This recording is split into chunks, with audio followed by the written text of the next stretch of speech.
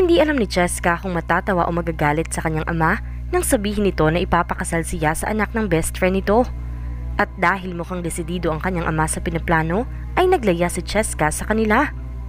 Dahil sa labis ng sama ng loob at kadesperaduhan, ay naisip niyang maglasing sa isang bar para pawiin ang lungkot at sama ng loob. And then, she met Leandro, the man who sat next to her. And one thing led to another.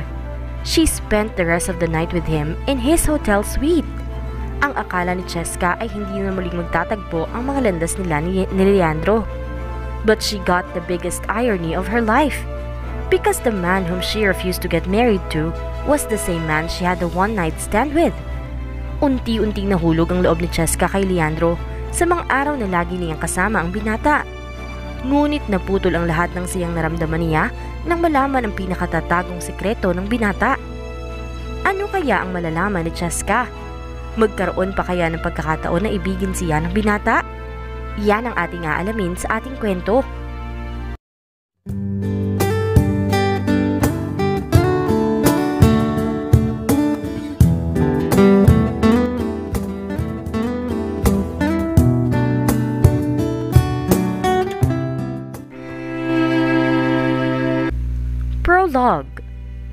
So, what else could I say but congratulations?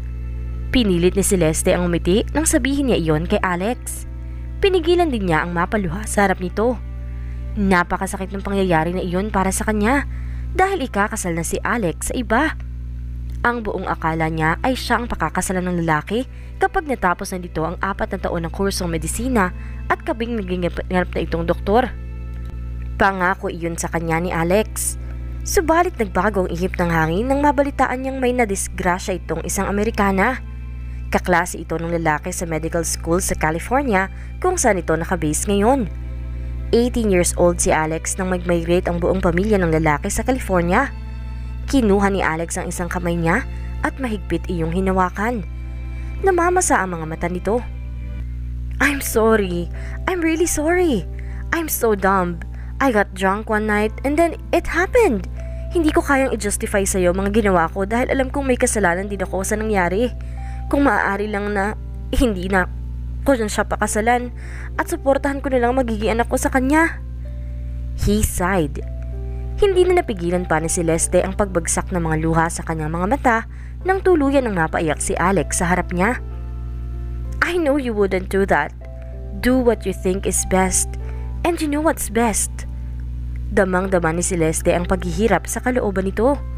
Maaaring ang gawin ni Alex ang sinasabi nito na hindi kailangan pang pakasalan ang babaeng nabuntis ngunit alam nilang pareho na hindi magiging tama iyon. Kilala ni Celeste si Alex. They had been the best of friends ever since they were kids.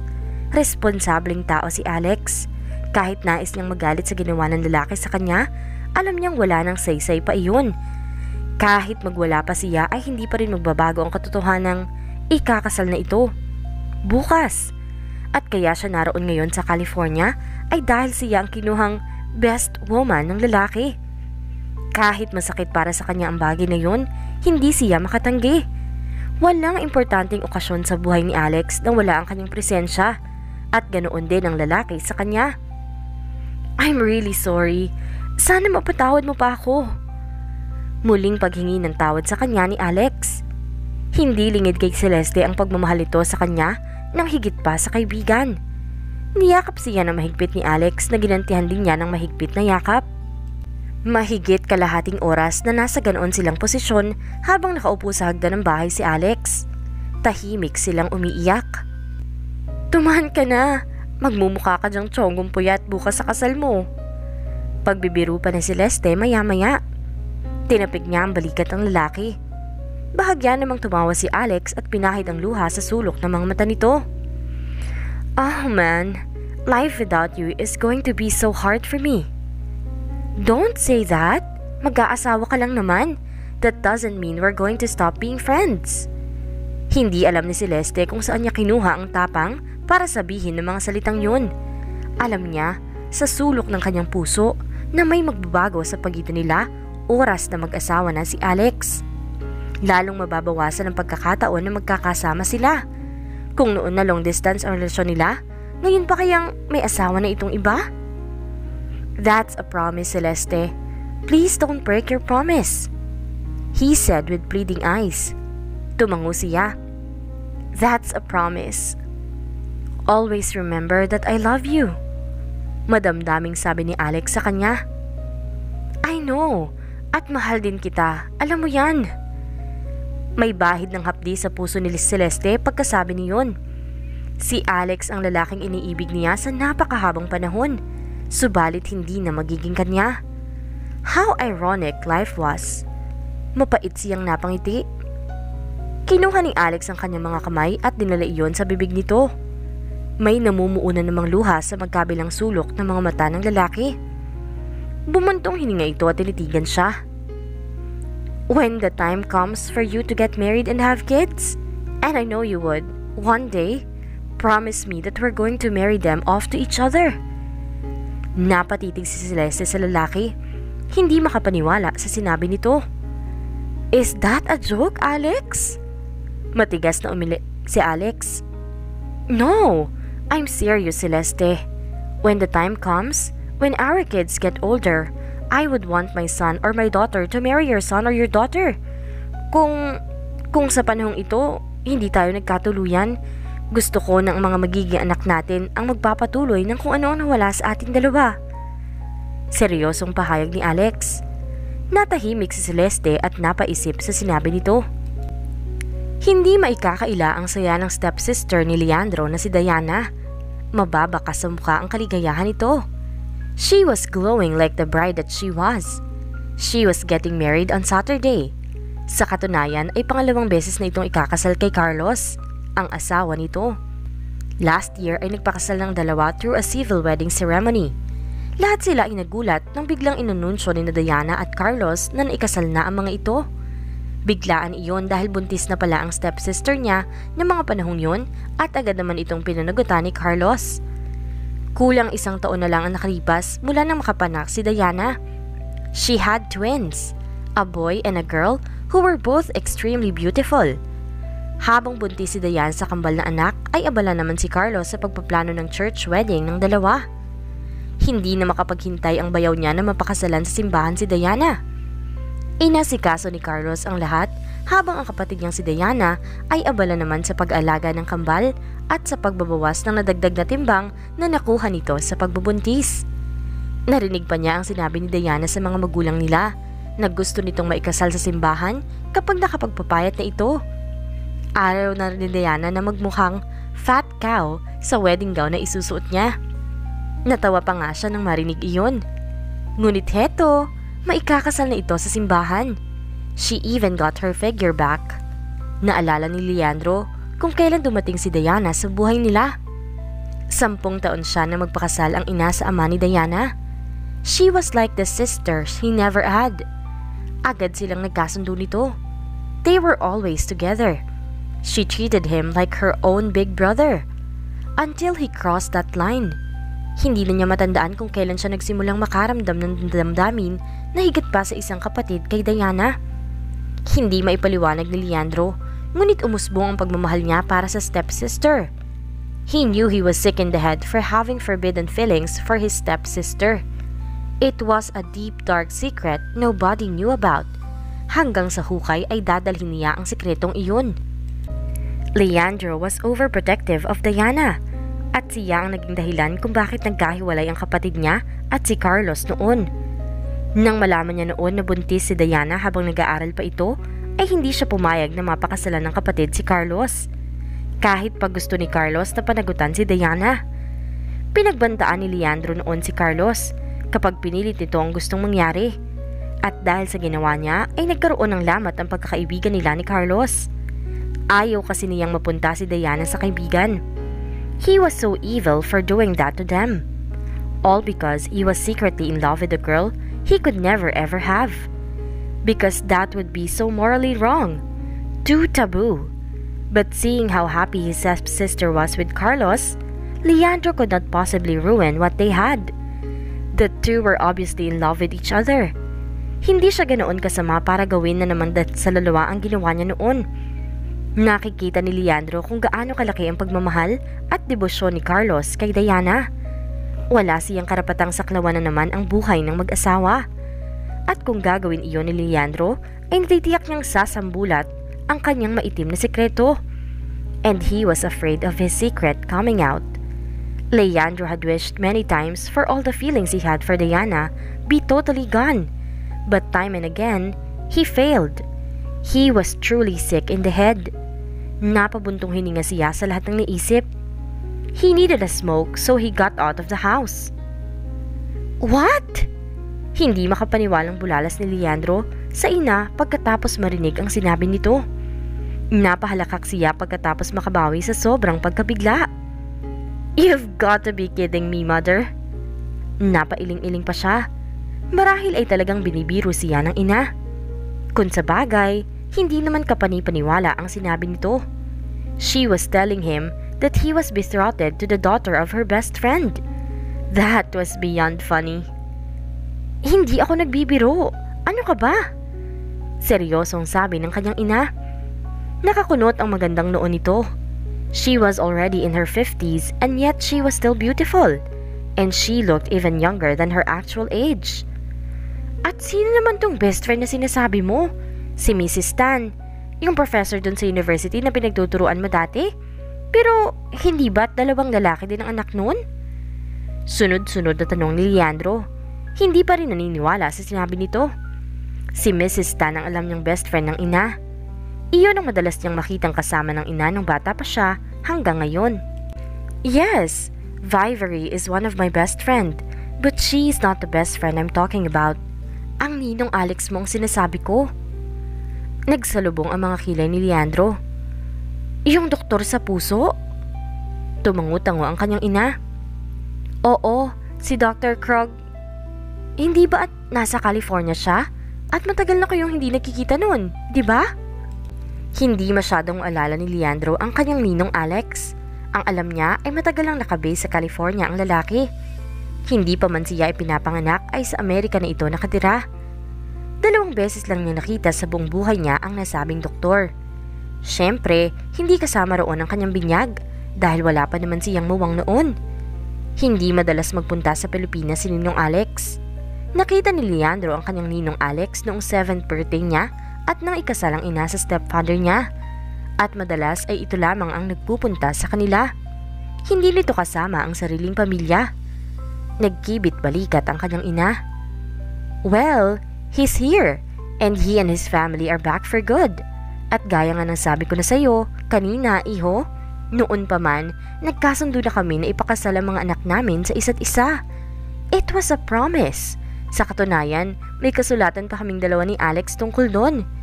You can ask your daddy Robert about it. Alam niya yun dahil ipinakita ko sa kanya ang kopya ng kasulatan. That is ridiculous, ma. Napatayo na si Leandro sa pagkakaupo sa sofa. Seryoso ang tono at mukha ng ina. Ibig sabihin, hindi nga ito nagbibiro. Nagpalakad-lakad siya sa harap nito sa loob ng library ng malaking bahay ng kanyang mga magulang. Bakit ipakakasal mo ko sa anak ng best friend mo? Eh, hindi naman tayo mga inchik. Hindi ka rin naman negosyante. At hindi ba dapat na ako ang may karapatan na pumili ng babaeng kapakakasalan ko? Nagsisimula na siyang mainis, ngayong nagsisingke na sa kanya ang lahat ng sinasabi ng kanyang ina. Pumirmi ka nga! Nahihilo ko sa ginagawa mo! Saway nito sa kanya. Tumalima naman si Leandro, subalit hindi pa rin maipinta ang kanyang mukha. Alex and I talked about this a long time ago. At kilala mo ko, hindi ako ang tipo na hindi tumutupad sa pangako. Eh bakit akong ipakakasal mo? Bakit hindi si Roniel? Ani Leandro na ang tinutukoy ay ang nakababatang kapatid na kasalukuyang nag-aaral sa London. Romniel is still young. He's only 20 and I cannot marry him off to a 24-year-old lady. You are crazy, mama. Inis na sambit ni Leandro. Wala ako nakikitang mali para ipakasal kita sa anak na babae ni Alex. I have seen his daughter. What a beauty! I'm excited to see you together and see your future babies. Kita mo nga at naunahan ka pa ng kapatid mong si Diana. Ang cute ng mga apo ko sa kanya. Ang luwang ng pagkakangiti ng kanyang ina pagkasabi niyon. She had always been fond of Diana. She was like her real daughter. At tuwang-tuwa ito sa 10-month-old na kambal ng mga apo nito na sina Andre at RV. First, you were talking about my so-called betrothal to your best friend's daughter, whom I haven't met in my entire life. And now you're talking about babies? Aren't you content with Andre and RV? For God's sake, I'm not ready to getting married yet. Well, that was true. Hindi pa naiisip ni Leandro ang lumagay sa tahimik. Leandro was only 28. He was a busy man. He was the top architect of Sempo Constructions Incorporated, one of the leading construction companies in the Philippines owned by his stepfather. At sa tingin niya ay hindi pa siya handa sa responsibilidad ng pag-aasawa. And he could not possibly marry a girl he did not know, much less love. Noon pa man ay pinangako ni Leandro sa sarili na kung sakaling mag-aasawa siya ay sisiguruduhin niyang mahal na mahal niya ang babaeng pakakasalan. But that seemed impossible for now. Also, he did not want his marriage to end up like his mother's first marriage to his biological father.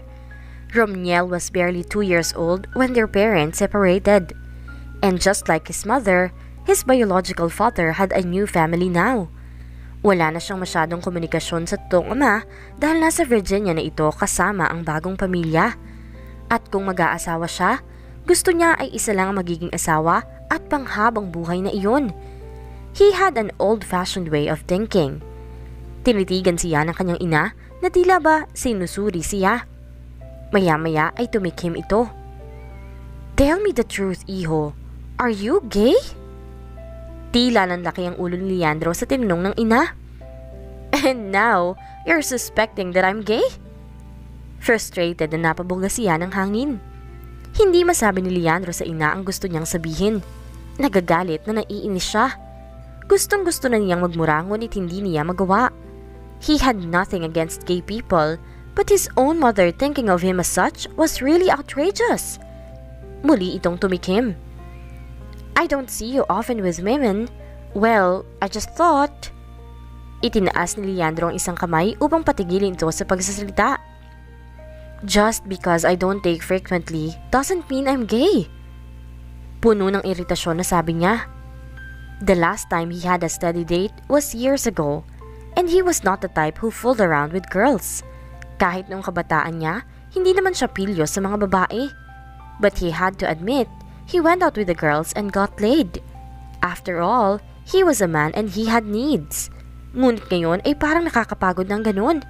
He would rather be busy with work. Nag-aalala kasi ako sa iyo, iho. Akala ko naman kasi mas gusto mo ang lalaki? Pinaning kita ni Leandro ng mga mata ang kanyang ina. Natahimik naman ito. At kaya gusto mo akong ipakasal sa anak ni Ninong Alex ay dahil gusto mong patunayan na lalaki ako? Leandro could not help but be sarcastic. Pinagdududahan niyo ba talaga ako? How could you? Naisuklay ni Leandro ang kamay sa kanyang buhok sa sobrang inis. Hindi niya sukat akalain na iniisip nitong kabilang siya sa ikatlong kasarian. I'm sorry, iho. Sinserong hinging pa umanhin ng mamaniya sa kanya. Hinawakan nito ang kanyang braso. Hindi lang naman yun ang dahilan kung bakit gusto kong ipakasal ka sa anak ni Alex. Umupo ulit sa sofa si Leandro at dumikwatro. Nakinig lang siya sa sinasabi ng kanyang ina. I haven't seen Cheska in years, but she's a nice and sweet girl. I'm 100% sure that you'd be perfect for each other. Leandro snorted. And by being a nice and sweet girl, that means she's the best candidate to be your future daughter-in-law? Really, Ma? That's ridiculous. Even Dad would think you're insane. Nakukulitan na siya sa kanyang ina. Hindi niya magets ang mga baluktot na katwiran nito. I told you already. Alam na to ng Daddy Robert mo. Ang sinabi niya sa akin hindi siya makikialam sa bagay na to. Hindi pa rin ako magpapakasal sa Cheska na yun. Angil ni Leandro. He felt so hopeless. He could strangle his mother if only that were possible. You will change your mind once you meet her. You're going to like her. I promise. Puno ng kombiksyon na sabi nito. Tumayo na siya. Whatever, ma. Whatever. Tinalikuran na ni Leandro ang kanyang ina. Inis na inis pa rin siya nang lumabas ng bahay nila. Naabutan niya si Diana sa garden kasama ang mga anak nito. Nasa stroller si RV habang karga naman ni Diana si Andre. Oh, Kuya Leandro, bakit hindi maipintay ang mukha mo? Puna ni Diana sa kanya nang makalapit siya sa kapatid. Ang galit at inis ni Diana ay kusang nawala nang umiti sa kanya si RV at umaktong magpapabuhat. Kinuha nga niya ang bata. Si mama kasi, kung ano nung kalokohan ang pumapasok sa isip. Nilaro-laro niya si RV habang karga ang bata. Tuwang-tuwa naman ang pamangkin niya. Sinabi na pala ni mommy sa'yo. Ani Diana. Napalingon si Leandro sa kapatid. You knew about it? I heard mom talking to dad about it. Actually, matagal ko nang naririnig yon dito sa bahay. And I tried to talk to mom na wag niyang gawin yan sa'yo. Pero pangako nila ni Uncle Alex yun sa isa't isa. And you know what I learned? Dati palang mag-boyfriend at girlfriend si Uncle Alex at si Mommy. Kaso, hindi sila nagkatuluyan kasi nag-asawa ng iba si Uncle Alex. And then, yun nga, naghiwalay sila ni Mommy. Tapos si Mommy napangasawang papa mo. And you know the rest. Pagkukwento ni Diana sa kanya. At ngayon mo lang naikwento sa akin yan? Sa lubong ang mga kilay na tanong ni Leandro. He honestly didn't know about the thing that went on between his mother and his ninong Alex. Hindi na ikwento sa kanya ng mama niya ang tungkol sa bagay na iyon. Wala naman kasi akong karapatang magkwento sa iyo ng betrothal mo sa anak ni Uncle Alex. Si mommy ang dapat magsabi nun sa iyo. And now, you know.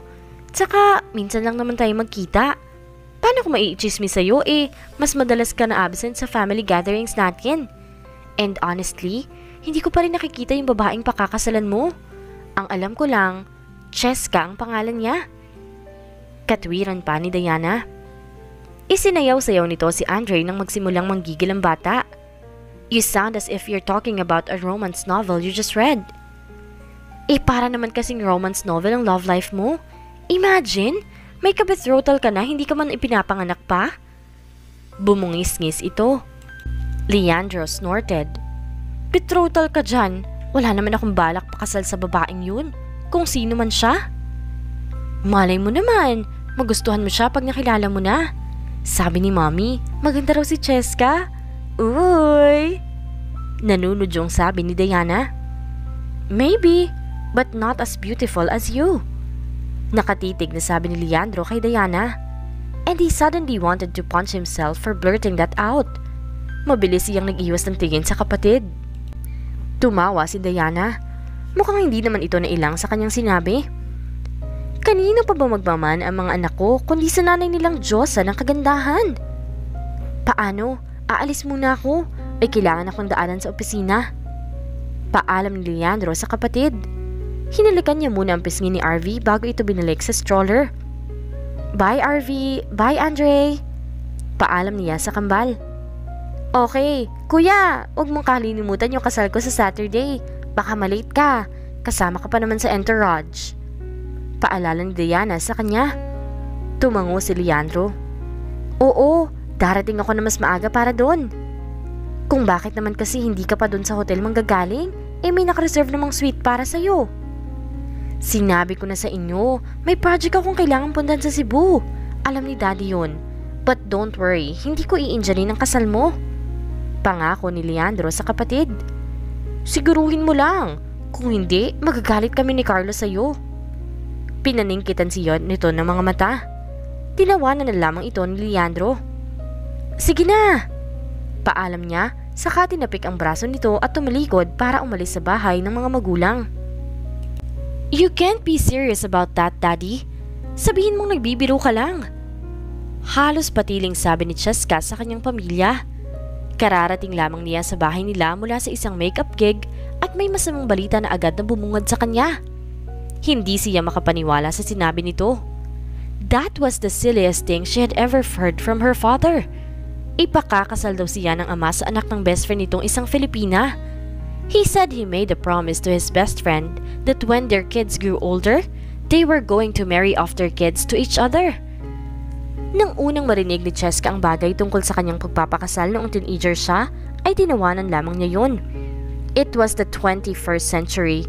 Hindi na uso ang arranged marriage sa panahon ngayon. That idea was just plain crazy. Ngunit sa pagkakataong iyon ay seryoso na ang kanyang ama. Mukhang hindi nga ito nagbibiro nang sabihin ng ama sa kanya na nakatakda siyang magpakasal sa anak ng best friend nitong si Tita Celeste na ina ni Leandro. Tumingin si Cheska sa kanyang Amerikanang ina na kanina patahimik at nakikinig lang sa kanilang dalawa ng daddy niya. Mommy, please talk to daddy about this. Pakiusap ni Cheska. Oh, honey, I've talked to your dad about this, but he's not listening. Wala ring magawa na sabi ng kanyang mommy. Tiningnan nito ang esposo ng matalim na mga mata. We've talked about this, darling. I've already explained this to you. Binalingan si Cheska ng kanyang ama. You are set to marry Celeste's son. May pangako kami sa isa't isa. Sa pagkakataong ito, ayokong mabali ang pangako kong iyon sa kanya. Puno ng kaseryosohan ang titing nito. But you're going to ruin my life! Pang-uusig ni Cheska sa ama. She could not bear the thought of marrying someone she was not in love with. Naniniwala siya na ang kasal ay nararapat lamang sa dalawang taong nagmamahalan. How could she live a life with a loveless marriage? She never dreamed of having a miserable marriage life. At bata pa siya para mag-asawa. She was only 24. Gumagawa pa lang siya ng sariling pangalan sa larangan ng kanyang tinatahak. Marami pa siyang gustong gawin sa buhay. I'm not going to break my promise to Celeste this time. Determinadong saad ng kanyang ama. Sa hitsura ng ama ay malabong mabali niya ang gusto nito. But what her father wanted was absurd. Hindi iyon makatarungan para sa kanya. Bakit ginagawa niyo sa akin to? Bakit hindi na lang si Manuel ang pinakasal niyo sa anak ni Tita Celeste? Bakit ako pa? Reklamong tukoy ni Cheska sa nakakatandang kapatid na nasa California. Tanging si Manuel lamang ang hindi sumama sa kanila nang mag-migrate sila sa Pilipinas. Her brother was a professional surfer back in the US. Kahit half American si Cheska at lumaki sa bansa ng kanyang ina, ay matatas siyang magsalita ng Tagalog. Bata pa lang siya ay naturuan na silang magkapatid ng kanilang ama ng wika nito. Walang anak na babae si Celeste. Oh well, she has a stepdaughter pero may asawa na yon. Sagot naman ng kanyang ama. I am not going to marry that guy, whoever he is. Ano ba naman ang malay niya sa lalaking yun? Hindi niya ito kilala. Mabibilang lang sa daliri ang mga pagkakataon na nakita niya si Tita Celeste. At kadalasan ay hindi nito kasama ang mga anak kapag nagpupunta o nagbabakasyon ng babae noon sa California. Ngayon nga, na lumapit na sila sa Pilipinas, one years ago, ay hindi pa niya ulit nakikita si Tita Celeste. Pagkatapos, gusto ng mga ito na ipakasal silang dalawa ng anak nito na ganun-ganunan lang? You will do what I say, Cheska. Para ito sa ikabubuti mo. Just trust me. I have always wanted my family to be one with Celeste's family. That was my dream. Kung hindi mo pa alam, yun din ang pangarap noon ng mga magulang namin si Celeste. At ako ang sumira doon dahil bumuntong hininga ito. I don't even want to go there. Cheska knew what he was trying to say. Kung hindi nito aksidenteng na disgrasya ang mami niya nakaklase nito noon sa medical school, ay si Tita Celeste sana ang nakatuluyan ng ama. Hindi lamang madiretso iyon sa kanya dahil alam nitong masasaktan siya. At naroon lamang din sa harap ng kanyang ama ang mami niya. Ngunit alam niyang dating magkasintahan ang daddy niya at ang Tita Celeste niya, bukod sa magiging best friends ng dalawa.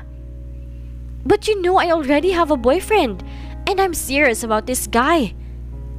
That was just a bluff.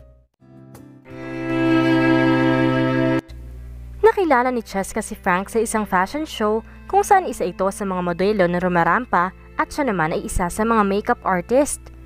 Five months pa lang ang relasyon nila ni Frank. Hindi pa naman ganoon kalalim ang relasyon nilang dalawa. Ngunit hanggat kaya niyang gumawa ng alibay, ay gagawin niya. Huwag lamang siyang maikasal sa isang estranghero. Kilala ng kanyang ama si Frank dahil minsan na niyang naipakilala ang kasintahan sa ama. Nagsalubong ang mga kilay ng kanyang ama. I don't like that guy for you, Cheska. You'd better break up with him. Utos nito sa kanya. Napanganga si Cheska.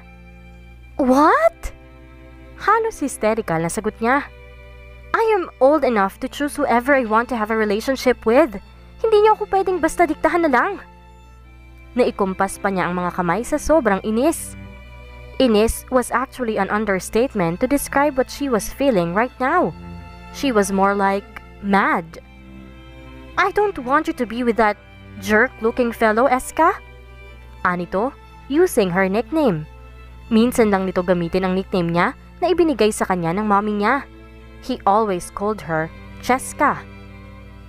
Basta niyo lang ginajudge ang tao kahit hindi niyo pa naman kilala. Matagal nang nararamdaman ni Cheska na hindi nito gusto si Frank.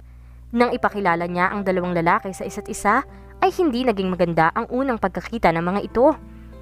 Mabigat ang dugo ng kanyang daddy kay Frank, kaya hindi na naulit ang pagpunta ni Frank sa bahay nila dahil nararamdaman ng nobyo na hindi siya gusto ng kanyang ama.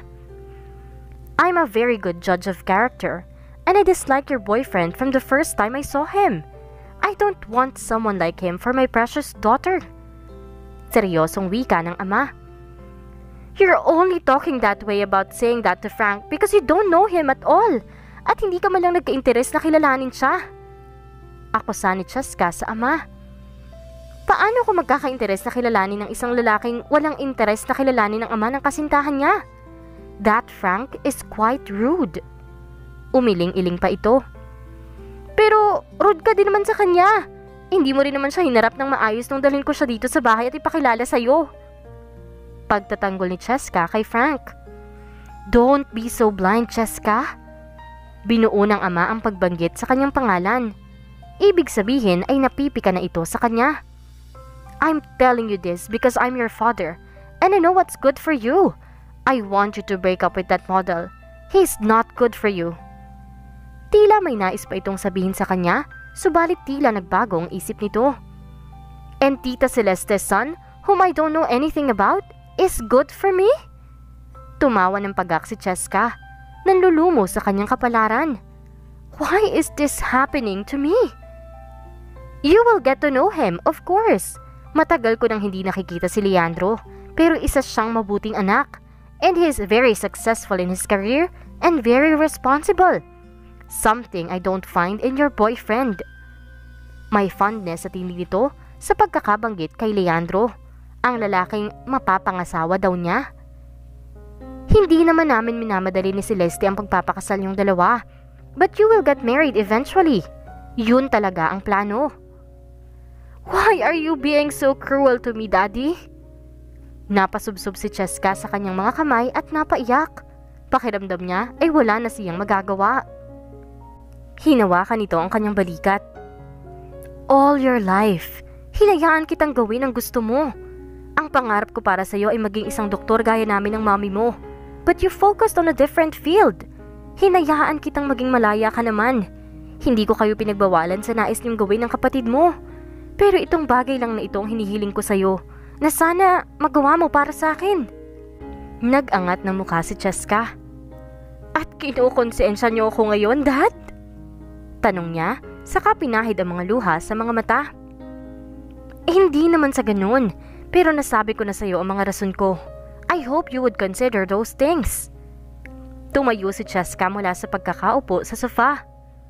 You cannot make me marry someone I don't even love. Aniya sa ama. Pagkasabi noon ay lumabas na siya sa private office nito sa loob ng bahay nila. Cheska! Tawag ng ama sa kanya, subalit hindi na niya ito pinansin at nagtuloy-tuloy siyang lumabas ng kanilang bahay. Agad na siyang sumakay sa kanyang kotse. She wanted to go away. Masamang masama ang loob niya sa kanyang daddy. Hindi niya matanggap ang balak nitong gawin sa buhay niya. Ngunit isa lamang ang malinaw sa kanya. Ayaw niya magpakasal sa Leandro na iyon. Dumiretso si Cheska sa apartment ng pinsan niyang si Trixie pagkatapos nilang mag-away ng daddy niya. Mabuti na lang at hindi pa niya naiaalis sa kanyang kotse ang always ready na traveling bag at ang malaking makeup train case niya. Wala na siyang ibang mapuntahan maliban sa pinsan. She was her favorite cousin. Bukod sa pinsan niyang si Trixie, ay maituturing rin niya itong best friend. Bakit ayaw mo pang umuwi sa inyo? Nag-aalala na si Auntie Sally sa iyo. Ani Trixie sa kanya habang inunguya ang lettuce na may dressing na hindi niya alam kung ano. Iyon ang hapunan ng pinsan. Vegetarian ito. No-no dito ang karne. Mortal scene para sa pinsan ang pagkain nun. Dalawang araw nang nasa apartment ni Trixie si Cheska. Nasabi na niya rito ang kanyang problema at hindi pa niya alam kung kailan siya uuwi sa bahay nila. Masama pa rin ang loob niya sa kanyang ama. Napaka-imposible naman kasi ng gusto nitong mangyari. Trixie, ano bang dapat kong gawin? Kung sabihin ko kaya sa kanila na engaged na kami ni Frank? Madalas iniisip ni Cheska kung paano malulustan ang kasalang hindi niya pinapangarap. Kanina, may naisip na siyang paraan. She will introduce Frank to her father as her fiancé. Kapag nalaman ng daddy niya na seryoso siya kay Frank, ay hindi na matutuloy ang maitim na plano nito sa kanya. Nabitawan ni Trixie ang tinidor na hawak. Magpapakasal na kayo ni Frank? Nabibiglang tanong nito. Katulad ng kanyang daddy, kahit ang pinsan ay hindi gustong ideya na lumalabas-labas siya kasama si Frank. Naaangasan si Trixie sa lalaki. And she said that models were a bunch of jerks. Si Frank daw ang perfect example nun. Fiancé lang. Naku, huwag mong gagawin yan, Cheska. Are you crazy? Nandidilat ang mga mata na sabi nito sa kanya. Mas crazy sa akin si Daddy. Ipagkasundo daw ba ako sa anak ng best friend niya? To think, I don't even know the guy. Naisip ko na ang tanging solusyon para hindi matuloy ang kasalang yun ay ipakalala si Frank as my fiancé. Mag-isip ka ng ibang paraan, Cheska. Hindi yung padalos-dalos ka ng desisyon. Naniniwala ako na may iba pang paraan. Paniner mo ni Trixie. Kahit mas matanda ng dalawang ban sa kanya ang pinsan, minsan ay feel na feel nito ang magpakaate sa kanya. Kagaya na lang ngayon. Eh pero desperado na ako, Trixie. Sa tingin mo ba, nagbibiro lang si Daddy sa balak niyang gawin sa buhay ko? Kilala mo rin siya. Kapag may ginusto si Daddy na mangyari, kailangan mangyari yon. At seryoso siyang gawing miserable ang buhay ko. OA na akong OA. Pero naniniwala si Cheska na magiging miserable ang magiging buhay niya kung magpapakasal siya sa isang estranghero. Noong bata pa siya, lahat ng naisin niya ay sinusunod ng ama. Sa katunayan ay spoiled siya sa kanyang mga magulang. Lahat ng gusto niyang gawin ay pinapayagan siya ng mga magulang. Hindi siya pinagbawalan o kinagalitan ng mga ito nang magdesisyon siyang hindi tapusin ang kurso niya sa pre-medical. Wala talaga kasi siyang interes doon. Makeup and fashion had always been her passion since she was a teenager. Then one day, she decided to enroll at a cinema makeup school in Los Angeles to learn the proper and different techniques in makeup application. In that school, she was trained in high fashion, theatrical, bridal, film, and TV makeup. Doon din siya nag-aral ng hairstyling techniques. She was so happy with her job as a freelance makeup artist. Hawak niya ang kanyang oras, and she got to travel too. That was one of the perks of her job. At kung kailan siya tumanda, saka naman gustong saklawan ng kanyang ama ang buhay niya. Ngayon ay kinukonsensya pa siya. Ngunit papayag na lang ba si Cheska na ganoon ang gawin ng daddy niya sa kanya?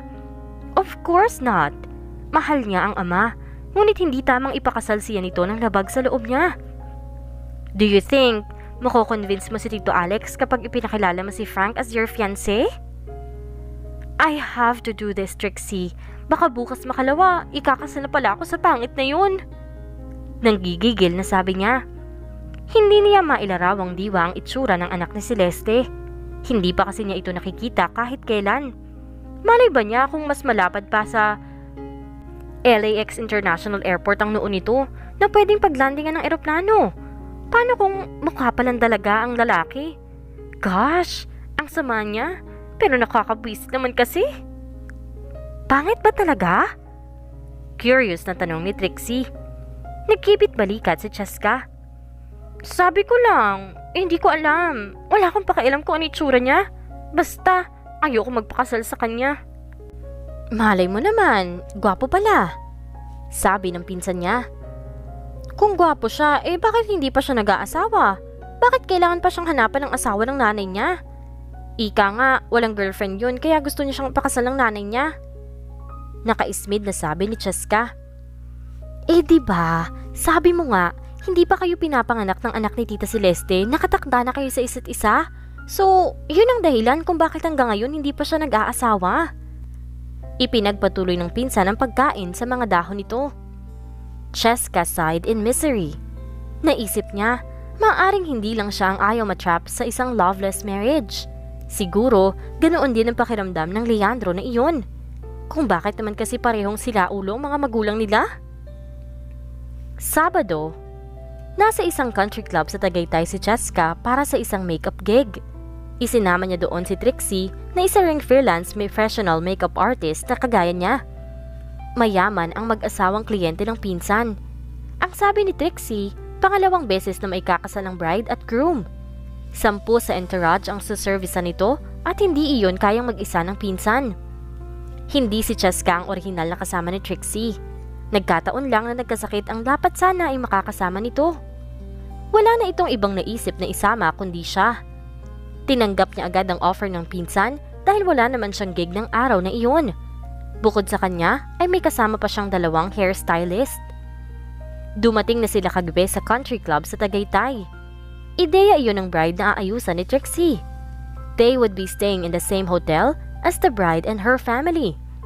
Nagkataon na hindi makakarating ang dalawang guest nito na nagmumula pa sa Amerika, kaya sa kanila inoffer ang bakanteng hotel room na napabook na nito in advance.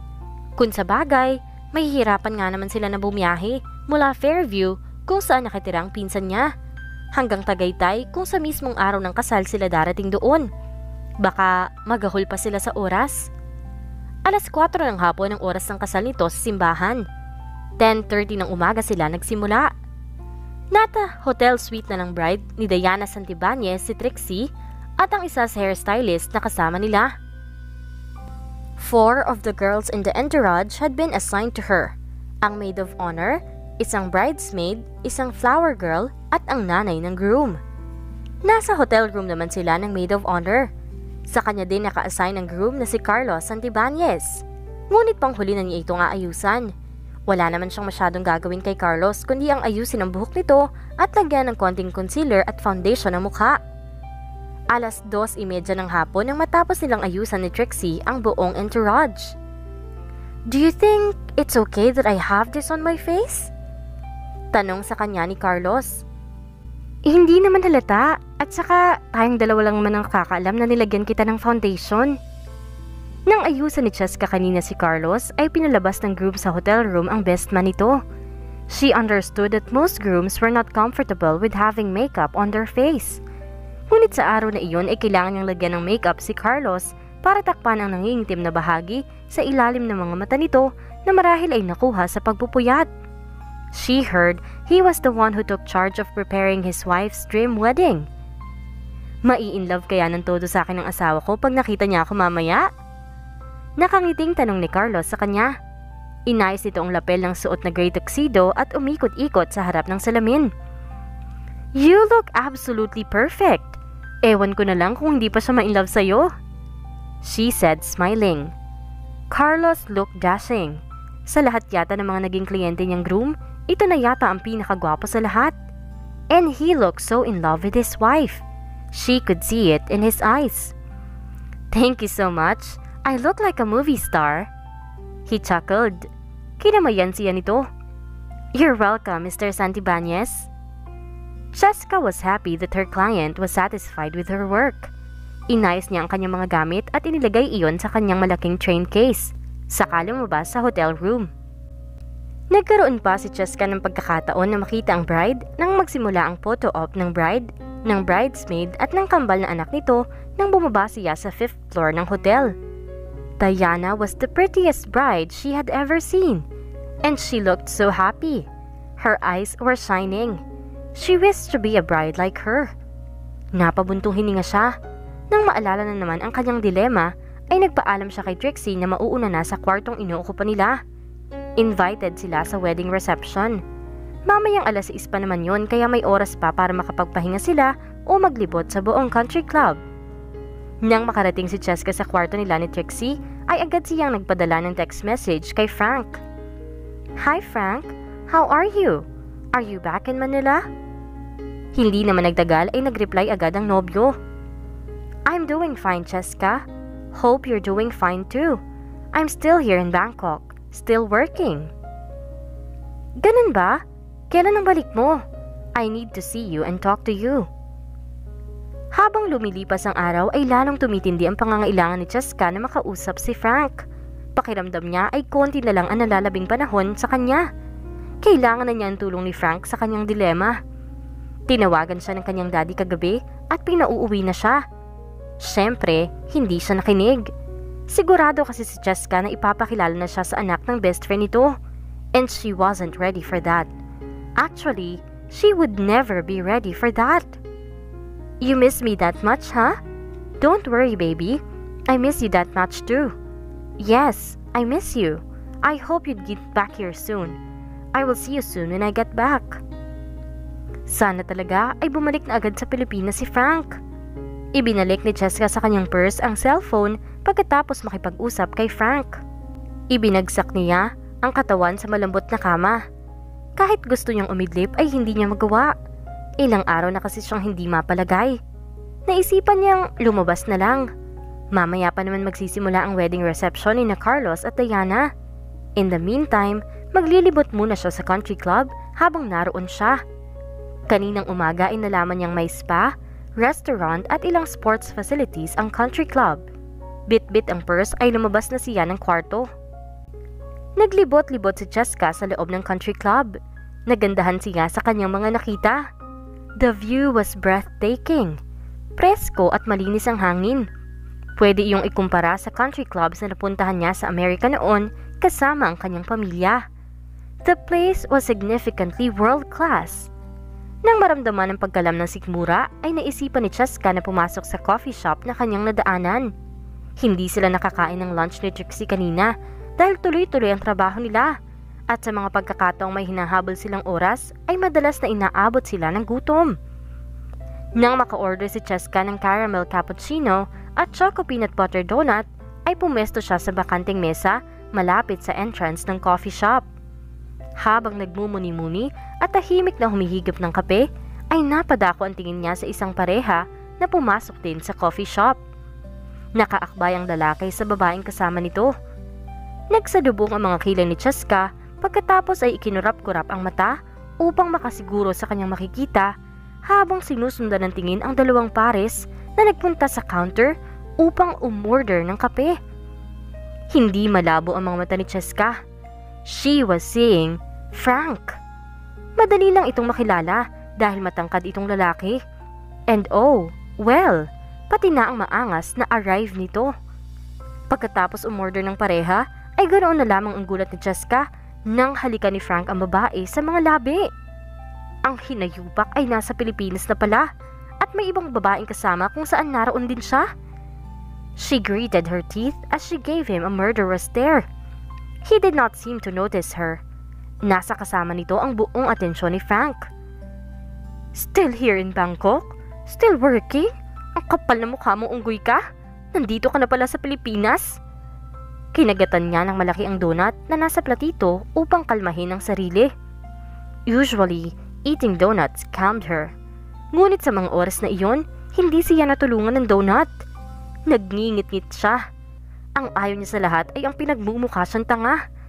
The girl he was with was certainly more than his friend. May magkaibigan ba naman na naghahalikan hanggang sa makaupo mga ito? Now, It was clear that Frank was lying and cheating on her. Kinuha ni Cheska ang kanyang mug at tumayo mula sa kanyang mesa upang kumprontahin si Frank. Nilapitan niya si Frank at ang babaeng kasama nito. Nagulat pa ang loko nang makita siya. Ch Cheska? Nasa Bangkok pala ha? Kailan pa naging Bangkok ang Tagaytay? Sarkastikong tanong ni Cheska sa unggoy na lalaki. Sino siya? Maarting tanong ng babae kay Frank na sa kanya nakatingin. Girlfriend niya. And you? Mataray na sagot naman ni Cheska. She wanted to pull the woman's hair but she calmed herself. She was not the type who made a scene in a public place. The girl gave her a sarcastic smile na kinaalidbadbaran niya. Girlfriend din niya. Pang ilan ka ni Frank? Nakataas pa ang isang kilay na tanong nito sa kanya. Napanganga si Cheska. Matalim ang mga matang nilingon niya si Frank. Marami pala kaming girlfriend mo? Hindi ito makatingin ng diretso sa kanya. Ano pa nga bang ibig sabihin nun? You cheating scumbag! Sinampal niya ng ubod ng lakas ang pisngi nito. She lost her control. Sinungaling ka? Maluloko? Talaga namang nagngingit-git siya. Let me explain! Ani Frank sa kanya na hinawakan pa ang braso niya. Deadma ito sa nasaktang pisngi. Pumiksi si Cheska. Explainin mo mukha mo! Kapal na mukha mo! Huling-huli ka na, lulusot ka pa? Nagawa pa man din kita ipagtanggol sa daddy ko, but he was right all along because he turned out to be a total jerk. Ibinuhos niya kay Frank ang natitirang laman ng mug niya. Puisit ka! Huwag ka na magpapakita sa akin!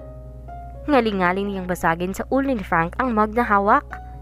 Tumalikod na siya nang maipatong ang mug sa ibabaw ng mesa. Wala na siyang pakialam kung sa kanya nakatingin ang lahat ng customers na naroon. Galit siya. Walang modo! Pagtutungayaw sa kanya ng babaeng kasama ni Frank. Hindi na lumingon pa si Cheska dahil kapag pinansin pa niya ang babae ay baka kung ano pa ang kanyang magawa. Hindi siya baluyenteng tao, ngunit palaban siya kapag naiisahan. Masamang masama ang loob niya at tila nanghihina siya ng lisanin ng coffee shop. Hindi pala makakatulong sa problema niya si Frank. Oh God, ano na ang gagawin ko? Nandulumong tanong niya sa isip. Kanina ang kasal sa simbahan ni Diana at Carlos. Gaya ng pangako ni Leandro ay hindi siya malilate sa kasal ng stepsister. Kahit galing pa siya ng Cebu ay pinilit niyang lumuwas ng Maynila ng mas maaga. Mula sa naiya ay agad na bumahay siya papuntang Tagaytay. He certainly would not want to disappoint Diana. Dumating siya sa simbahan bago pa man magsimula ang seremonya. Nakaabot pa siya bago pa magsimulang maglakad ang buong entourage sa simbahan. Eng grande ang pangalawang kasal na ibibigay ni Carlos para kay Diana. Marami ang nakaisaya para sa mag-asawa. Nakita niya si Ninong Alex kasama ang Amerikanang asawa nito sa wedding reception. Kausap ng mag-asawa ang ina at stepfather niya. Iniharap siya ng kanyang ina sa mag-asawa. Wala roon ang babaeng ipakakasal sa kanya. Hindi na siya nagtanong dahil hindi naman talaga siya interesado. Muling ibinalik ni Leandro ang tingin kina Diana at Carlos. He was so happy for both of them. They were just meant to be together. But somehow, he felt a little jealous of his friend. Oh man, I don't want to dwell on that again.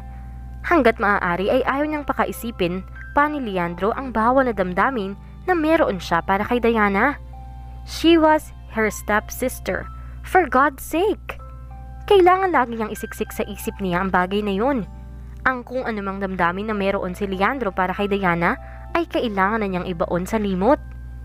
Hindi pa man natatapos ang kasiyahan ng mga bisita sa reception, nang kasal ni na Diana at Carlos ay lumabas na siya. Hindi niya kayang lokohin ang kanyang sarili. He was not that happy. He was truly an awful person. Cheska felt so wretched. She dated a few guys back in the States, but this was the first time that she had been fooled by one. Hindi niya sukat akalain na pumatol siya sa isang playboy.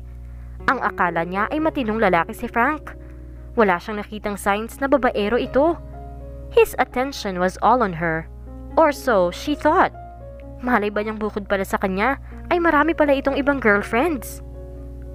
Magaling magtago ng kalokohan ng walang hiya. Ngunit kasalanan din niya.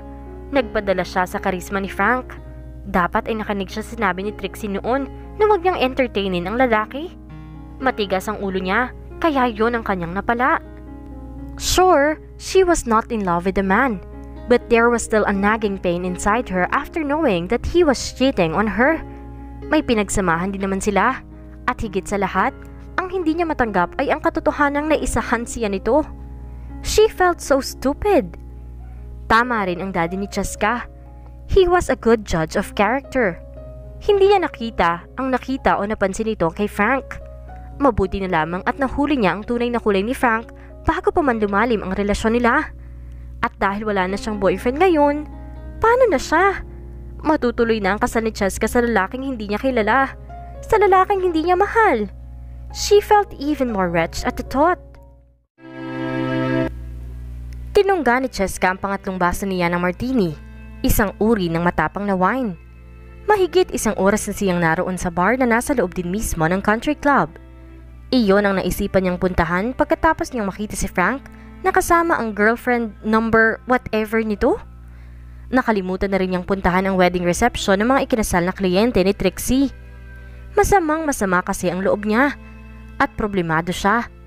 Ang sabi nila, kapag problemado ang isang tao, ay makakatulong ang pag-inom ng alak para panandali ang makalimutan ng mga problema.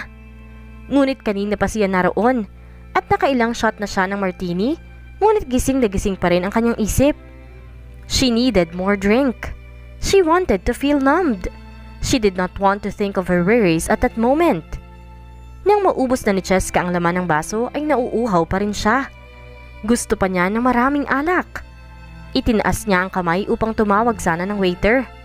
Ang kaso, hindi naman siya napapansin ng mga iyon. Naisip niyang pumwesto na lang sa bar counter. Iilan lang ang mga nakaupo roon. She got settled on the vacant seat next to a man who stared at her the whole time she was walking towards the bar counter. Napansin na rin niya na kanina pa ang lalaking pumasok ito sa bar. As she had to admit, he was quite good looking. Hindi na niya ito pinansin nang tinawag niya ang bartender. She ordered a bottle of vodka. Agad na tumalima ang bartender at inilapag ang order niya kasama ang isang baso. She started drinking her bottle of vodka. Sino nang tutulong sa akin? Wala sa sariling himutok ni Cheska. Sino pa ang tutulong sa kanya? Hindi naman pwedeng manghatak na lang siya ng lalaki sa tabi-tabi. At dahil walang makuhang sagot sa kanyang katanungan, ay naging sunod-sunod ang pag-inom niya ng alak. Ilang saglit pa ay naramdaman niya ang pagpitik sa kanyang sentido. Tinamaan na yata siya ng alak na iniinom. Nasapo niya ang kanyang ulo. Leandro was staring at the woman next to him at the bar counter. Gusto mang ilihis sa ibang kanyang mga mata ay hindi niya magawa. Nakita na niya kanina ang babae mula nang pumasok siya sa bar. She was pretty and hard to miss since she stood out in the crowd. Her strawberry blonde hair was glowing against the light, and as much as he did not want to admit it, she was probably the most beautiful woman he had ever seen. And for a while, a girl with a face like her, he wondered why she was alone in a bar. Iniiwas na ni Leandro ang tingin sa magandang babae sa kanyang tabi. Pinilit niyang abalahin ang sarili sa tahimik na pag-inom ng beer kesa ang obserbahan ito. Sino nang tutulong sa akin? Anang babae sa tabi niya. Napalingon si Leandro sa babae. Marunong itong magsalita ng Tagalog, ngunit halata ang American accent nito. She must be a half Filipina. Mas lamang ang Caucasian features ito kaysa sa Filipina. Nagsalubong ang mga kilay ni Leandro nang sunod-sunod ang pag-inom nito ng alak sa baso. Miss! Bulalas niya nang muntik nang sumubsob ang ulo nito sa bar counter. Mabuti na lamang at mabilis ang kanyang reflexes. Agad niya itong inalalayan. My head hurts. Mahinang anas nito. Napapalatak si Leandro ng mahina. Kundangan ba naman na halos laklakin mo na yung bote ng vodka mo? Sabi niya habang inaayos ang pagkakaupo nito. Napatingin ito sa kanya. Tinitigan siya ng babae. Maya-maya ay ngumiti ito. Eh may problema kasi ako. There was something about the way she smiled. Tila sinipa ng kung ano ang dibdib niya. May problema ka, pero ang ganda ng pagkakangiti mo sa akin. Tumaas ang kanyang mga kilay. She giggled softly. Mukha ngang may tama na ng alak ang babae, ngunit nakakausap pa niya ito ng matino. Malamang ay sanay itong uminom ng marami. Meron nga, pero wag na natin pag-usapan yun. Kumumpas pa ang kamay ng babae sa ere, saka muli nitong hinagip ang bote ng vodka at sinalina ng baso. You want some? Alok nito sa kanya ng vodka. Umiling si Leandro, saka itinaas ang bote ng beer. Okay. Nasaan ang kasama mo? Naisip niyang itanong. Hindi naman siguro ito nag-iisa. Walang nagpupunta sa country club na iyon ng nag-iisa. Most of the guests were there with their families. If not, they were with their friends or their partners. Nagkibit balikat ang babae. I don't know. May kasama ka pero hindi mo alam kung nasaan? Aha? Inilapag ng babae sa bar counter ang baso ng alak. Napatingin ito sa wristwatch na suot. Now that you have mentioned it, I have to go and find them. Sinenyasan ng babae ang bartender. Gumalaw-galaw ito sa kinauupuan. Tila may hinahanap ito na kung ano. Oh my God! Bulalas nito maya-maya. Why? What's the problem? Para itong kitikite na hindi mapakali sa upuan. Nahihiyang tumingin sa kanya ang babae. Pautang naman. Wala kasi akong pambayad sa mga in-order ko. Napapangiwing sabi nito. Napalunok na lamang ng laway si Leandro. Ang lakas ng loob mo magpakalasing? Wala ka naman palang pera. Promise, babayaran din kita. Bukas na bukas. Itinaas pa nitong isang kamay na tila nanunumpa. Leandro could not suppress his laughter. She looked so cute doing that. Don't laugh at me. Wala lang talaga akong pera ngayon. I think my purse is missing or baka ninakaw na yon. Napaingos na sabi nito. Okay, okay. Naniniwala na ako sa'yo. Hinugot ni Leandro ang wallet niya sa bulsa ng pantalong suot. Sure, he did not know her, but it will not be so bad to help her out. There was something about her that was so fascinating to him. Tinawag niya ang bartender. Binayaran niya ang lahat ng ininom ng estrangherang babae. Oh, thank you so much. By the way, what's your name? Nakangiting tanong nito sa kanya. Leandro. Sagot niya bago tumungga ng beer. As in, Leonardo DiCaprio? Even the sound of her laughter was pretty. Everybody called me that when I was a kid, but my name is spelled as L-E-A-N-D-R-O, not Leonardo. Nung bata siya ay laging Leonardo DiCaprio ang pang-asar sa kanya ng mga kalaro. His mother gave him that name. You've got a cute name. Bagay sa'yo. Just kidding! Tumawa na naman ito. You're cuter than Leonardo DiCaprio. By the way, I'm Cheska. Cheska Krog. Inlahat nito ang kamay sa kanya. Tinanggap niya iyon. Her hand felt so soft and warm against his. It's nice to meet you. He gave her a grin. It's nice to meet you too. And thanks for paying for my drink. Tumayo ito mula sa pagkakaupo sa bar stool. Halos mapadaos to si Cheska kung hindi lamang niyan agapan ang pagtayo nito. Mabuti na lamang at hindi niya binitawan ang kamay ng babae. Iniyakap niya iyon sa katawan ni Cheska. Hey! Easy! Thank you. She giggled once again. Lasing na nga yata talaga ito. Let me take you to your hotel room. Ani Leandro. Hindi niya alam kung saan nanggaling ang concern niya para sa babae. First, he paid for her drink. Now, he was going to take her to her hotel room? Mahirap na kapag hinayaan na lang niya ito basta roon na nag-iisa. Baka kung mapano pa ito. Pagkatapos bayaran ni Leandro ang kanyang mga nainom, ay sabay na silang lumabas ni Cheska sa bar. What's your hotel room number? He asked. Nakaalalay pa rin siya dito habang naglalakad sila. Paano ay eh hindi na diretso ang paglalakad nito? The woman beside him was quite tall. Umabot si Cheska hanggang sa kanyang tenga sa height niyang 5'10". She must be around 5 feet and 7 inches tall. Sandali itong pumikit na tila inaalala sa isip kung ano ang hotel room number nito. E, hindi ko matandaan. He encouraged her. Alalahanin mo pang maigi.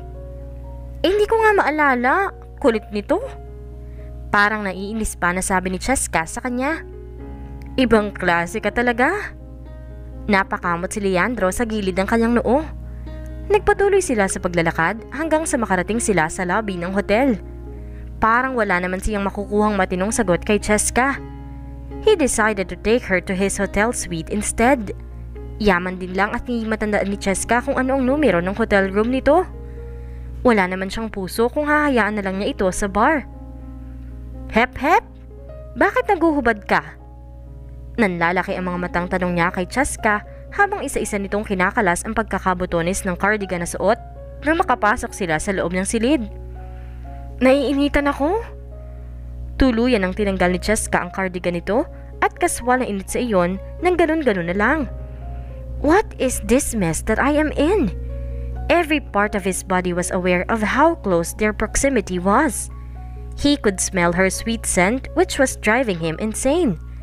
At kahit ayaw ni Leandro ay hindi niya maiiwas ang kanyang mga mata sa nakalitaw na dibdib nito sa suot na dress na may kababaan ng neckline. She had proud-looking breast. He felt like a pervert all of a sudden. Ngunit kasalanan naman kasi ito ng babae. Minabuti ni Leandro ang kumuha ng bottled water sa mini refrigerator pagkatapos itong maiupo sa malambot na sofa. Agad niyang ininom ang malamig na tubig para pawiin ang init ng kanyang katawan na nararamdaman. He could not understand why he was so affected by her more presence.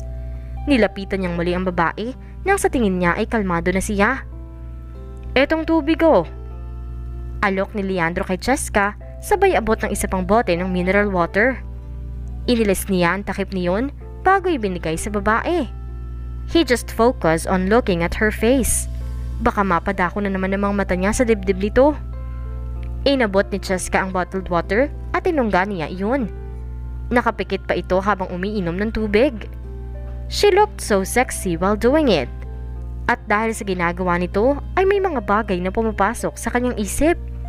And those things were not wholesome. Hindi niya ugali ang mag-isip ng ganoon sa mga babaeng nakakaharap o nakikilala.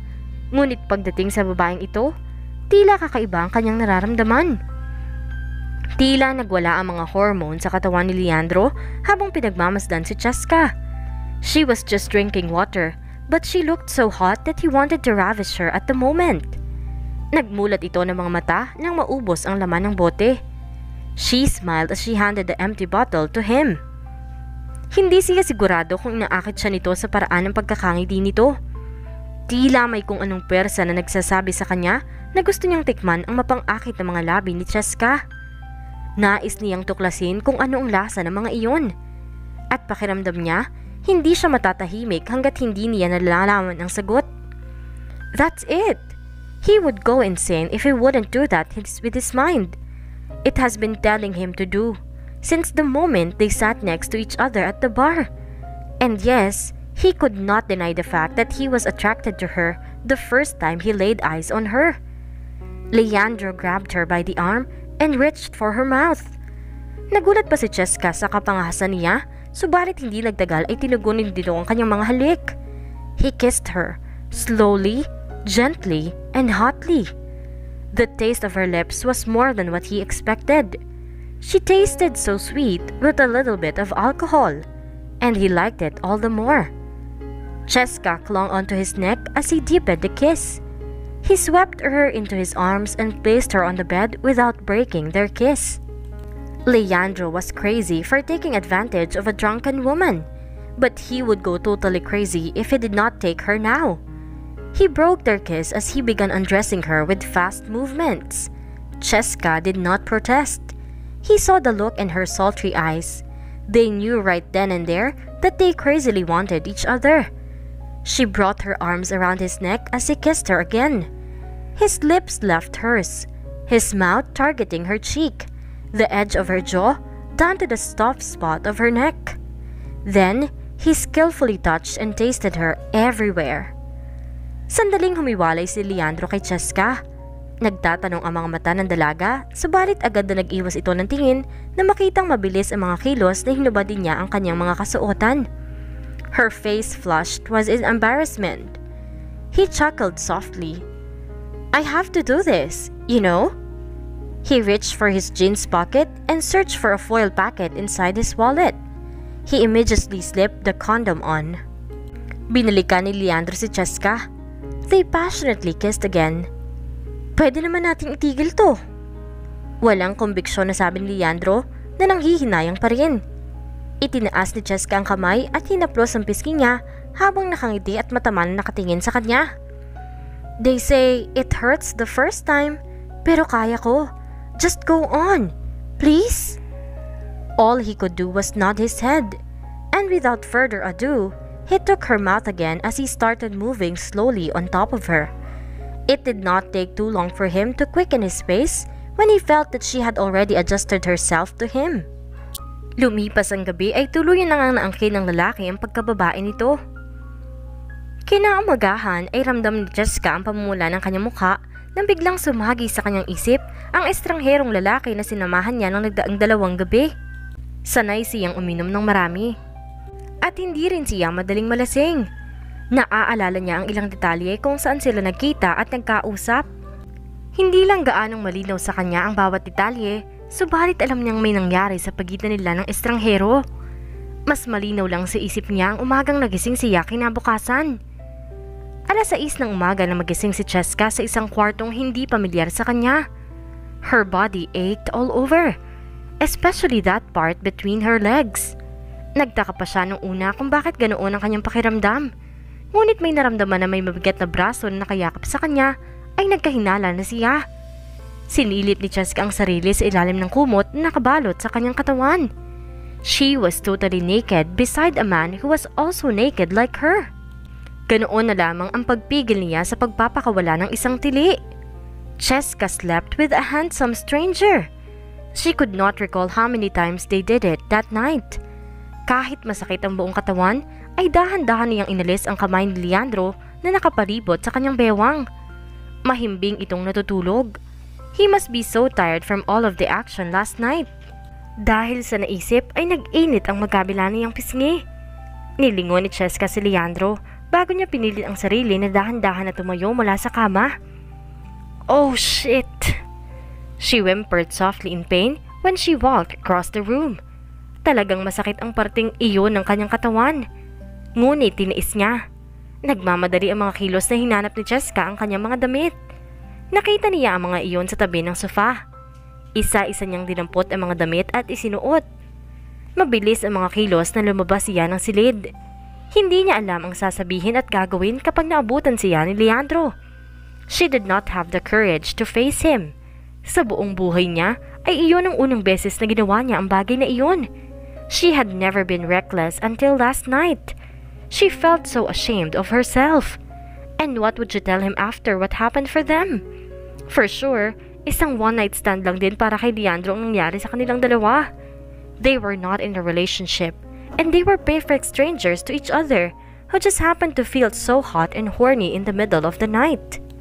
And the only thing they knew about each other were their names. Ngunit ano ba ang malay niya kung ang ibinibigay nitong pangalan ay alias lang nito? Ang unang pinuntahan ni Cheska nang makalayo siya sa kwarto ng lalaki ay ang coffee shop nang maalala ang purse niya na nawawala.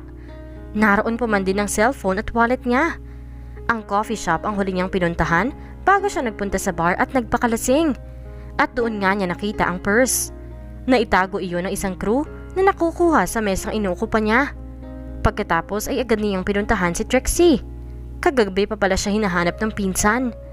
Wala siyang maisagot kay Trixie nang tanungin siya kung saan siya nanggaling nang nagdaang gabi.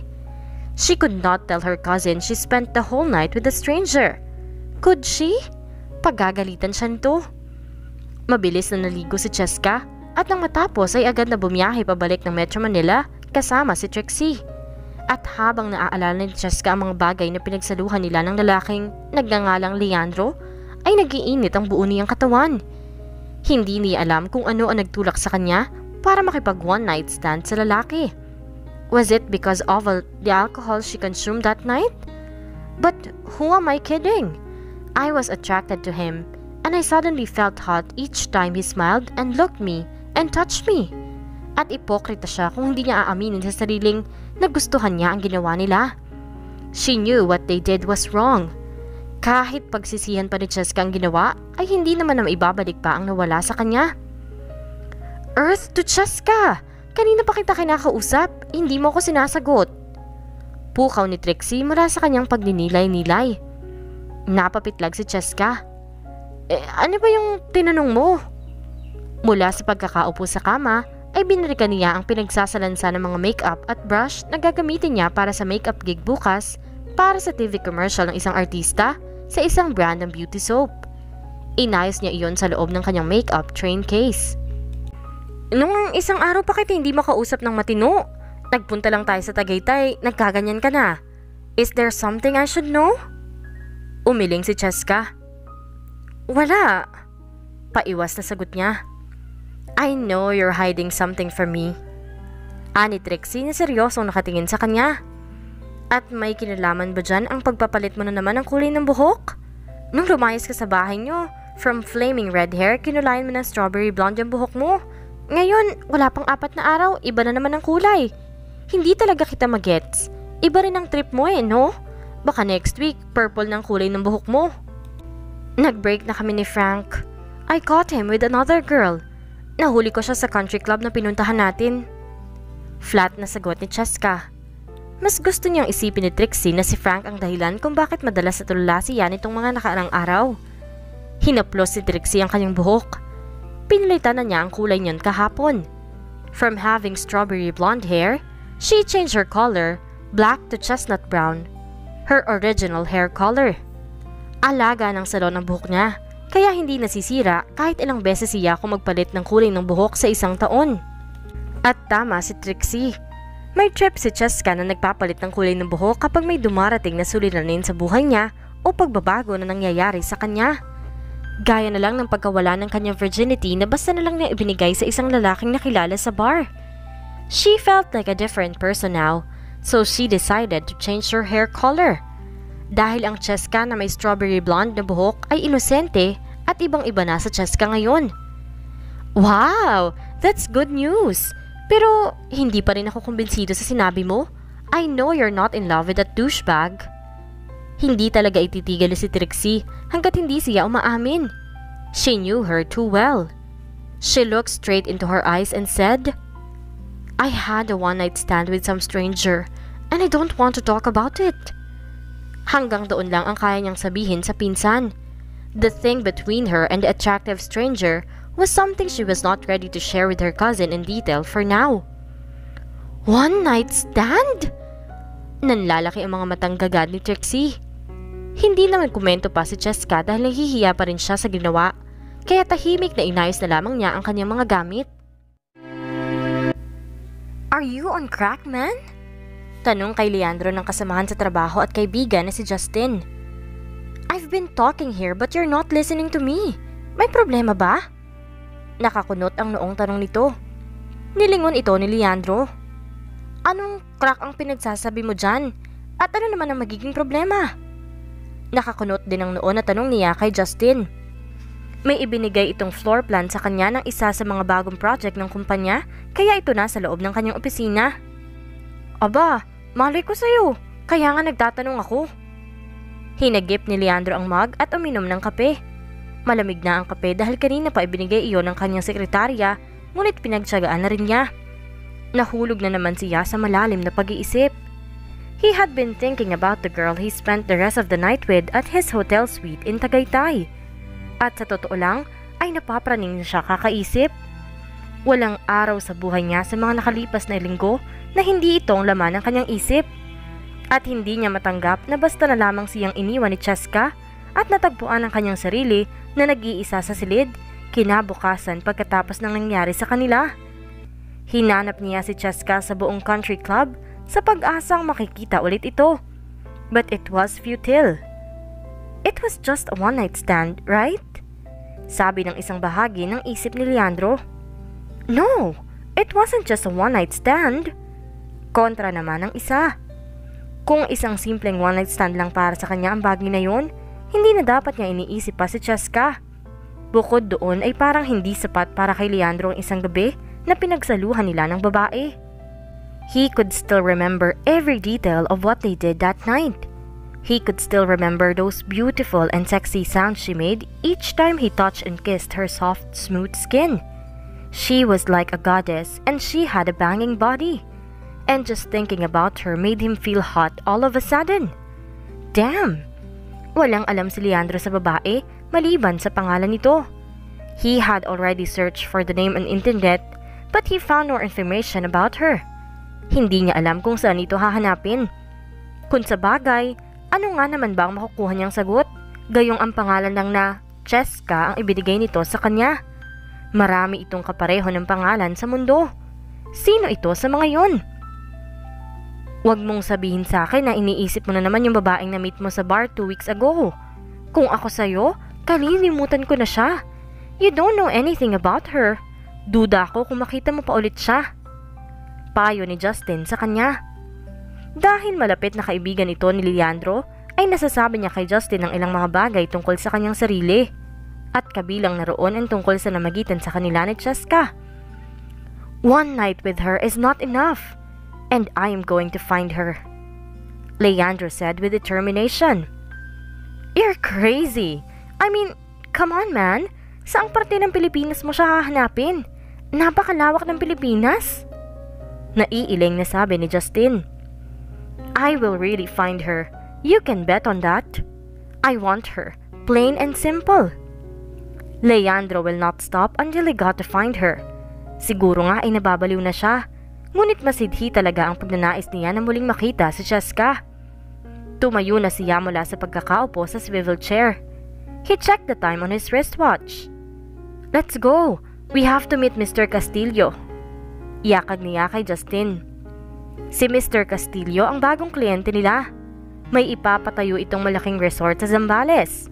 At ang kumpanya nila ay isa sa mga nagbid para makuha ang project na iyon. Sabay silang lumabas ni Justin sa corporate building ng Sempo Constructions Incorporated o SCL. Nasa harap na ng building ang Audi R8 niya. Kanina pa niya tinawagan ang valet na ipark niya doon. Naunang sumakay sa passenger seat si Justin. Binuksan niya ang pinto ng driver seat at papasakay na sana siya sa loob nang may mahagip ang kanyang mga mata sa kabilang kalsada. Tila pamilyar sa kanya ang babaeng nakatayo sa harap ng isang commercial building na may bit-bit na isang malaking train case. Parang sinipa ang kanyang dibdib. Namamalik mata ba siya sa nakikita? Si Cheska ba yun? But the woman did not have strawberry blonde hair. Nagsimulang maglakad ang babae palayo sa kinatatayuan nito. At ganoon na lamang ang pagnanais ni Leandro na sundan ng babae. Tumawid siya ng kalsada, subalit napahinto siya na makarinig ng malakas na besina. Nakago na ang traffic light at maraming nagdaraan na sasakyan sa harap niya. Napaatras siya. Damn! Frustrated na sabi ni Leandro habang sinusundan ng tingin ng babae. Lumiko ito sa isang kalye. Agad siyang tumawid sa kabilang kalsada upang sundan ito nang mag-red light na ang traffic light. Hoy, Leandro! Saan ka pupunta? Nagtatakang sigaw sa kanya ni Justin mula sa sasakyan. Itinaas lamang niya ang kamay at dire-diretsyong naglakad sa dinaanan ng babae. Pagliko niya sa direksyon na tinatahak ng babae ay hindi na niya ito nakita. He looked to his left and to his right and right in front of him, but he did not see her. Where is she? Ang bilis namang maglakad ng babaeng yun. At hindi na niya naabutan. Nakaramdam si Leandro ng tapik sa kanyang likod. Si Justin ang nalingunan niya. Sino ba yung sinundan mo at nagmamadali ka pa? Naisuklay niya ang kamay sa kanyang buhok. I think I saw her, Justin. Aniya, subalit hindi rin siya sigurado kung yun nga ang babaeng hinahanap niya. What are the odds that you would get to see her here? Kanina ko pa sinasabi sa iyo na napakalawak ng Pilipinas para magtagpong muli ang landas niyo. Maybe, you're right. He sighed. Malamang nga ay hindi si Cheska ang nakita niya. Sa sidhin ng pagnanais niya na makita ito, ay napagkamalan niyang si Cheska ang babaeng nakita niya kanina. Bumalik na sila sa nakaparadang sasakyan at sumakay roon. Pinaandar na niyon papunta sa meeting place nila ni Mr. Castillo. Kahit ayaw pang umuwi ni Cheska sa bahay nila, ay wala na siyang nagawa kung hindi ang sumama sa kanyang magulang nang sunduin siya ng mga ito sa bahay ni Trixie nang nakaraang araw. Galit ang daddy niya sa kanya. Masyado na raw siyang namimihasa. Kesyo hindi na raw siya nahiya kay Trixie at nakikitira pa siya rito. At dahil sa paglayas niya, ay hindi siya naisama ng mga magulang sa kasal ng stepdaughter ni Tita Celeste. Mula nang bumalik siya sa bahay nila, wala nang ibang sinabi sa kanya ang kanyang ama kundi ang tungkol sa pagpapaksal niya sa anak ng kaibigan nito. He was excited to introduce her to Fajardo That was her soon-to-be groom's surname name. As if ito ay kakasal sa lalaki. Wala na siyang magawa. Parang iyon na talaga ang kapupuntahan niya. I slept with a stranger. Now, I'm really going to get married to a stranger. Ang saya! Sarkastikong sabi ni Cheska sa isip. Kung sana lang ay pwede niyang takasan ang kanyang kapalaran. Ngunit paano? Wala naman siyang lalaking maipipresenta sa kanyang ama na gusto niyang pakasalan. Eh kung si Leandro kaya? Tukso sa kanya ng isang bahagi ng isip. Si Leandro? Pagkatapos mong takasan yung tao, gusto mong iharap sa tatay mo at ipresenta na lalaking pakakasalan mo? Okay ka lang, Cheska? Kontra naman ang isang bahagi ng kanyang isip. And now, she sat at the table together with his dad and Tita Celeste. Wala roon ang mommy niya dahil may medical mission trip ito sa Samar. Kahit na nagsettle na ang kanyang mga magulang sa Pilipinas, ay hindi pa rin humihinto sa pagtatrabaho ang mga ito. Ngayon, ay madalas na nagvo-volunteer sa mga medical mission ang mga ito. Kung sa bagay, her parents were just in their 50s at nasa puso talaga ng mga magulang ang tumulong sa kapwa. She admired them so much for that. Tuwang-tuwa si Tita Celeste nang makita siya. Katulad ng daddy niya ay hindi na rin ito makapaghintay na may pakilala siya sa anak nito. Pagkatapos ng isang makeup gig kanina, ay tinawagan siya ng kanyang ama at pinapunta sa J Story ang Japanese bar and restaurant sa Quezon City na pagmamayari ng manugang ni Tita Celeste. Nagulat si Cheska na makita ang may-ari ng restaurant. Iyon ay walang iba kundi ang groom na naging kliyente nila ni Trixie two weeks ago, si Carlos. She could not believe how small the world was. Hindi niya nakita si Tita Celeste ng araw na iyon dahil nasa ibang hotel room siya kasama ang inayusan niya. Si Trixie ang naka-assign sa ina ng bride. Kung nagkataon na dilalhan niya ang wedding reception ng mga kinasal, ay noon pa siya na ipakilala sa anak nito. I have already phoned my son. May kamiting lang siya kanina kaya wala pa siya. But he is on his way. Nakangiting sabi ni Celeste sa kanya. Ah, ganun po ba? Kulang sa interes na sagot ni Cheska. Tumangutango si Tita Celeste. I can't wait to see you both together. Oh, the two of you would make a lovely pair, Iha? Tila kinikilig pa na sabi nito. Cheska could not help but give her a fake smile. Alam niyang masama yun dahil magiliw ito sa kanya. Subalit hindi lamang talaga niya maiwasan. In the first place, ayaw naman niya talagang maipakalala sa kanya ang anak nito. 30 minutes na ang nagdaan, ngunit hindi pa rin dumadating ang anak ni Tita Celeste. Nagpa siya silang umorder na habang hinihintay ang lalaki. Nagsimula na silang kumain, ngunit ang hinihintay nila ay hindi pa rin dumarating. Baka na traffic lang yun, or maybe he doesn't really wanna be here. Sana, hindi na lang talaga siya dumating. Napangiti siya sa kanyang mga naisip. At ganoon na lamang ang pagkabog ng dibdib ni Cheska nang mahagip ng kanyang mga mata ang pamilyar na lalaki mula sa entrance ng restaurant. Umiinom siya ng red iced tea nang matapon sa kanyang damit ang iniinom dahil nanginig ang kanyang kamay. Leandro? Mahinang bulalas niya kasabay ang panlalaki ng mga mata. Oh, fudge it! What is he doing here? Mahinang sambit niya sa sarili. She ducked under the table. She was afraid to be seen by him. I'm so sorry. I'm late. Late na natapos ang meeting namin kay Mr. Castillo at traffic pa sa EDSA. Anang bagong dating. Ang akala ko, hindi mo na kami sisiputin anak. Sagot naman ni Tita Celeste. It's nice to see you again, iho. Magiliw na wika ng daddy ni Cheska. Ninong Alex! Sagot ng bagong dating sa daddy niya in acknowledgement. Where's Eska?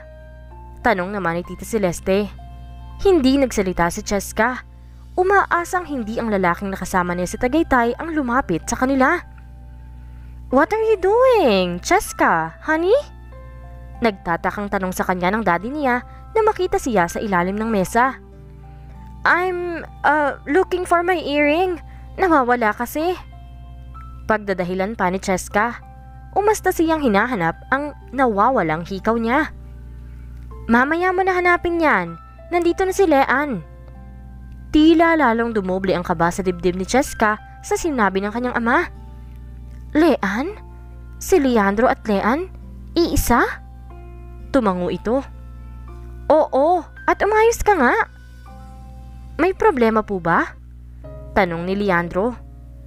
May pares na mga paa na tupapat sa harap niya at ganoon na lamang ang pagnanais ni Cheska Nalamunin siya ng simento nang yumuko ang lalaki at makaharap ito.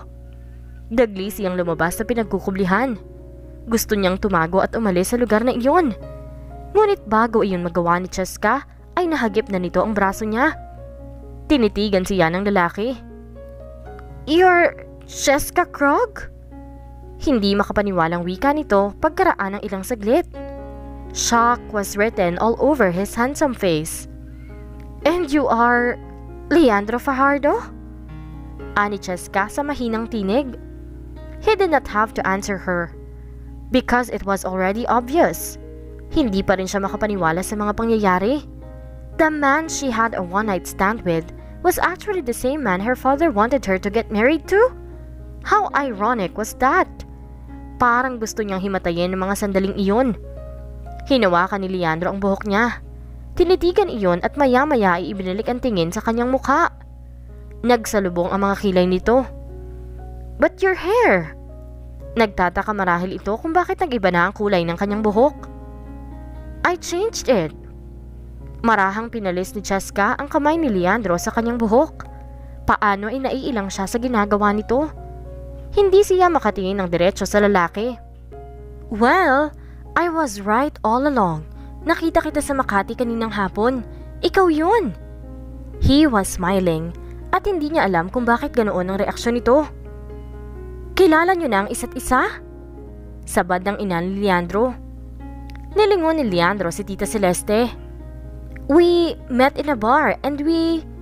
Hindi na naituloy ni Leandro ang sasabihin dahil agad niyang tinampal ang bibig nito.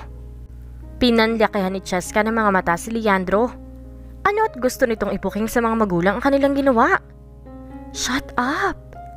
She hissed at him. Binalingan niya ang kanilang mga magulang. Hindi po namin kilala ang isa't isa. Napagkamala lang po siguro ako nitong anak nyo. Pagkakailapan niya.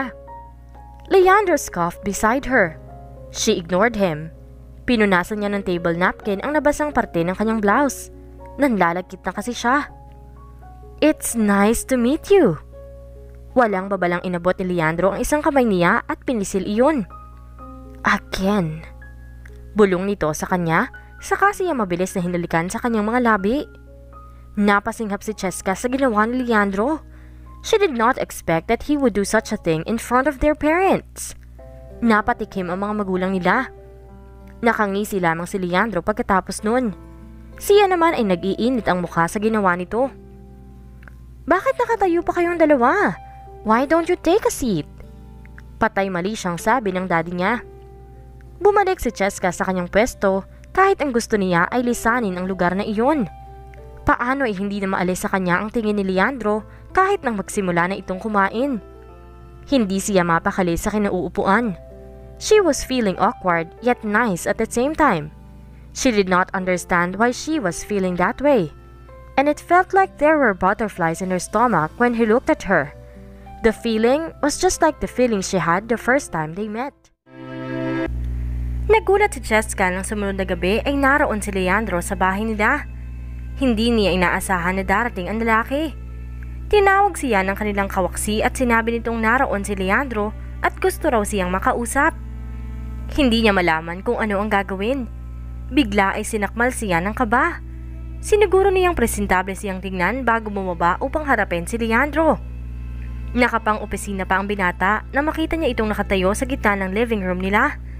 Light blue long sleeve polo, dark blue necktie na medyo maluwag na ang pagkakabuhol, black slacks and leather shoes. She bet it was Gucci. He really looked handsome and sophisticated in his outfit. Hindi niya type ang mga lalaking ganoon ang attire. She preferred the rugged look in men. Ngunit kakaiba ang dating ng lalaking ito sa kanya. Malakas ang dating ni Leandro at parang nandalambot ang kanyang mga tuhod habang pinagmamasdan ito. What brings you here? Hindi alam ni Cheska kung anong dapat nilang pag-usapan. Pagkatapos ng gabing magkakilala sila ng formal, ay wala naman siyang inaasahan mula rito. Well, for one, he did not even get her number. Malamang ay hindi ito interesado sa kanya. But when he looked at you that night, parang gusto niyang kainin ng buo anang isang bahagi ng kanyang isip. Cheska simply shook her head to get that thought out of her head. Kung ano-ano na tuloy ang pumapasok sa kanyang isip. Maniningil lang utang. Kung naalala mo pa, may utang ka sa akin. Nakangiting sagot ni Leandro. Yun lang ba? E di sana nung araw na nagkita tayo, siningil mo na ako. Pasensya ka na, nakalimutan ko na kailangan nga pala kitang bayaran. Sandali lang, kukunin ko lang yung wallet ko sa taas. Tumalikod si Cheska. Hindi niya alam kung saan nanggaling ang pagkadismaya na naramdaman dahil sa sinabi nito. Hinagip ni Leandro ang kanyang braso. Binibiro lang kita. He chuckled. Mula sa likuran ay nilabas ito ang bouquet ng pink pearl roses saka yun iniabot sa kanya. For you. Tinanggap ni Cheska ang bouquet saka biglang napangiti. Subalit nagtataka siya kung bakit siya binigyan ni Leandro ng bulaklak. Thank you. Para saan ito? Na-appreciate niya ang pagbibigay nito sa kanya ng mga bulaklak sapagkat paborito niya ang pink pearl rose. Tumaas ang mga kilay nito. Masama bang bigyan ka niyan? Hindi ba tama lang na bigyan ko ang fiancé ko ng bulaklak kasi dinadalaw ko siya? Agad namang napalis ang ngiti sa mukha ni Cheska. Well, excuse me, but I'm not your fiancé. You are. Hindi ba't gusto tayong ipakasal ng mga magulang natin? Ang kislap sa bagyang singkit na mata ni Leandro ay tila nanunudyo. Nababaliw ka ba? For the record, hindi pa ako pumapayag sa kasunduang iyon. Oo at gwapa si Leandro, ngunit parang gustong ihampas ni Cheska sa lalaki ang bukay ng bulaklak sa pag-awa ng inis sa kanyang sistema. She did not like the way he was behaving, na para bang tuwang-tuwa ito na asarin siya. May nangyari na nga sa atin? Ayaw mo pa rin pumayag na maging fiancé ko? Sabi ni Leandro nang umisi ng nakakaloko. Shut up! Inilapag ni Cheska sa center table ang bulaklak. Saka hinila ang lalaki palabas ng bahay nila. Dinala niya ito sa garden. Mahirap na at baka may makarinig pa sa pinagsasabi nito at isumpong pa sila sa daddy niya. Napabugas siya ng hangin. I didn't know that you could be this annoying. Ikaw ang annoying. You left me that day without a word. Nahimigan ni Cheska ang inis sa tinig ni Leandro na tila sinusumbatan siya. May ideya siya kung ano ang tinutukoy nito. At anong gusto mo? Magtsikahan pa tayo after na nangyari? Okay ka lang? It was a one night stand. Dapat nga kalimutan mo na lang. Kasi ako, kinalimutan ko na. Of course, she was lying. Dahil hanggang ngayon ay hindi pa rin niya nakakalimutan ang namagitan sa kanila. At ngayong magkaharap sila ay nagiinit na naman ang kanyang pakiramdam. What the hell was wrong with her? Ikaw ang okay lang? Ganun lang ba yun? Pagkatapos mong... Nagsalubong ang mga kilay ni Leandro. Tinampal ito ni Cheska sa dibdib. Tumigil ka nga! Hindi ikaw ang walan kaya wag kang umasta na parang ikaw ang nagbayado. Singhal ni Cheska. Inis na inis siya. Bakit ba ganito ang kinikilos ito na parang malaki ang kasalanan niya? Katulad ba niya ay hindi rin makalimutan ni Leandro ang naganap sa kanila? But then, that would be dumb. Sa gwapo at ang kanitong karisma, Imposible namang walang babaeng aali-aligi dito. Nakakainis ka kasi. Nahirapan pa akong hanapin ka. Yun pala, ikaw ang anak ni Ninong Alex. Nagulat si Jessica sa sinabi nito. Hinahanap daw siya nito. Eh bakit mo naman ako gustong hanapin? Nagtatakang tanong niya. Napahalokip-kip pa siya. Napakamot si Leandro sa gilid ng noo na tila nawawalan ito ng pasensya. Pagkaraan ng ilang saglit ay bumuntong hininga ito. Sa kadahan-dahang lumapit sa kanya. He cupped her face. Tila siya'y dinaluyan ng kuryente sa buong katawan sa ginawa ng binata. You know what, Cheska? You just have to be true to yourself. I believe you're attracted to me just as much as I am attracted to you. Why don't we try to find out if we're a good match? He smiled, that gorgeous smile and Cheska was dumbfounded by what she heard from him. I believe you're attracted to me just as much as I am attracted to you. Why don't we try to find out if we're a good match? Paulit-ulit na naririnig ni Cheska sa isip ang sinabi ni Leandro. Actually, she could not believe she would hear those things from him. Ang ibig bang sabihin ay nais itong subukan nila na mag-date sila? Naguguluhan talaga siya. Ang hirap naman kasing mag-assume na lang basta lalo at hindi naman siya sigurado kung pinagkakatawaan lang siya nito o ano. But if Cheska was going to be true to herself, well, she liked him. And yes, she was attracted to him. There was no point in denying it. Nang tawagan siya ni Leandro kaninang umaga, yes, he already got her number. Ay hindi pa siya makapagdesisyon agad. Kinausap pa nito ang daddy niya. Ang daddy naman niya ang pumilit sa kanya na paunlakan ng dinner invitation ng binata. Masyado itong boto kay Leandro para sa kanya. Minsan tuloy ay parang hindi niya maiwasang isipin na ibinubugaw siya ng ama sa binata. Pumayag na rin naman siya kinalaunan dahil naisip ni Jessica na wala namang masama na makipag-dinner siya kay Leandro. They were only going to have dinner together. Kaya nang matapos ang trabaho ni Jessica para sa isang photoshoot ng isang celebrity, ay kinatagpo siya ni Leandro sa Jack's story. He was the one who suggested the place. Nang dumating siya roon ay naghihintay na ang lalaki sa kanya. Maluwang itong umiti nang makita siya. Hi! Bati ni Jessica. Ipinaghila siya ng upuan ni Leandro. Thanks. I thought you wouldn't show up. Kinabahan ako. Bala ko na sanang puntahan ka sa trabaho mo. Sabi nito nang makaupo. OA mo, hindi naman ako late ah. Napaingos na sabi niya. Tumawa si Leandro. I hope you don't mind me ordering beforehand. I ordered all your favorite dishes. Tinandaan ko lahat ng kinain mo nung nakaraang magkita tayo dito. Sabi nito nang dumating ang mga pagkain sa mesa nila. Oh, lahat yun? Nabigla si Cheska. Hindi niya yon inaasahan. Ano ang malay niya na tinandaan pala ni Leandro ang lahat ng pagkain na kinain niya nang mag-dinner sa J-Story kasama ang kanilang mga magulang? Wala siyang masabi sa sarap ng mga pagkain inihahain sa J-Story. It was the best Japanese restaurant she had ever been to. Ibig sabihin, hindi talaga siya nito nilubayan ng tingin ng gabing yun?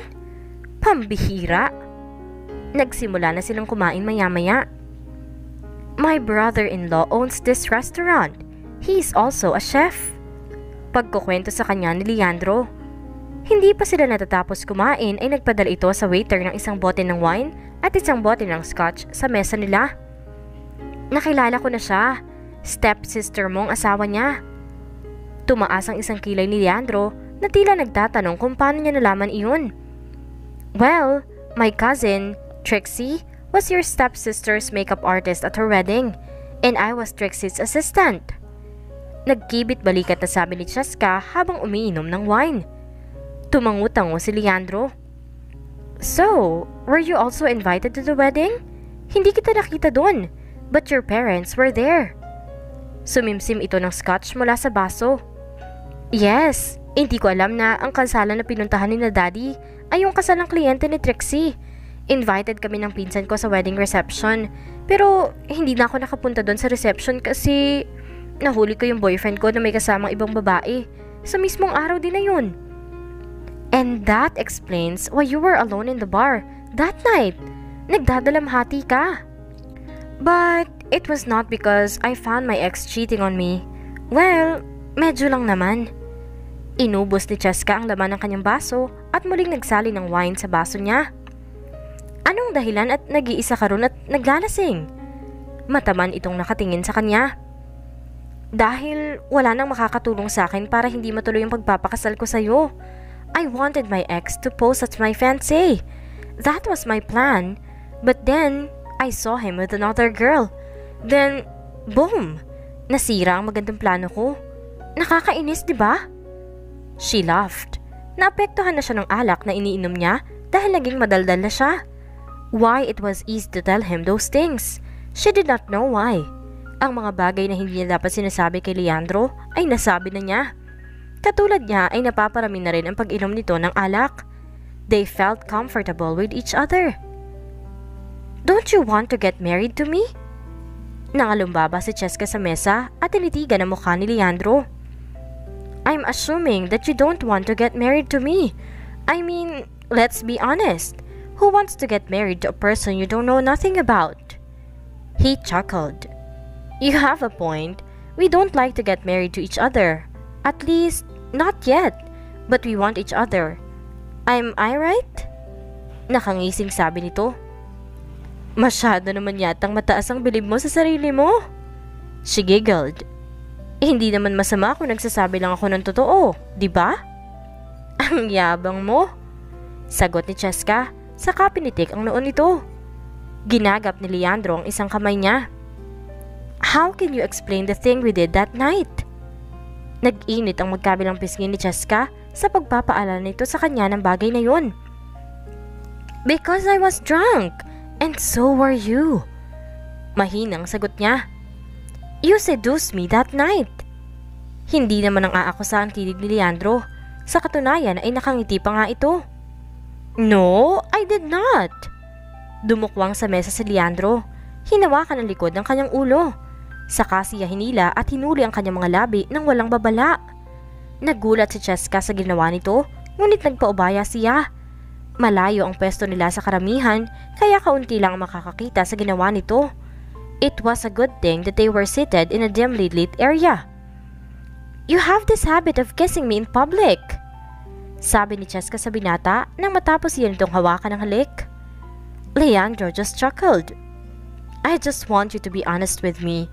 Napatunayan ko na tama nga ako. He had that naughty grin on his face. Fine, para matahimik ka na, I want you to.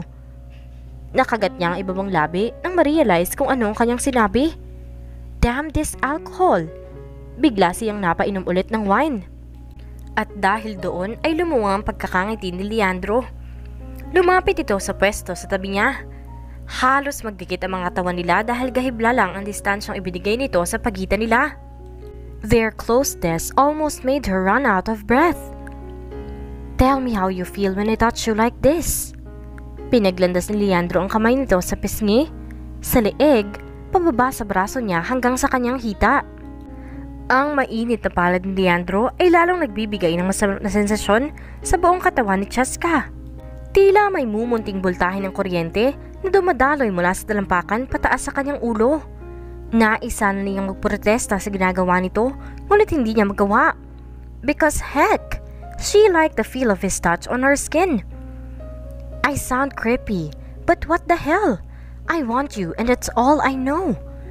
Bulong ni Leandro sa kanya. Hinalikan nito ang kanyang leeg bago sinakop ang kanyang bibig.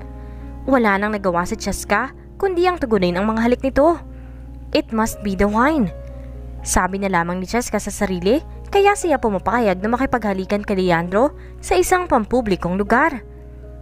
I'm sorry. This is not the proper place for this. Let's get out of here. Anas ni Leandro bago tuluyang kumala sa kanya. She nodded. Tila siya'y nahipnotismo sa halik nito at wala siyang imaisip na matinong sabihin. Her mind was hazy. Nang matapos bayaran ang bill nila ay lumabas na sila doon. Hindi siya tumutol nang akayin siya ni Leandro pasakay sa sasakyan nito. Doon pa lang ay hindi na nito tinantanan ang kanyang mga labi. They were kissing and groping each other as if they were thirsty for each other.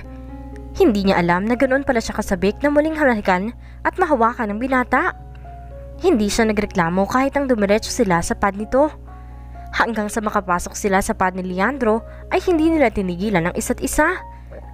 Himala nga na umabot pa sila sa loob ng pad ng binata nang hindi nahuhubad ang mga damit nila. Hindi pa man sila nakakaabot sa kwarto ay kapwa na sila nagmamadaling alisin ang kanilang mga kasuotan. At muli, sa ikalawang pagkakataon ay may naganap sa kanila ni Leandro. Liwanag ng sikat ng araw na nagmumula sa labas ng bintana ang nagpagising kay Cheska kinabukasan. Napalingon siya sa kanyang tabi nang maramdaman ang mainit na palad na nakadantay sa isa niyang dibdib. It seemed that he liked to grope her. Kagabi pa ito. Leandro was still asleep beside her. She blushed. Kumunot ang kanyang noo. Oops, I did it again. Tuwing nakakainom siya ng alak ay hindi siya nakakapag-isip ng matino. Hinahayaan niya ang sarili na gawin ng isang bagay na hindi dapat ginagawa kasama ang isang lalaking hindi niya boyfriend o higit sa lahat ay asawa.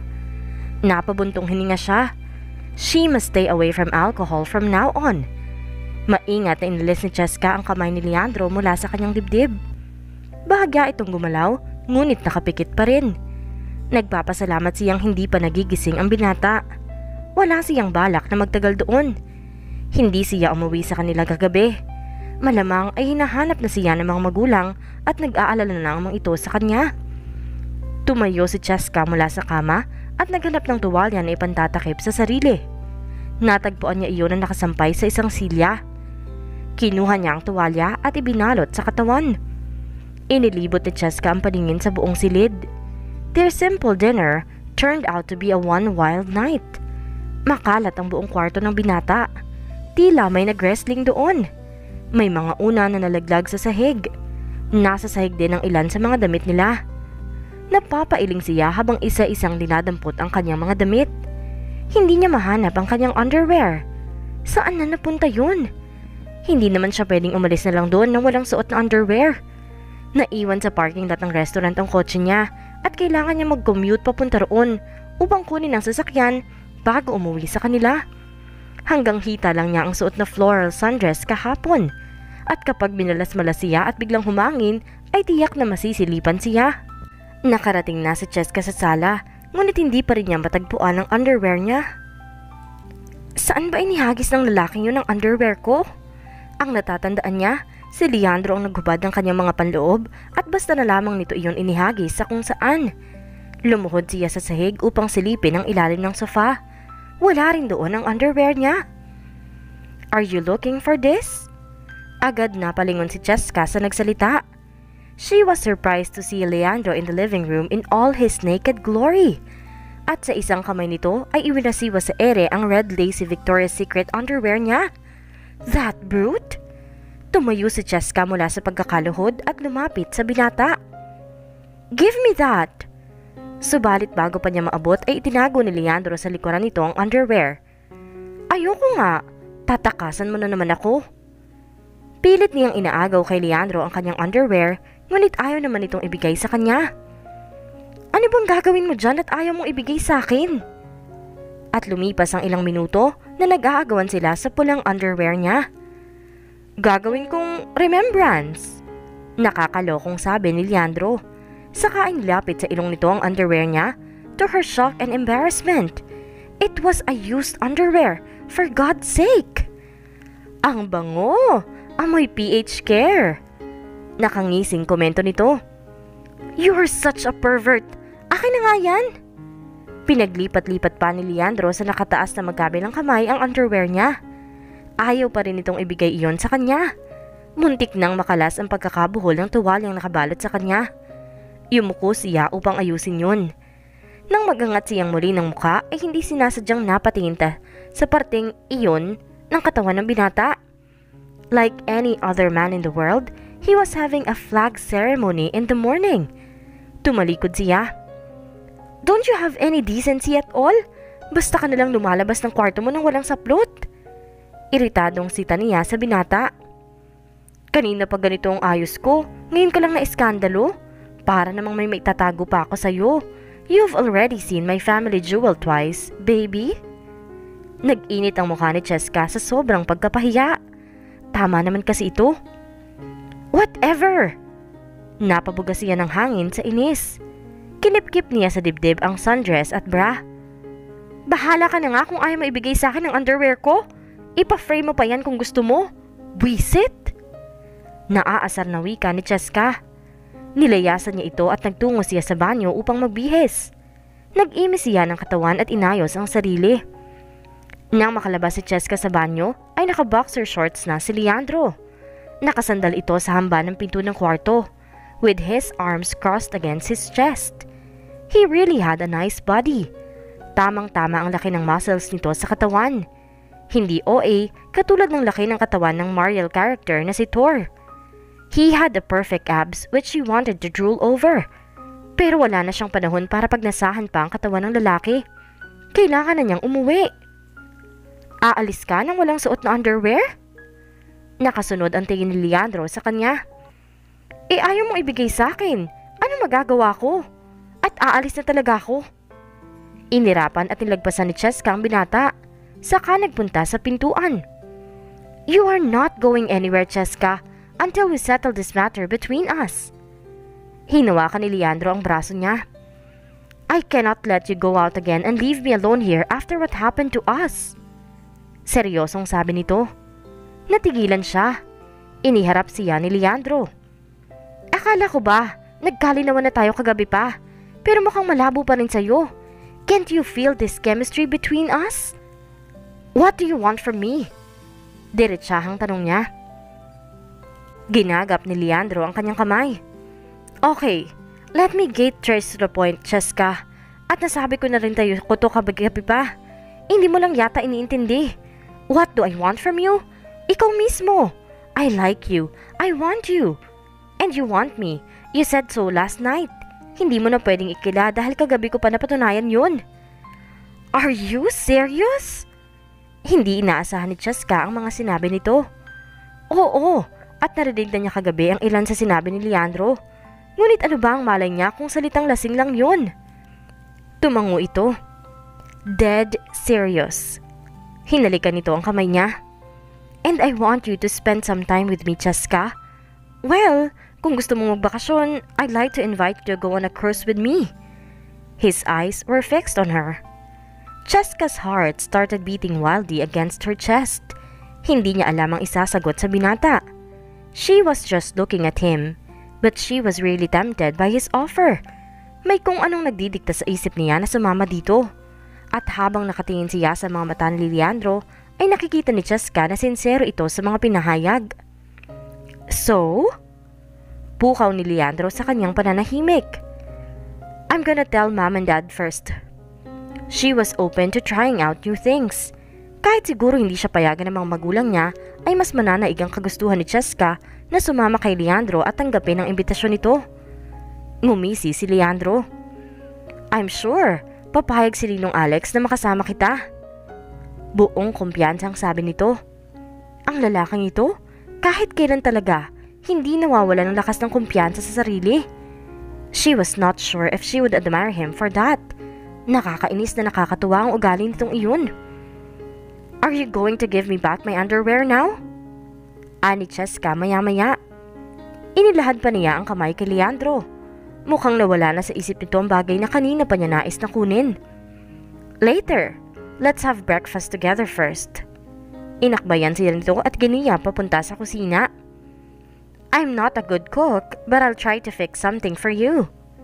He smiled, saka nito hinalikan ng kanyang pisngi, like it was a natural gesture between them. Parang gusto niyang kiligin sa ginawa ni Leandro. Hindi alam ni Cheska kung matatawa o maiinis siya kay Leandro dahil ayaw pa rin itong ibalik sa kanya ang underwear niya. It was an awkward yet funny situation. Umupo siya sa stool sa harap ng breakfast nook nito. Pinagmasdan niya si Leandro mula sa pagpe-prepare ng breakfast nila. He did look hot in the morning with hair that looked like he just got out of bed. And his every move was truly fascinating to watch. She sighed softly. Be still, my reckless heart. I found her, man. I found her.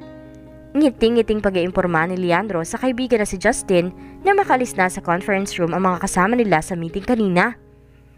Found who? Nilingon siya ni Justin mula sa pagliligpit ng mga gamit. Jessica! You won't believe it, but she's actually the girl my mother wants me to marry. Ngayon lamang ulit sila nagkita ng kaibigan dahil nasa Pampanga ito ng tatlong araw para sa isang proyekto ng SCI, kaya ngayon lang niya nasabi kay Justin ang tungkol kay Cheska. Whoa! What a small world! And here I thought you would never get to see her again. Tumango-tango si Leandro. Aha, and I am going on a vacation with her. Sabi niya sa kaibigan. Hindi maalis ang ngiti sa kanyang mga labi. Iiwan mo mga trabaho mo dito? Hindi makapaniwalang tanong ni Justin sa kanya. Just for two weeks, man. Ikaw na muna ang bahala dito. I trust you. And my dad trusts you too. Wika ni Leandro sa kaibigan. Alam niyang kahit lahat ni Justin ang trabahong iiwan niya pansamantala niya. Why? He was one of the top engineers in their company. Tauhan niya ito at malakas ang kumpiyansa niya sa kaibigan. Why, all of a sudden? Hindi ka bang tipong basta na lang nagbabakasyon? Iiling-iling na sabi pa ni Justin. He was right. Minsan lamang mangyari yun. At pinakamatagal na ang tatlo o apat na araw na bakasyon sa kanya. He was a workaholic. He loved his job and he liked being busy with work. But things suddenly changed. He suddenly felt like he needed a breather, na parang napapagod siya sa pagtatrabaho. And here comes Cheska. Ang imbitasyon ni Leandro kay Cheska para sa isang cruise ay hindi planado. It was a spur of the moment decision. There was a strong feeling in him that he wanted to be with her, to spend more time with her. Aminado siyang bukod sa pisikal na nararamdaman at matinding atraksyon para sa dalaga, there was something more there which he could not explain.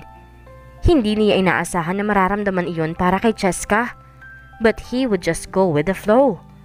Umaasa si Leandro na papayag si Cheska sa kanyang imbitasyon. Well, he was confident that she would come with him.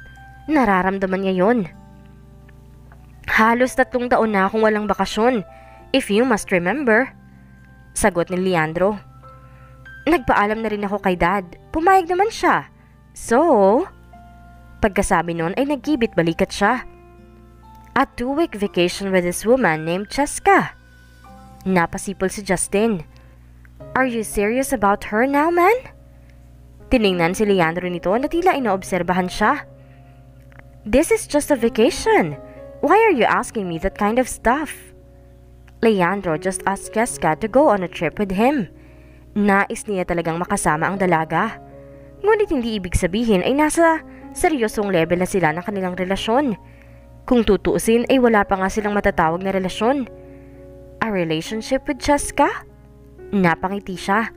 He seemed to like the idea.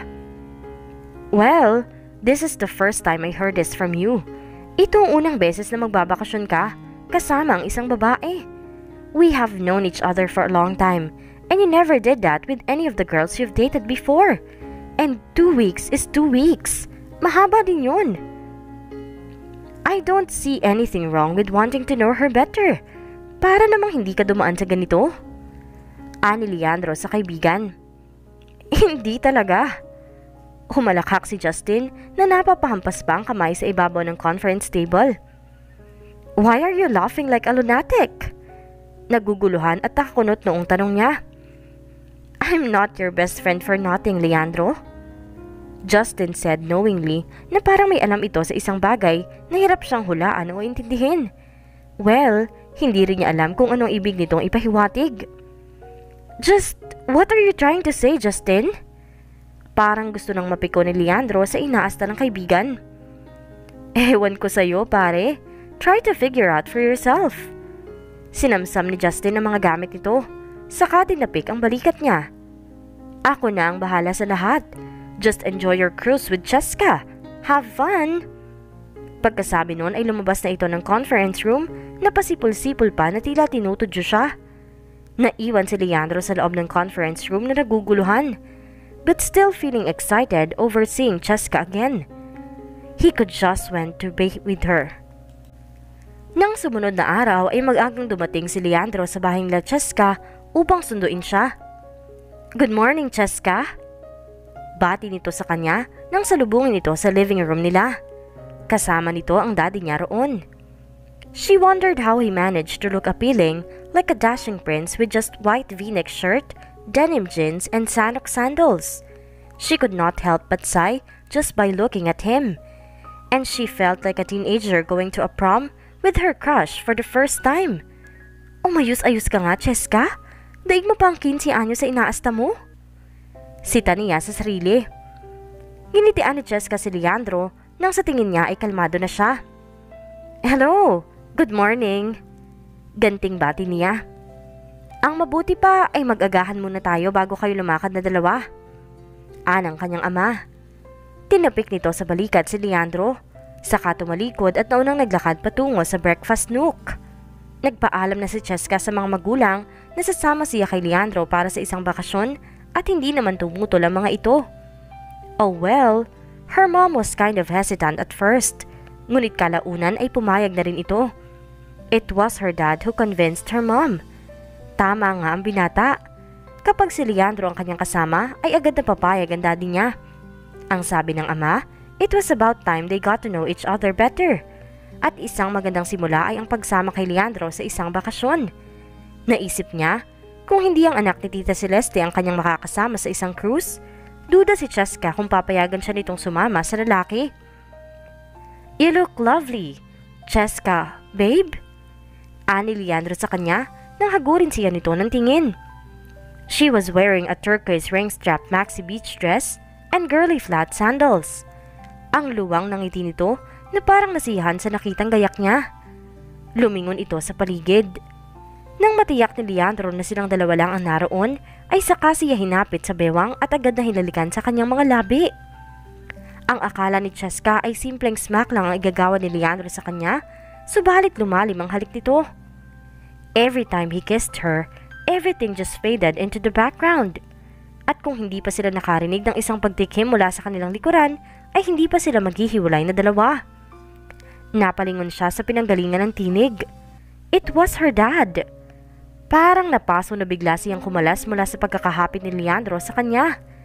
She was feeling all embarrassed in front of her father. Kaya naman pala walang nakasunod sa akin. Busy pala kayong dalawa. Hindi matiyak ni Cheska ang reaksyon ng kanyang ama sa nasaksihan nito sa kanilang dalawa ni Leandro. But he looked rather amused. Napakamot na lang sa gilid ng ulo si Leandro na tila hiyang-hiya na nakita ng daddy niya ang kissing scene nila. Gayunman ay hindi rin maalis ang pagkakangiti nito. Halin na kayo! Kanina pa naghihintay ang mami mo sa inyo sa breakfast nook. Anang kanyang ama. Tumango si Cheska. Bago siya tuluyang makasunod sa daddy niya, ay hinawakan ni Leandro ang kanyang kamay at sabay silang naglakad papunta sa breakfast nook. Napatingin siya sa magkahugpong na mga kamay nila. Tiningnan niya si Leandro at itinaas ang magkahugpong ng mga kamay nila upang i-emphasize sa lalaki ang pagtataka niya kung bakit magkahawak kamay sila. Ngumisi lamang ito na parang normal lang sa kanilang dalawa ang mag-holding hands. Hinayaan na lamang niya ang lalaki, ngunit napapangiti naman siya. Nang matapos silang mag-agahan kasama ang mga magulang niya, ay nagbiyahe na sila papunta sa isang eksklusibong yacht club sa Subic. Nang makarating sila roon, ay namamangha si Cheska nang malaman na may sariling yate ito na nakadaong doon. He was also a member of the said club. She was surprised to know that he was that rich. Hindi birong kayamanan na magkaroon ng isang yate na gaya ng yate nito. At alam niyang hindi rin biro ang halaga ng membership na binayaran ni Leandro maging member lang ng sinalihan nitong club. My stepdad used to own this one ani Leandro na ang tinutukoy ay ang yate. He gave this to me on my 25th birthday. Hindi rin kasi ito gaanong nagagamit ni na dad. And I've been eyeing this baby girl since he bought this 7 years ago. Pagkasabi nun ay nagkibit balikat ang binata. Baby girl? Nakakunot ang noon na tanong ni Cheska. Well, she is a girl and she doesn't have a name yet. Tumawa ito. Natawa na lamang din si Cheska sa sinabi ni Leandro. Merong trip ang mga lalaki na babae ang turing ng mga ito sa sasakyan, mapakotse man o yate. Ininspeksyon ni Cheska ang kabuuan ng yate. Sa likuran at harap ng yate ay merong lugar kung saan maaaring mag-sunbathing.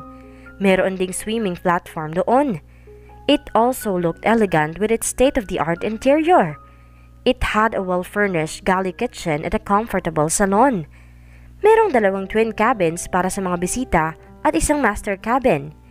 Each were spacious and bad bathrooms. Leandro's yacht could probably accommodate six persons. May umahon na pananabik sa dibdib ni Cheska nang matapos niyang suriin ang yacht ni Leandro. Binalikan niya ang binata sa salon. She could not wait to go cruising with him. So, when do we start? Huh? Akala ko ba, magkukrus tayo? Nakapamewang na tanong ni Cheska. Gingiti-ngiti si Leandro. He puffed up with pride, showing off his baby girl to her. I will take you to places you've never been to. I can hardly wait, she exclaimed. She could not contain her excitement. Lumabas si Leandro at kinausap ang dalawang crew at ang yacht captain. Binigyan ito ng instructions ang mga ito. Maya-maya pa ay nagsimula na silang maglakbay. It had been days since Cheska and Leandro started their cruise. At sa loob ng ilang araw ay sobrang nasiyahan si Cheska sa pamamalagi nila sa dagat sakay ng yate ng binata. She never thought cruising could be this exciting. They visited different islands, And she was truly amazed with each island they visited. Sadyang napakaganda pala talaga ng Pilipinas. She was glad that Leandro invited her to come along on this vacation. Ngayon ay nasa Puerto Galera sila. Dalawang araw na silang naroon. Nalibot na nila ang isla at nagawa na rin nilang ilang recreational activities kasama na ang scuba diving. Bago sumapit ang gabi, ay bumalik sila sa yate ni Leandro. Nakapaligo at nakapagpalit na rin siya ng damit nang puntahan niya si Leandro sa upper aft deck, view ng yate. Nakapaligo na rin ito. He looked fresh and enticing. Her heart skipped a bit when he smiled at her. Tuwing iningitian siya nito, ay ganoon ang laging reaksyon ng puso niya. Sa katunayan nga, kapag nagkakasama sila ay may kakaibang ritmo ang tibok ng puso niya. Kanina pa kita hinihintay. Ani Leandro sa kanya. Like a real gentleman that he was. Inalalayan siya nitong makaupo sa katabing silya. Maya-maya ay umupo na rin ito sa kanyang tabi. Thank you. Umayo si Cheska ng upo. May mga nakahain ng pagkain para sa hapunan nila. Ang dami naman itong binaluto mo sa cook mo. May fiesta ba? Biro niya sa binata. Nalulula siya sa dami ng pagkain na nakahain sa mesa. Kumpleto sa gamit ang yatin Leandro at kumpleto rin ang stocks nito sa pagkain. May kasama silang cook na siyang naghahayin sa kanila ng masasarap na putahe nang iba ay ngayon lang niya natikman sa buong buhay niya. Tumawa si Leandro. Gusto ko na marami kang pagpipilian. Baka mamaya hindi mo pala type ang mga pinapakain ko sa'yo. Bigla mo na lang kung iwan dito.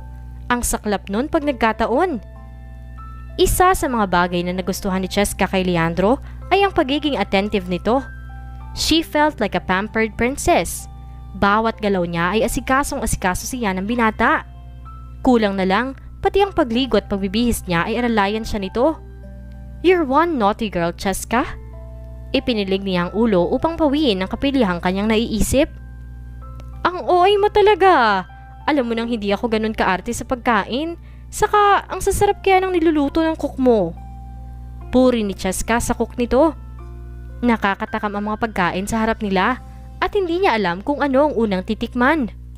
May grilled lamb chops, potato salad, marinated spicy chicken, sinigang na sugpo at kung ano-ano pa. I will tell Mang Isko about that. Tiyak na matutuwa yun sa'yo. Wika ni Leandro na nagsimulang maghiwa ng lamb chops pagkatapos ay inilagay iyon sa kanyang plato. You are making me fat! Sabi ni Cheska nang maisubong ang piraso ng lamb chops na ibinigay ni Leandro. Siguradong madadagdagan ng timbang niya oras na matapos ang paglalakbay nila. I need to hit the gym ASAP once we get back to Manila. I think you would look nice with a few extra pounds, Leandro commented, grinning. Pinisil pa nito ang flat na tiyan niya. Oh, shut up. That would be my biggest nightmare. Hindi ma-imagine ni Cheska na lalagpas pa siya ng ilang libra sa ideal weight niya. Ang hirap kasing i-achieve ng pang Victoria's Secret Angel na katawan niya ngayon.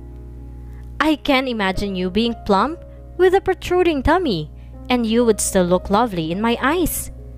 Nakatitig na sabi sa kanya ni Leandro. May nakikita siyang kinang sa mga mata nito. Nasa mid si Cheska dahil sa sinabi ni Leandro. Hinagilap niya ang cherry iced tea sa mesa at agad na uminom. Ano ba ang sinasabi ng lalaking ito? Plump with a protruding tummy? Was he imagining her as a pregnant woman? At siya naman ay iniisip na ito ang ama na ipinagbubuntis niya. Wow! Ang advanced naman ng utak mo, Cheska? She shook her head to dismiss those thoughts. Bigla siyang nahiya sa kanyang isip. You're funny. Cheska pretended to laugh to make it appear that what she had said was actually funny. I'm not being funny. Sabi ni Leandro sa seryosong tinig. Inirapan ito ni Cheska kahit sa loob-loob niya ay nagsisimula na siyang mailang. Tumigil ka na nga dyan. Kumain ka na lang. Marami ka pang uubusin, no?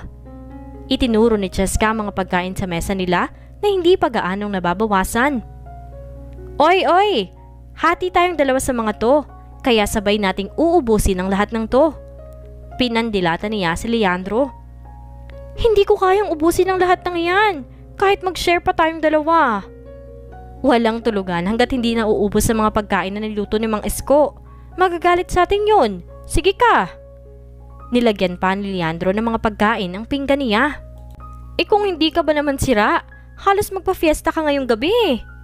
Paninisi niya sa binata. Pero sure ka, magagalit si Mang Isko. Nag-aalalang tanong niya. Hindi niya yata maaatim na sumama ang loob sa kanila ni Mang Isko. Ang bait pa naman sa kanya at banggaan ang loob niya sa matanda. At nakakahiya nga naman na pagkatapos itong paguri ni Leandro sa paghahanda ng dinner nila ay hindi nila uubusin ang mga yon. Oo, kaya kung ako sa'yo, tutulungan mo kong ubusin ang mga ito. At nagsimula na rin itong kumain. Wala nang nagawa si Cheska kundi ang gayahin si Leandro. Kailangan nilang maubos ang mga pagkaing ipinahanda nito kay Mang Isko. Maya-maya lang ay enjoy na enjoy na siya habang magkasalo sila sa hapunan. Pero kwentuhan at tawanan ang naganap sa kanila habang kumakain sila. Maraming bagay na nalaman si Cheska tungkol kay Leandro. Nakakahawa ang maganang pagkain nito. And he looked so adorable while eating. Sa isang iglap ay nawala ang inis ni Cheska sa lalaki. Pagkaraan ng ilang saglit ay huminto sa katatawa si Leandro. He took her hand and he kissed it. I'm glad you're here with me. I'm enjoying every moment with you, Cheska. I hope you're enjoying my company too. He was looking at her as if she was the most beautiful girl who had ever graced the side of earth. I do. Sincerong sabi ni Cheska. He flashed her his grin that could make anyone go weak in the knees. I am so glad to know that. But can I get a kiss? I'm so dying to kiss you right now. Dumikit pa ng husto sa kanya si Leandro at sinapo ang kanyang pisngi. Hindi pa kaya ako nagtututbrush? Iniiwas ni Cheska ang kanyang mukha sa binata.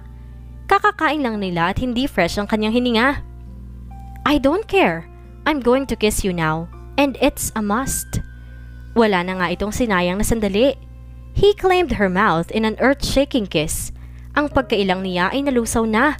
Tinugo niya na walang kasing init ang mga halik nito. She was feeling great after the kiss. Nagkwentuhan pa sila ng gabing yun.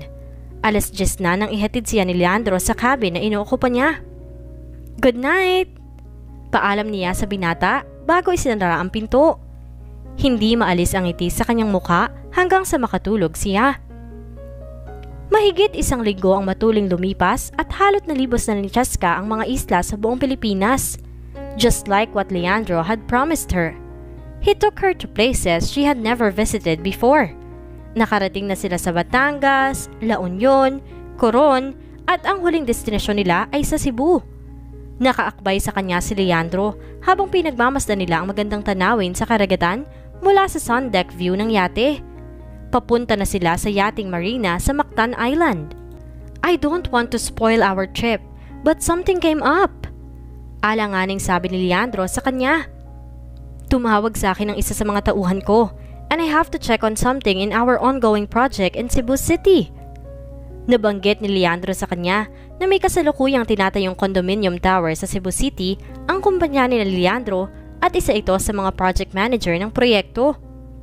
Magtatagal ka ba doon? Tanong ni Cheska na humarap sa binata. No, bibisitahin ko lang. May konting aberya lang sa site. Hinawi ni Leandro ang ilang hibla ng buhok na tumabing sa kanyang mukha dala ng hangin. Can I come along? Umaasa si Cheska na papayag ito. Ayaw niyang maiwan sa yate. She would get bored there alone. At wala naman siyang ibang gagawin maghapon. Mas gusto niyang kasama ito. Are you sure you want to come with me? Tila nag-aatubiling tanong ni Leandro. Nginitian ito ni Cheska. Very sure. Ayokong maiwan dito ng mag-isa. Okay, we'll get there once we've birthed in the marina. He pinched her chin and gave her a slight back on her lips. Seriously? Bulalas ni Leandro na makita si Cheska na lumabas sa cabin na inoko pa nito. Hinagod niya ng tingin ng dalaga mula ulo hanggang paa at napailing siya. Seriously? Muling ulit niya na tila nagpapandinsuhan sa dalaga. What? Naguguluhang usisa ni Cheska. Wala itong ideya kung anong problema niya sa suot nito. Sure, Cheska looked gorgeous in her simple denim shorts and shirt. Kahit siguro sako ng harinang isuot ito, lulutong pa rin ang ganda ng dalaga. Ngunit sa pupunta nila ay hindi pwedeng ganoon ang suot nito. You're going with me to the site with that kind of outfit? Salubong ang mga kilay na sabi ni Leandro. He gave her long and shapely legs a once cover. Ano naman ang masama sa suot ko? Hindi kita isasama doon ang ganyan ang suot mo. No freaking way! Baka mapaaway pa ako. Hinila ni Leandro ang kamay ni Cheska papasok sa loob ng cabin nito. Hinalungkat niya ang closet na pinaglalagyan ng mga damit ni Cheska. Isa-isa niyang initsang sa kama ang laman ng closet. Dresses, denim shorts, girly blouses, mini dresses, at bikinis lamang ang laman ng closet ni Cheska. Maya-maya ay nilingon niya ang dalaga. Ito mga baon mong damit? Tanong niya habang hawak sa isang kamay ang isang beach dress. Wala man lang maong pants? Dismayado siya sa nalaman na iyon ang mga inimpaking damit ng dalaga. Walang pants dyan. I don't usually wear those. And we're on a cruise in a private yacht, right? Hindi ko naisip na magdala nun. Leandro got it. Si Cheska ang tipo ng babae na hindi mahilig magsuot ng denim jeans. Napansin niya mula nung una na mas madalas itong nakadress. Cheska's taste in clothes was too girly. If you want to come along with me, you have to change into something decent. Inagaw ni Cheska sa mga kamay niya ang beach dress na hawak at inihampas iyon sa kanya. So hindi disente ang mga damit ko, ganon? Pinagtaasan siya nito ng isang kilay. Ang ibig ko lang naman sabihin, hindi ka pwedeng sumama sa akin na site na nakashorts lang. Pagtitinginan ka ng mga tao doon. Puro lalaki ang nandun. At ako lang ang may karapatang makakita ng magagandang legs na yan. Inginuso ni Leandro ang legs nito. Mahirap na. Pagdating kay Cheska, hindi niya gustong may ibang lalaking titingin sa dalaga. Call it selfish or whatever. Basta, hindi siya makakapayag na makita ng iba ang magandang legs nito. Napahalakak si Cheska sa sinabi niya. Yun pala ang problema mo. Ayaw mong makita ng iba mga binti ko. Hindi ka naman possessive niyan. Tukso nito sa kanya. Oh, yes I am. And I will buy you a pair of jeans to cover you up. Seryosong sabi ni Leandro. Cheska pinched his cheek. Ang cute mo pala pag nasa possessive mode ka. Napahagik-hik ito. Halika na nga, Baka kanina ka pa hinihintay ng mga tauhan mo sa site. Bumalik na sila ng yate. Sumakay sila ng taxi mula Mactan Island hanggang Cebu City. Na makarating din sila sa Cebu City ay ang shopping mall ang una nilang pinuntahan. Binilahan ni Leandro si Cheska ng ilang pares ng blue jeans at t-shirts bago pa man sila makalabas ng shopping mall ay inutusan niya itong isuot ang mga binili niyang damit sa fitting room.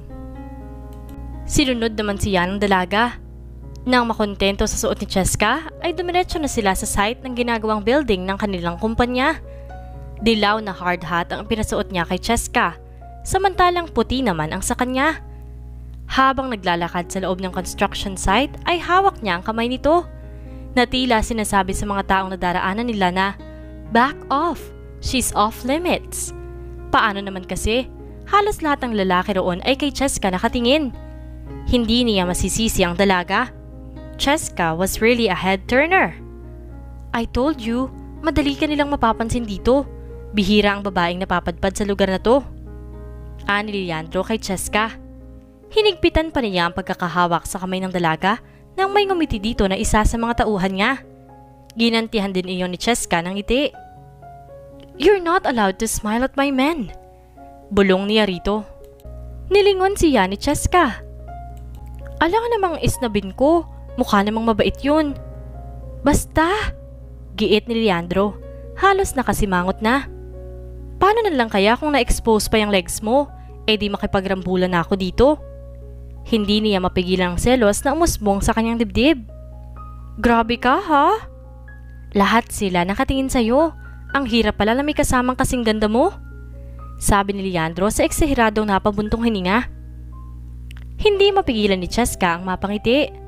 Aaminin niya, nakakatawang malaman na siloso pala si Leandro pagdating sa kanya.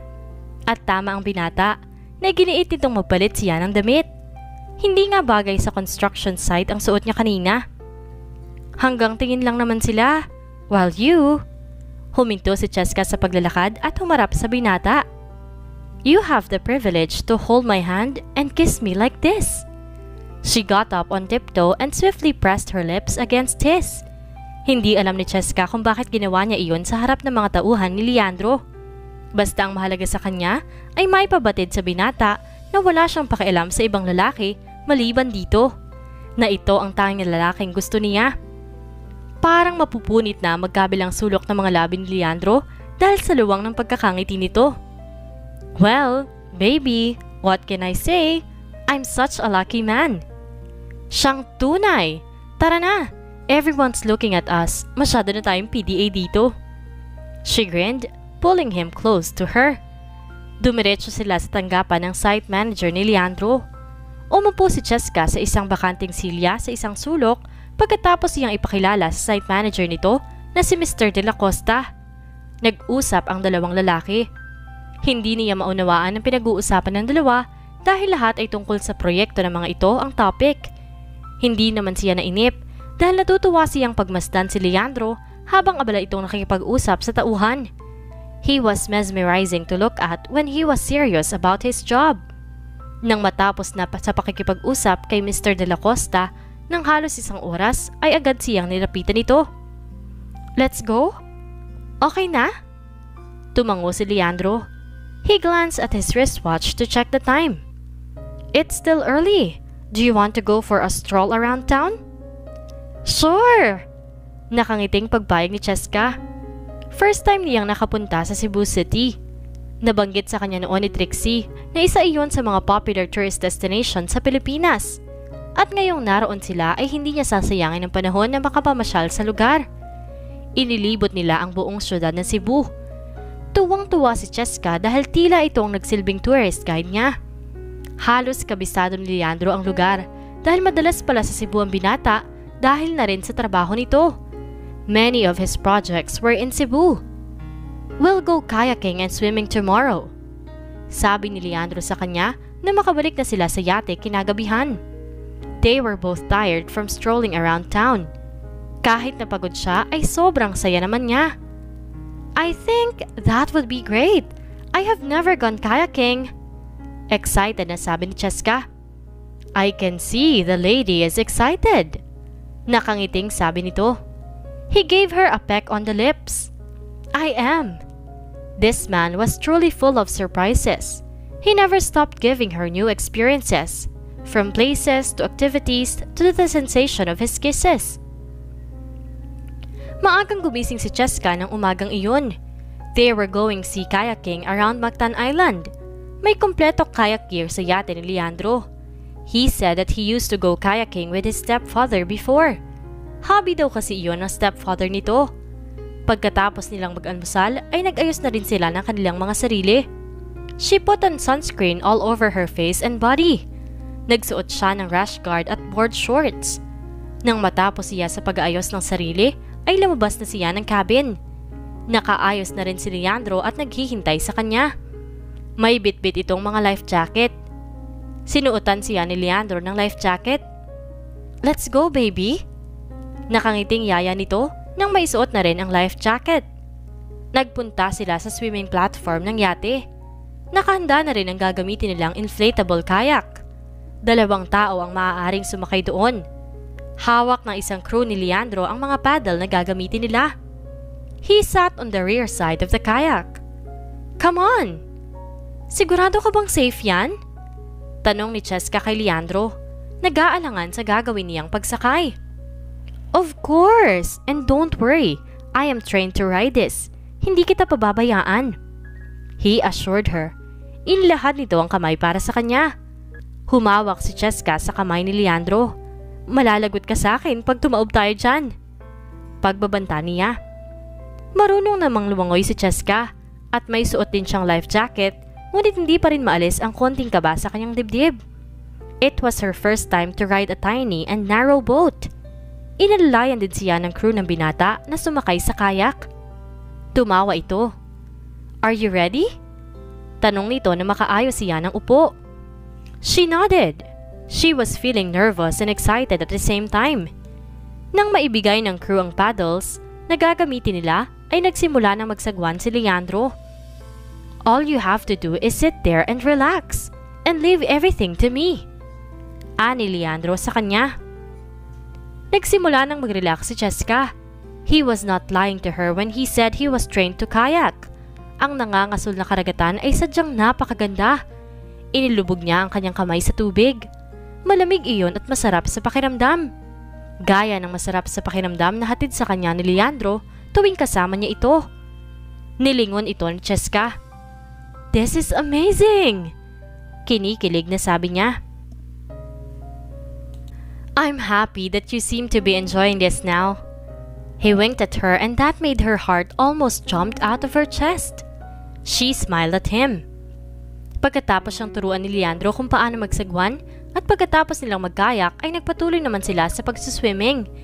It was one of the best times of her life. She will never forget that day. Leandro could not take his eyes off on the woman who was standing a few inches away from him. Nakatingin si Cheska sa mga bituin sa kalangitan. She could see the amazement in her eyes. Nililipad ng hangin ang mahabang buhok nito. She was a sight to behold. He liked everything about her. Naaaliw siya kapag naiinis ito sa kanya, dala ng kanyang pang-asar. Natutuwa siya kapag nakikita niyang masaya ito sa piling niya. Inviting her in that cruise was not a mistake. He was happy being with her.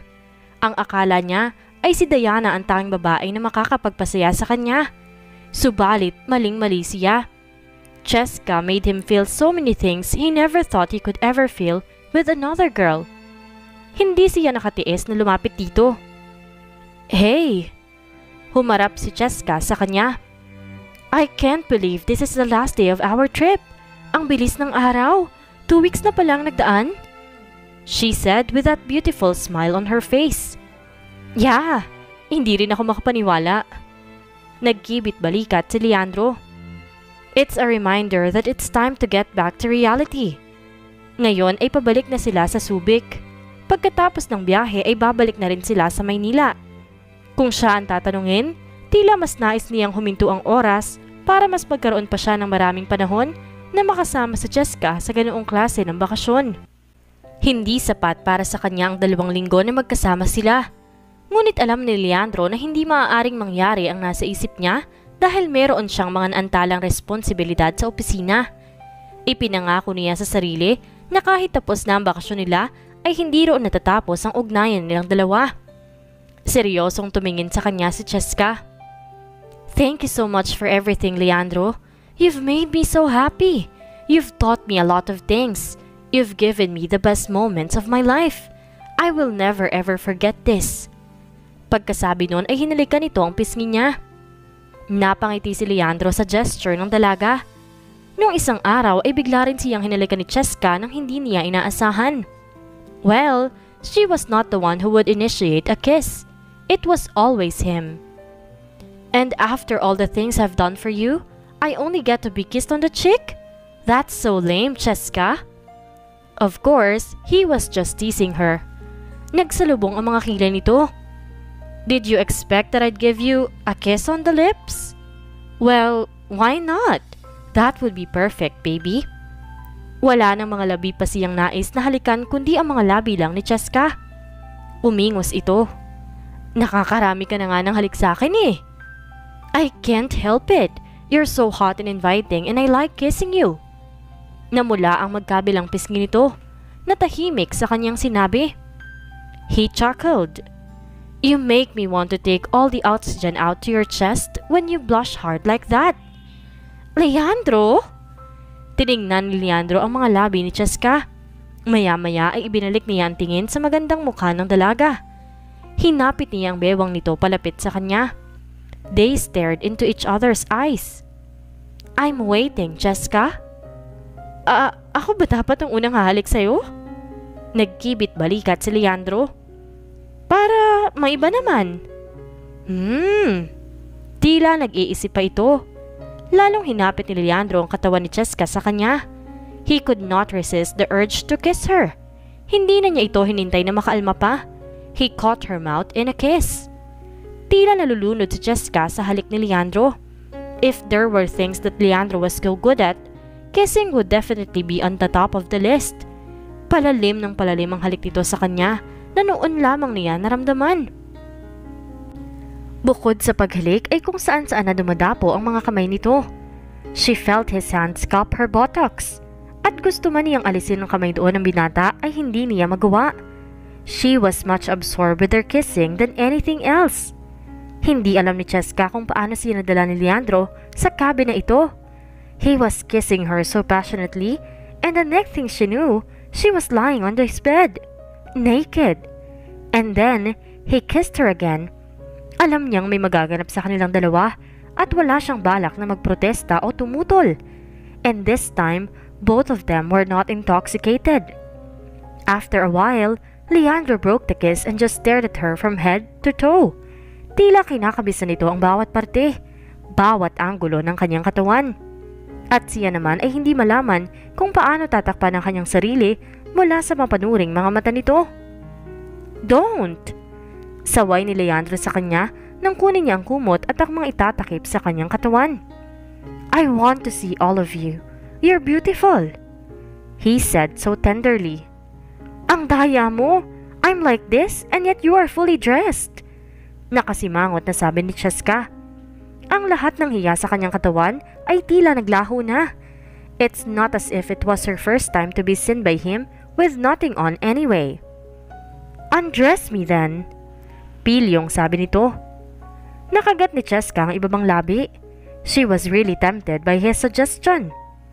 Oh, come on. Stop shying away. Inilahad ni Leandro ang kamay sa kanya. Hindi na nga nahiya si Cheska.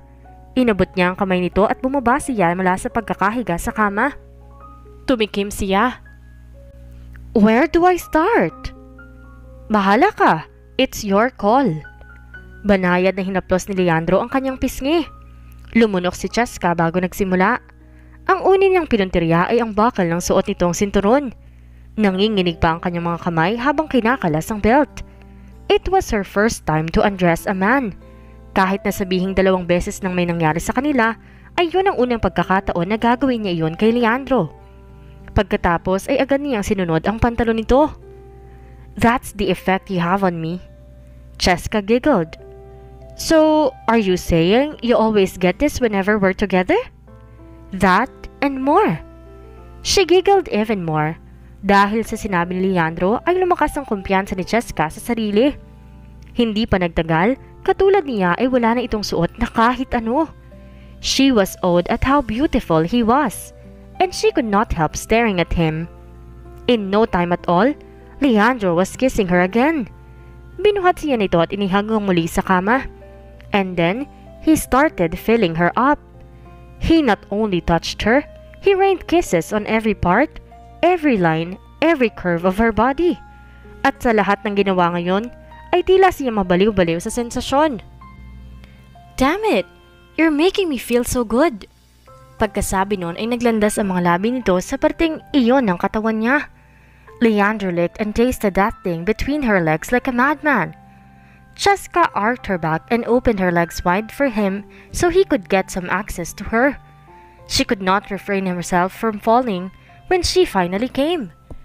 Si Leandro lang ang tanging may kakayahan na iparamdam sa kanya ang masarap na pakiramdam na yun. You are quite the screamer, baby. He said, amused. Cheska just moaned. Wala siyang masabi dahil nanghihina pa siya.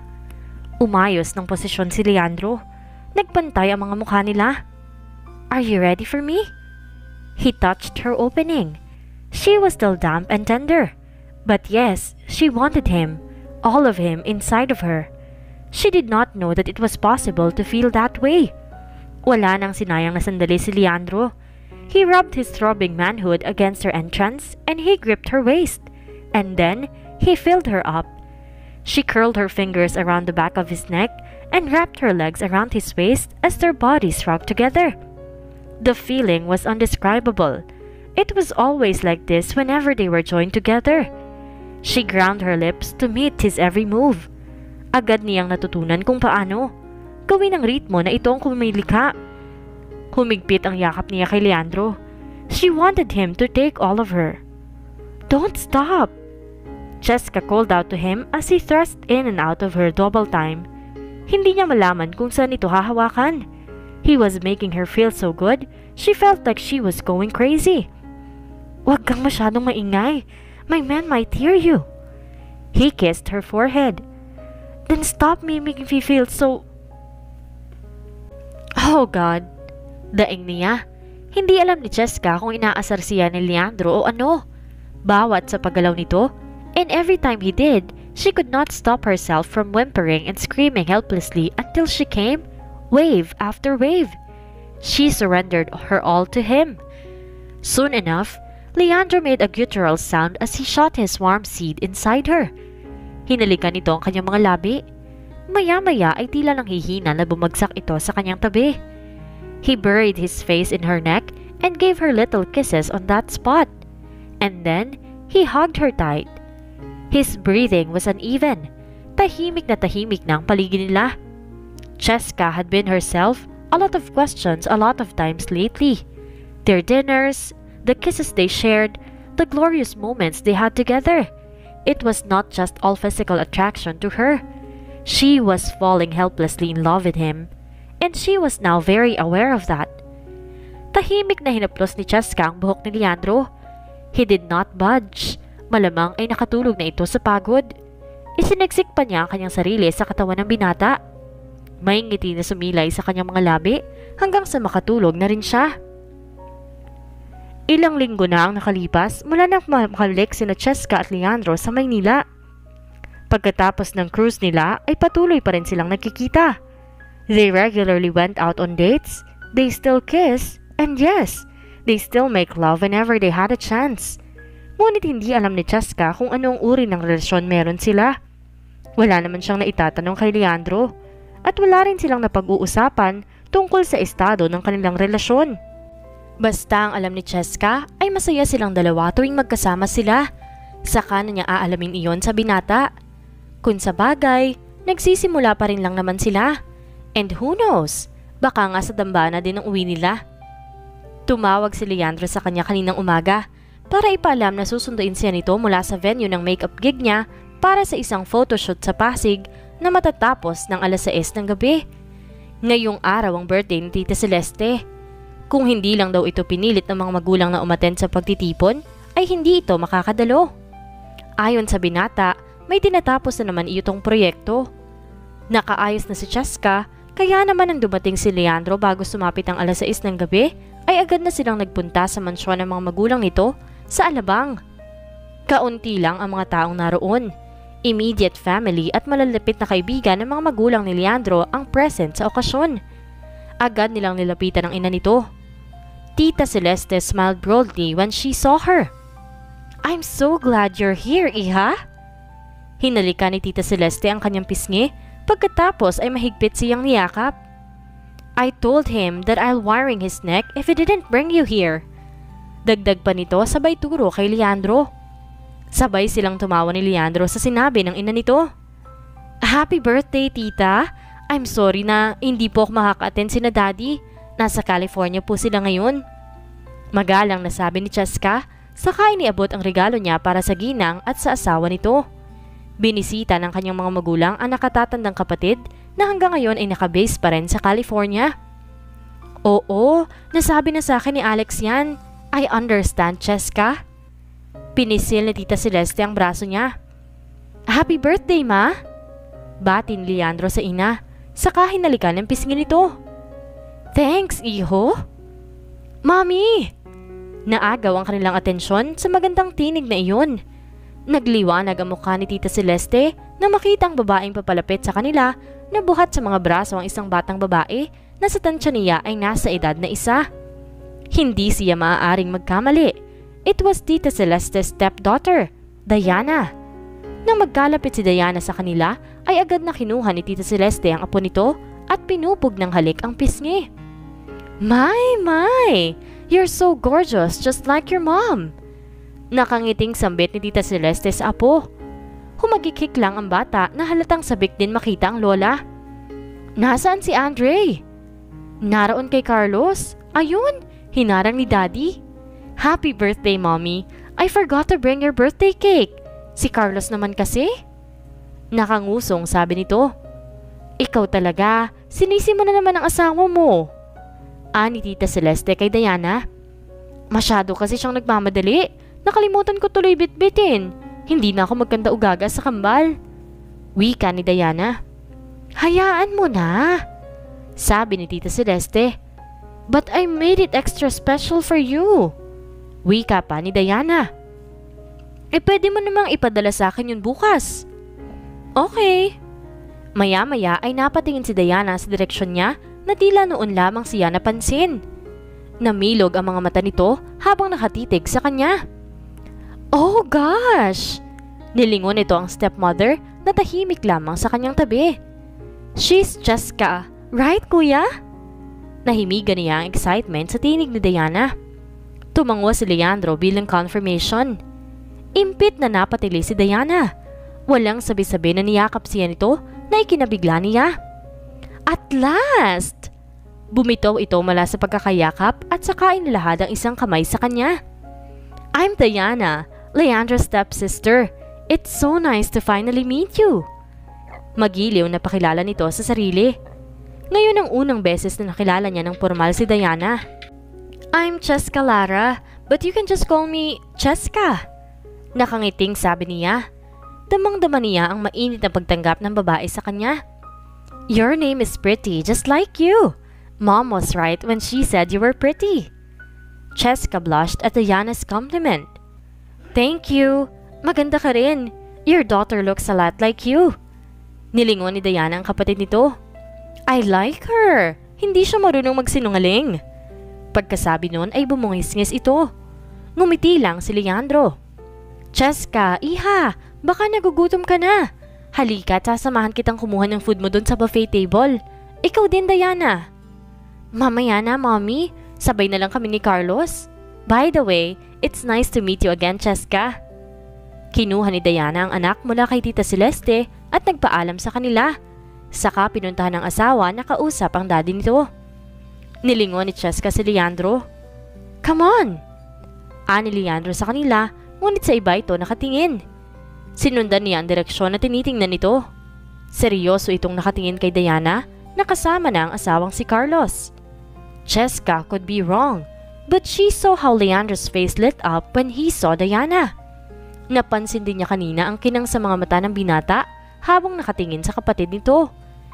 Hindi niya gustong bigyan ng ibang kahulugan yon, knowing that Diana was his stepsister. Hindi magandang mag-isip siya ng kung ano-ano. Nagkibit balakat na lamang siya at hindi na inintindi iyon. Iginiya sila ni Tita Celeste sa buffet table at ito ang naglagay ng mga pagkain sa kanyang pinggan. Pagkatapos ay pinaupo si Cheska ni Tita Celeste sa mesa kasawang asama nito at ang ilang mga kamag-anak. Masayang nagkukwentuhan ng lahat habang kumakain. However, she was feeling a little out of place. Ipinakilala siya ni Tita Celeste sa mga kaibigan at ilang kamag-anak nito bilang future daughter-in-law na ikinapula ng kanyang mga pisngi. Maya-maya ay nagto silang lahat upang batiin si Tita Celeste para sa 52nd birthday ng Ginang. Thanks for being here, everyone! Sinulya pa ni Tita Celeste ang bawat isa sa kanila. Happy birthday, sweetheart! I love you! Nakangiting bati ni Tito Robert sa kabiyak. Pagkasabi nun ay ginawaran nito ng mabilis na halik sa labi si Tita Celeste. Thank you, dear. I love you too. Maluwang ang pagkakangiting sagot naman ni Tita Celeste sa asawa.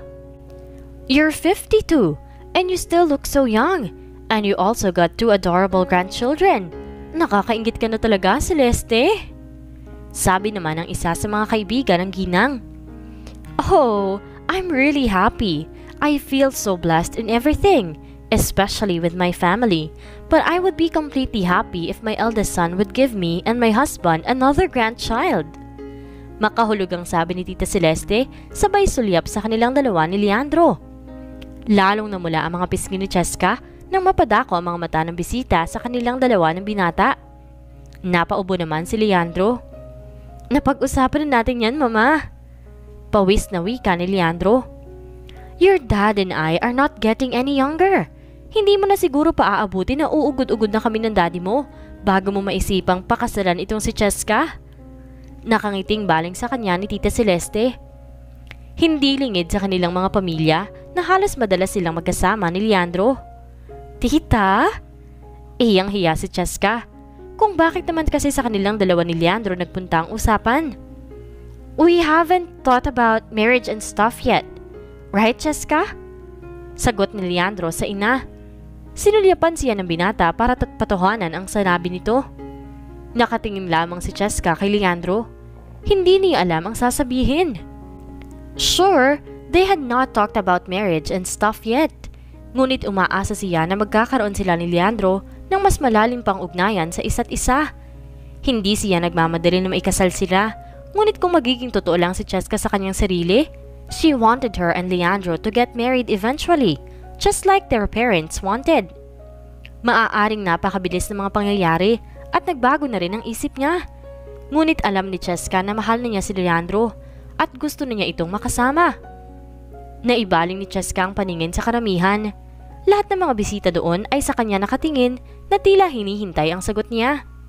It felt really awkward to talk about those things in front of a lot of people. At ayaw na rin niyang lumabas na atat na atat siya na may kasal sa anak ni Tita Celeste. Cheska? Untag sa kanya ni Tita Celeste na tila naiinip sa paghihintay sa kanyang sagot. Bumuka ang bibig ni Cheska, subalit bago pa siya makapagsalita ay inahan na siya ni Leandro. Ma, stop putting Cheska on the spot, okay? You see, she's blushing so hard now. And besides, we're good as we are right now. May finality sa tinig na sabi ni Leandro. Tila ipinapahiwating nito sa kanilang lahat na ayaw nitong palawigin pa ang usapan. Mukhang naintindihan naman ng mga matanda ang naging pahayag ni Leandro. Tito Robert managed to change the topic. Naging matiwasay ang selebrasyon nila ng birthday ni Tita Celeste. She seemed really happy. Ngunit si Jessica ay hindi magawang hindi pansinin ang mga bagay na pumapasok sa kanyang isip kanina bago pa mauwi ang paksa sa kanilang dalawa ni Leandro. She knew it was wrong to think that way. Ngunit paano niya maiiwasan iyon? Gayong habang katabi si Leandro ay sa iba naman ito nakatingin. Hindi lingid sa kanya ang panaka-naka nitong pagsulyap kay Diana. Nawala sa kanya atensyon ng binata. Alas 10 ng gabi nang unti-unting nag-alisa ng mga bisita. Nagpaalam na rin sila kina Tita Celeste at Tito Robert gayon din kay Diana at sa pamilya nito. Hindi siya inihatid ni Leandro sa bahay nila, sa halip ay dumiretso sila sa pad nito. Sa naging buong biyahe nila ay naging tahimik ang binata. Is there something wrong? Tanong niya na makapasok sila sa loob ng pad. Humarap si Leandro sa kanya. Wala naman. Kinabig siya nito. He caressed the side of her face sensually. Kanina ko pa gustong umalis doon. Finally.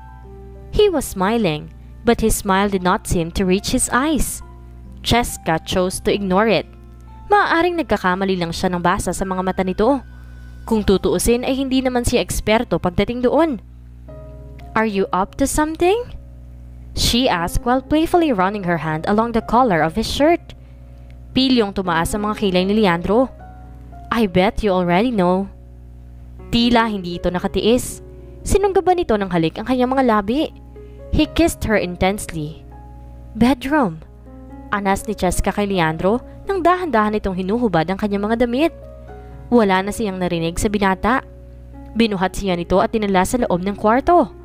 Whenever they were alone, they always ended up in bed.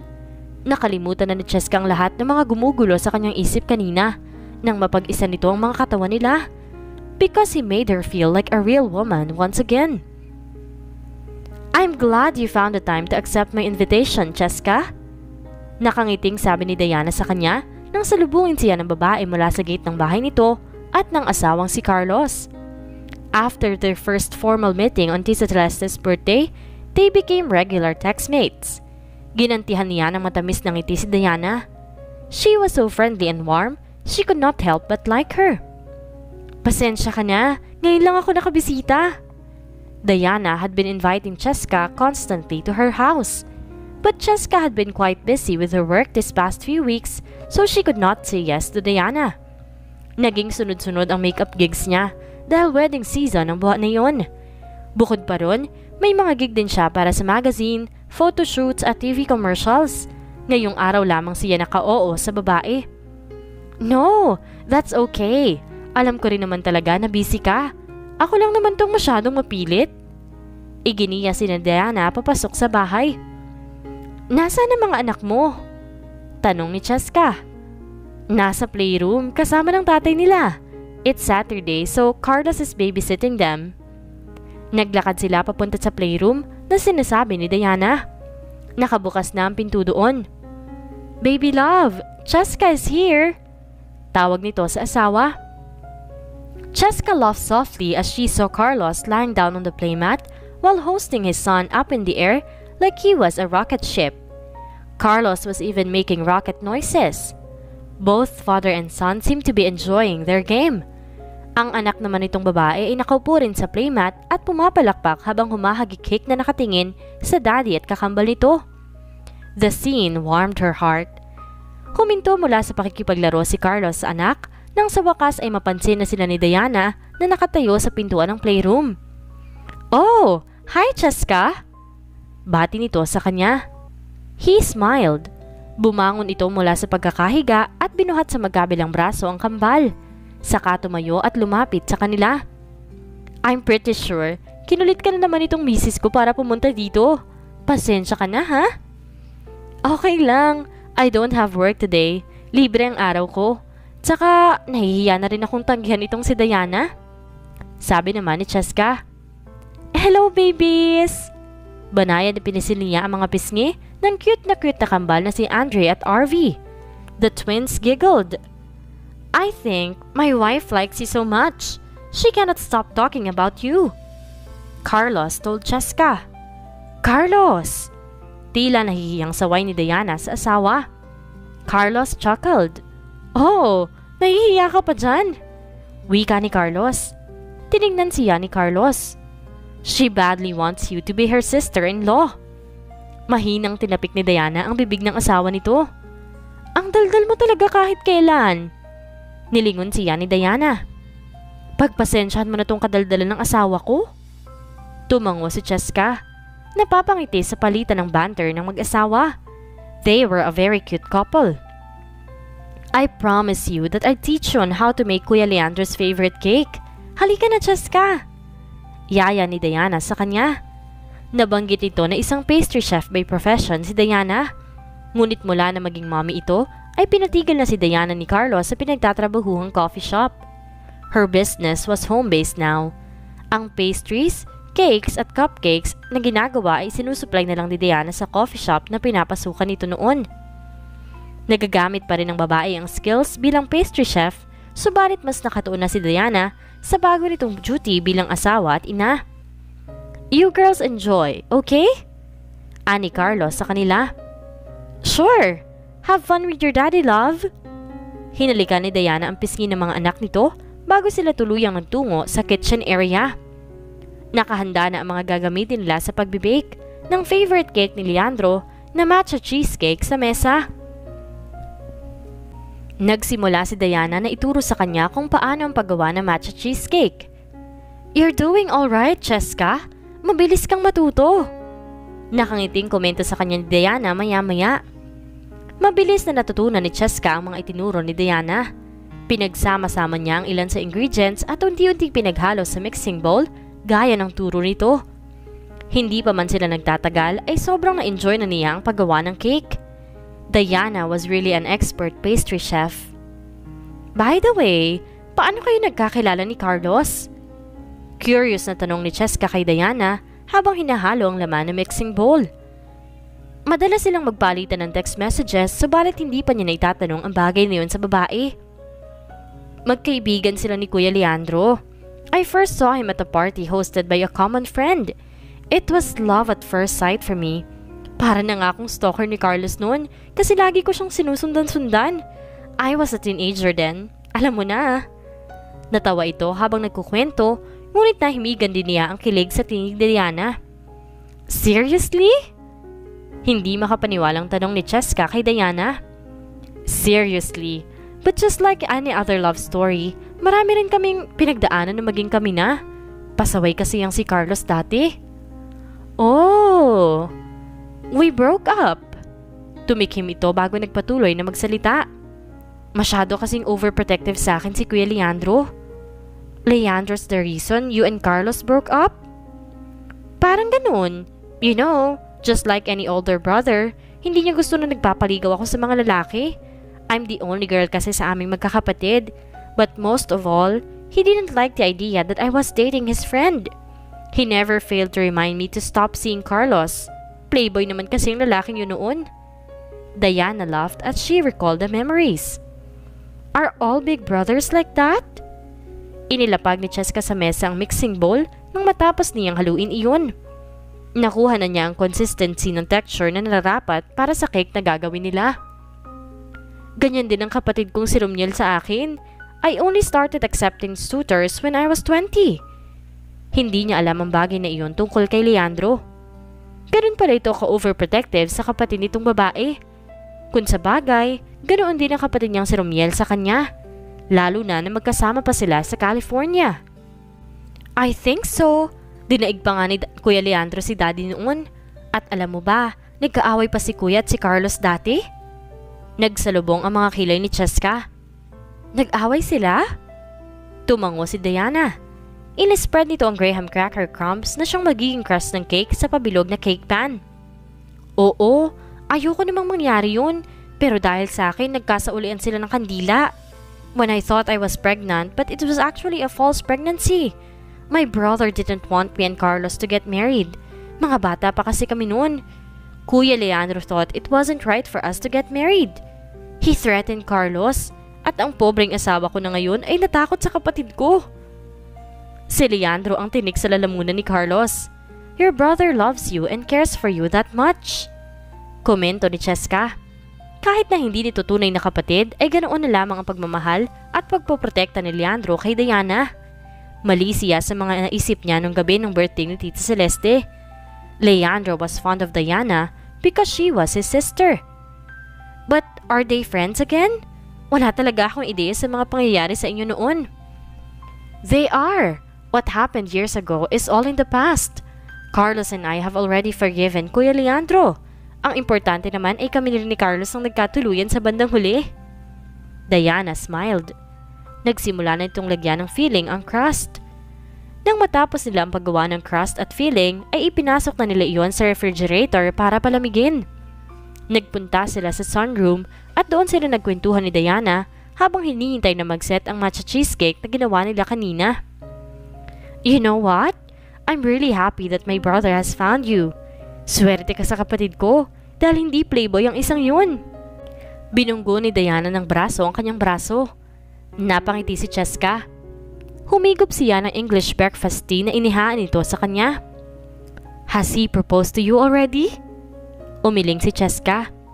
Hindi pa. Ibinaba niya sa mesa ang tasang tangan. Oo nga at engaged daw kami sabi ng parents namin. But actually hanggang ngayon, hindi pa rin malinaw kung mag-ano ba kami. What? Pambihira?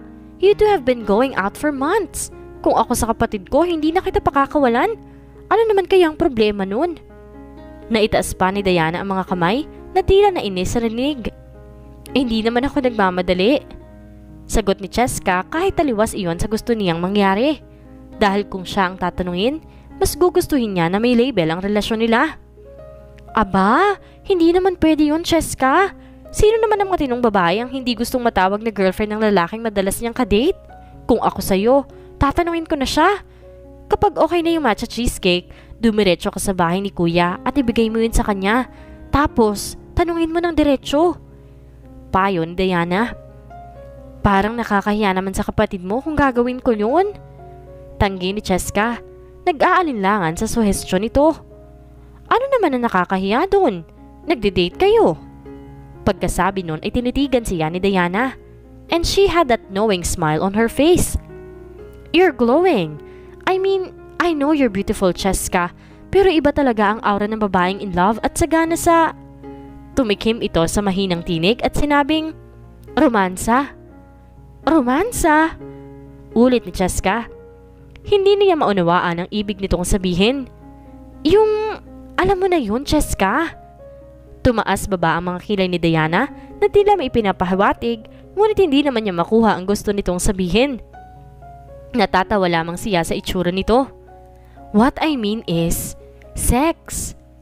Mahinang dugtong ni Diana nang mahalatang hindi niya maintindihan ang sinasabi nito. Oh! Her cheeks felt like they were burning up. Ano ka ba? Marinig tayo ng asawa mo. Nahihiyang saway ni Cheska. He's busy with the twins. Hindi tayo maririnig nun. Sinundot nito ang tagiliran niya. So ano, tama ako no? If only you can see yourself right now, your cheeks are red as an apple. She teased. Diana? Hindi alam ni Cheska ang sasabihin. Kahit naman hindi siya umamin ay mukhang alam na nito ang totoo. Payong future sister-in-law, kung ako sa'yo, sundin mo ang sinabi ko sa'yo kanina. Mas maganda na yung ikaw na mag-uungkat ng bagay na yun sa kanya kaysa maghintay ka sa sasabihin niya, no? Huwag ka nang mahiya. Tama lang na alamin mo kung anong meron sa inyong dalawa para hindi ka rin naguguluhan. Tinapik pa nito ang balikat niya. Cheska could feel Diana's genuine concern for her. Mas tamang sundin niya ang sinabi nito para magkaalaman na sila ni Leandro.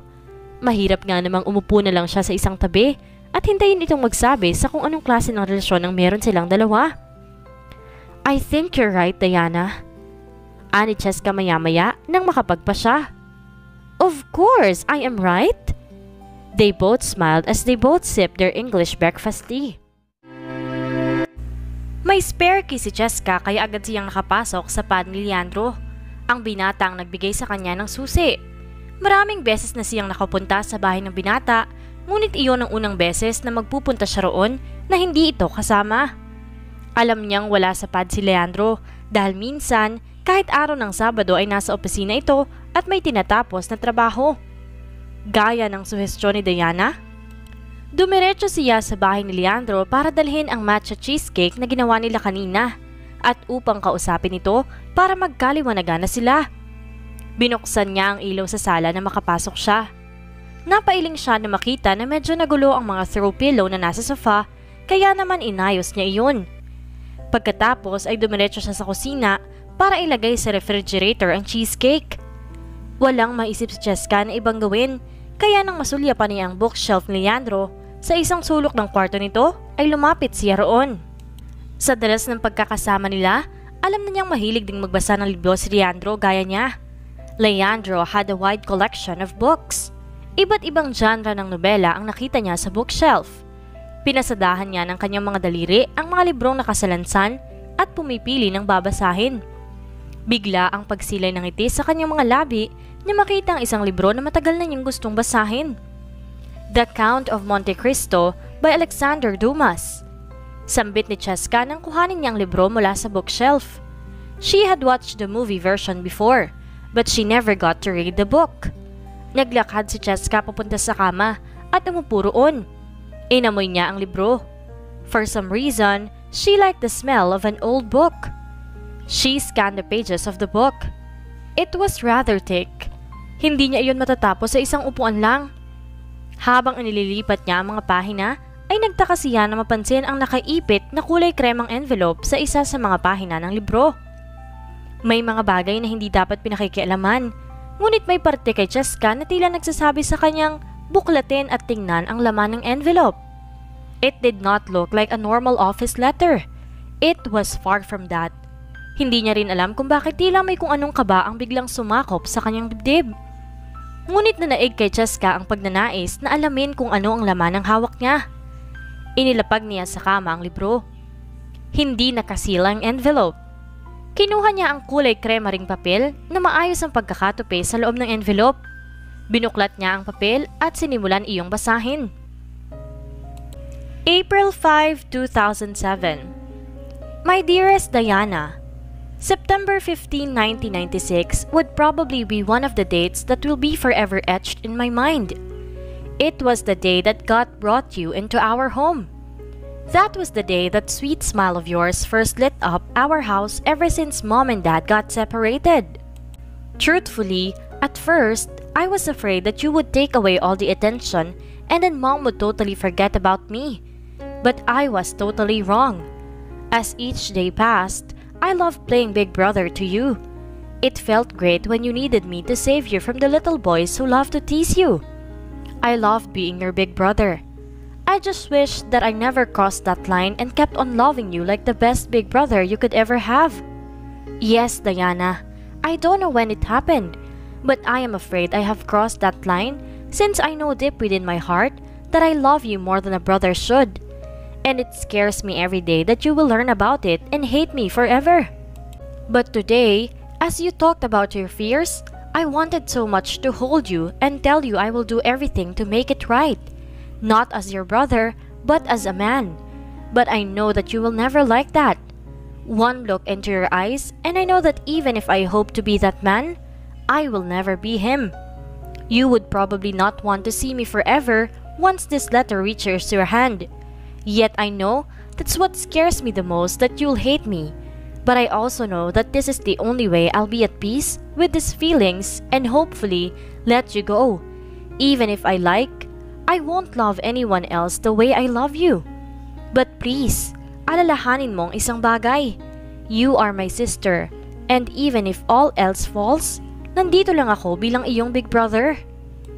Your kuya forever, Leandro. Oh God! Hilam na sa luha ang mga mata ni Cheska nang matapos niyang basahin ang sulat ni Leandro para sa stepsister nito na si Diana. Mahigkit limang taon na ang sulat base sa date na nakalagay. The letter was short but she could feel all the remorse and the sincerity in his letter. And just when she thought he was just being an overprotective brother, ang lahat ng mga hinala at naisip ni Cheska mula ng gabi sa birthday party ni Tita Celeste ay may katotohanan pala. Leandro had always been in love with his stepsister, Diana. Yung mga pagsulyap nito kay Diana, hindi lang isang simpleng fondness. May malalim pa palang kahulugan iyon. There was love in it. She was not imagining things. Kung hindi pa niya aksidenteng nakita ang sulat na para kay Diana, hindi niya malala naman ang maitim nitong sekreto. Cheska felt hurt and betrayed. Worst of all, she suddenly felt used. Ginamit lamang siya ni Leandro upang mapagtakpan ang totoong nararamdaman nito kay Diana. Yes, Leandro was very vocal in saying that he liked her, but like was all too different from love and he did not love her. Marahil ang sweetness at ang pagiging attentive nito sa kanya ay pakitong tao lang para madala siya ni Leandro sa kama. At siya naman itong si Tanga, agad na nagpabola. Nahulog ang loob niya kay Leandro at walang pag-aalinlangan na ilang beses nang ibinigay sa lalaki ang lahat sa kanya. She cried even more at the thought. Cheska's eyes were swollen from too much crying when she heard the footsteps of someone coming into the room where she was in. Cheska? Napaangat ang kanyang mukha sa nagsalita. Dumating si Leandro nang hindi niya namamalayan dahil sa iyak. Bumadha ang pagtataka sa mukha nito nang madatnan siya sa ganoong ayos. At tila alam na nito kung ano ang nasa mga kamay niya base sa ekspresyon ng mukha ng binata. Lumapit si Leandro at kinuha mula sa kamay niya ang sulat na hawak. Where did you get this? And then, He saw the book beside her on the bed she was sitting in. Tumayo si Cheska mula sa pagkakaupo sa kama. At umiiyak ito dahil sa sakit na nararamdaman nito sa kanyang nabasang sulat. Ano bang nagawa ko sa iyo, Leandro? Bakit mo ako ginaganito? Bakit ako pa? Sambit ni Cheska habang umiiyak. Ginawa ko naman ang gusto mo, di ba? Pero ginamit mo lang pala ako para mapagtakpan ng totoong pagkatao mo. Ang galing mo, Leandro. Napaniwala mo ko sa mga kasinungalingan mo. Bumuhos ang mga luha ni Cheska habang kinukumpronta nito si Leandro. You're in love with your sister. Don't you dare deny it, Leandro, because I already read your love letter to her. You're prying into my personal stuff. Sa halip ay sagot ni Leandro sa kanya. Dama niya ang inis sa tinig nito. Bigla ang pag-ahon ng emosyon sa dibdib ni Cheska dahil sa sinabi nito. Hindi niya napigilan ang pagkawala ng kanyang emosyon. Dahil sa sinabi ni Leandro, ay nakumpirma pa niyon ang lahat ng kanyang hinala. For so many years, you only loved one woman, and perhaps you love her still, even if she's already married. And it just so happened that she's your stepsister. Bakit ka nakikialam sa gamit na may gamit? Paiwas pa rin sabi ni Leandro. Madilim ang ekspresyon ng mukha. Ibinalik ni Leandro ang sulat sa sobrang pinaglalagyan at isinuksok sa bulsa ng slacks na suot. She felt more miserable because of that. Dahil sa ginawa nitong iyon, nangangahulugan lang na mahalaga para sa binata ang sulat hanggang ngayon. I suppose that even now, Diana doesn't know how you truly feel about her. Pinahid ni Cheska ang kanyang mga mata gamit ang likod ng kanyang kamay. Pinilit niyang pakalmahin ang sarili kahit nais na niya itong sumbatan. She believed she had a valid reason to be upset and be mad at him. Bumuntong hininga si Leandro at iniwas ang paningin sa kanya. This letter never reached her hands. I would die if she found out about my secret. Mahinang wika nito. Sinapo ni Cheska ang kanyang bibig para pigilan ang sarili na pumalahon na naman ng iyak. Because that explained everything. He still loved her, and he would probably silently love her for as long as he lived. And you're just using me to cover up your feelings for her? Hindi ito sumagot. Bakit hindi ka makasagot? Nilingon siya ni Leandro. Of course not, baby. Let's stop talking about her, okay? Hinawakan nito ang braso niya, ngunit pumiksi siya. Of course, she knew he was lying. Cheska was so hurt because she loved him with all of her heart. But he could not love her because he was in love with someone else. And maybe that was the reason why could tell his parents about his plans for her. Dahil wala naman talaga itong plano sa kanya. Ang gusto lang nito ay may kama siya. He never felt anything beyond physical attraction towards her. At hindi naman siya papayag na may mangyari pa sa kanila. Pagkatapos ay wala naman palang balak ang binata na pakasalan siya. Mahirap umasa sa taong wala ka namang aasahan na kahit ano. Ngayon ay maliwanag na kay Cheska kung nasaan siya sa buhay ni Leandro. Wala naman pala siyang permanenteng lulugaran sa binata dahil ibang babae ang nagmamay-ari ng puso nito. Nais magalit ni Cheska kay Diana dahil hawak nito ang espasyo sa puso ni Leandro na gusto niyang maging kanya. Subalit hindi niya magalit kay Diana dahil alam niyang inosente ito sa damdamin ni Leandro. At napakabait ni Danan para itong tinuring niyang karibal. Hindi martir si Cheska na gaya ng mami niya na handang maghintay na mahalin ng lalaking mahal nito. She knew how her mother went through it before. For years, her mom had been in love with her dad since they were in medical school. But her dad was in love with another woman, his best friend, Tita Celeste. Alam iyon ng mami niya, ngunit hindi ito sumuko. At sa loob ng maraming taon, nagsumikap itong maging isang mabuting asawa para sa kanyang ama at mabuting ina para sa kanilang magkapatid. Eventually, natutunan din itong mahalin ang kanyang ama sa paglipas ng panahon. Sigurado si Cheska na ibinabalik ng kanyang ama ang pag-ibig at debosyon ng kanyang ina. Ngunit hindi nais ni Cheska na maranasan ang dinanas ng kanyang ina. Ayaw niyang magpakatanga sa mahabang panahon nang dahil sa pag-ibig. Bago mahuli ang lahat, lalayo na siya. Tumalikod si Cheska. Humakbang palayo kay Leandro nang matauhan siya. Ngunit bago siya tuluyang makalabas sa pad, hinabol siya nito. So, magwo-walkout ka na lang basta nang hindi na natin aayos to? Pigil ni Leandro sa kanya. Humarap si Cheska. Wala naman tayong aayusin dahil alam ko na ang totoo. Ginagamit mo lang ako. Pero hindi na ako papayag na mangyari yun. Tinalikuran ulit ni Cheska si Leandro. What are you talking about? Humarap siyang muli kay Leandro. Bakit? Hindi ba? You invited me to a cruise, pinola, at pinaibig so you could easily get into my pants. Pero wala naman akong ibang aasahan sa'yo dahil ibang babae naman talaga ang gusto mo. And it hurts me to think that I am just a pastime for you. That we're only good at one thing, and that's bedding each other. But I won't be your slut anymore. Naniningkit ang mga matang sabi ni Cheska. That's not true. Ano bang sinasabi mo? Mataas na ang boses ni Leandro. Sa palagay niya, nagagalit na rin ito dahil sa kanyang mga sinabi. Oh, please, stop denying, Leandro. Wala ka nang maitatago sa akin. Humugot si Cheska ng malalim na hininga at kahit naiiyak na naman, ay tinitigan niya ito ng diretsyo sa mga mata. But rest assured na wala akong sasabihin na kahit ano kay Diana. Pinihit niya ang seradura ng pinto at saka tuluyan ang lumabas ng pad ni Leandro. Cheska! You can't walk away just like that! We can talk about this! Come on! Sumunod ito sa kanya. Stop following me! And let's stop this foolishness! We're done! Sigaw ni Cheska kay Leandro na hindi mabilis ang kanyang mga hakbang. Dire-diretso siyang sumakay ng elevator nang magbukas iyon. Papasok din sana si Leandro sa loob, subalit agad niyang pinindot ang close button ng elevator. Umatras si Leandro bago pa man ito maipit nang nagsasarang pinto ng elevator. Sakay ng elevator ay muling bumagsak ang mga luha ni Cheska na kanina pa niyang pinipigilan. Sumakay siya sa kanyang kotse nang makarating siya sa parking lot. Agad na pinasabad iyon palabas ni Cheska sa condominium building. Habang nagdadrive ay walang patid sa pagpatak ang kanyang mga luha. Hindi inaasahan ni Cheska na sa ganoon mauuwi ang lahat sa pagitan nila ni Leandro. She should not have accepted his invitation to go on cruise. Kung hindi dahil doon, hindi sana nahulog ng labis ang loob niya sa lalaki. Now, she felt like dying inside knowing that he just used her and that he would never learn to love her.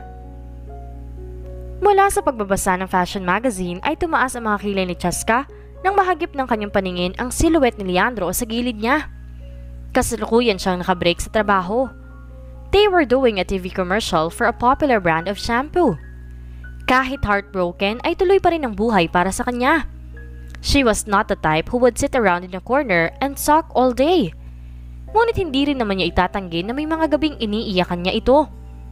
Leandro had been following her around this past few days. Sa mga location ng kanyang makeup gig ay lagi niya nakikita ang presensya ng lalaki, ngunit hindi naman niya ito kinakaharap o kinakausap. Hindi niya maintindihan kung ano pa ang kailangan nito sa kanya. Tinapos na ni Cheska kung ano man ang meron sa kanila.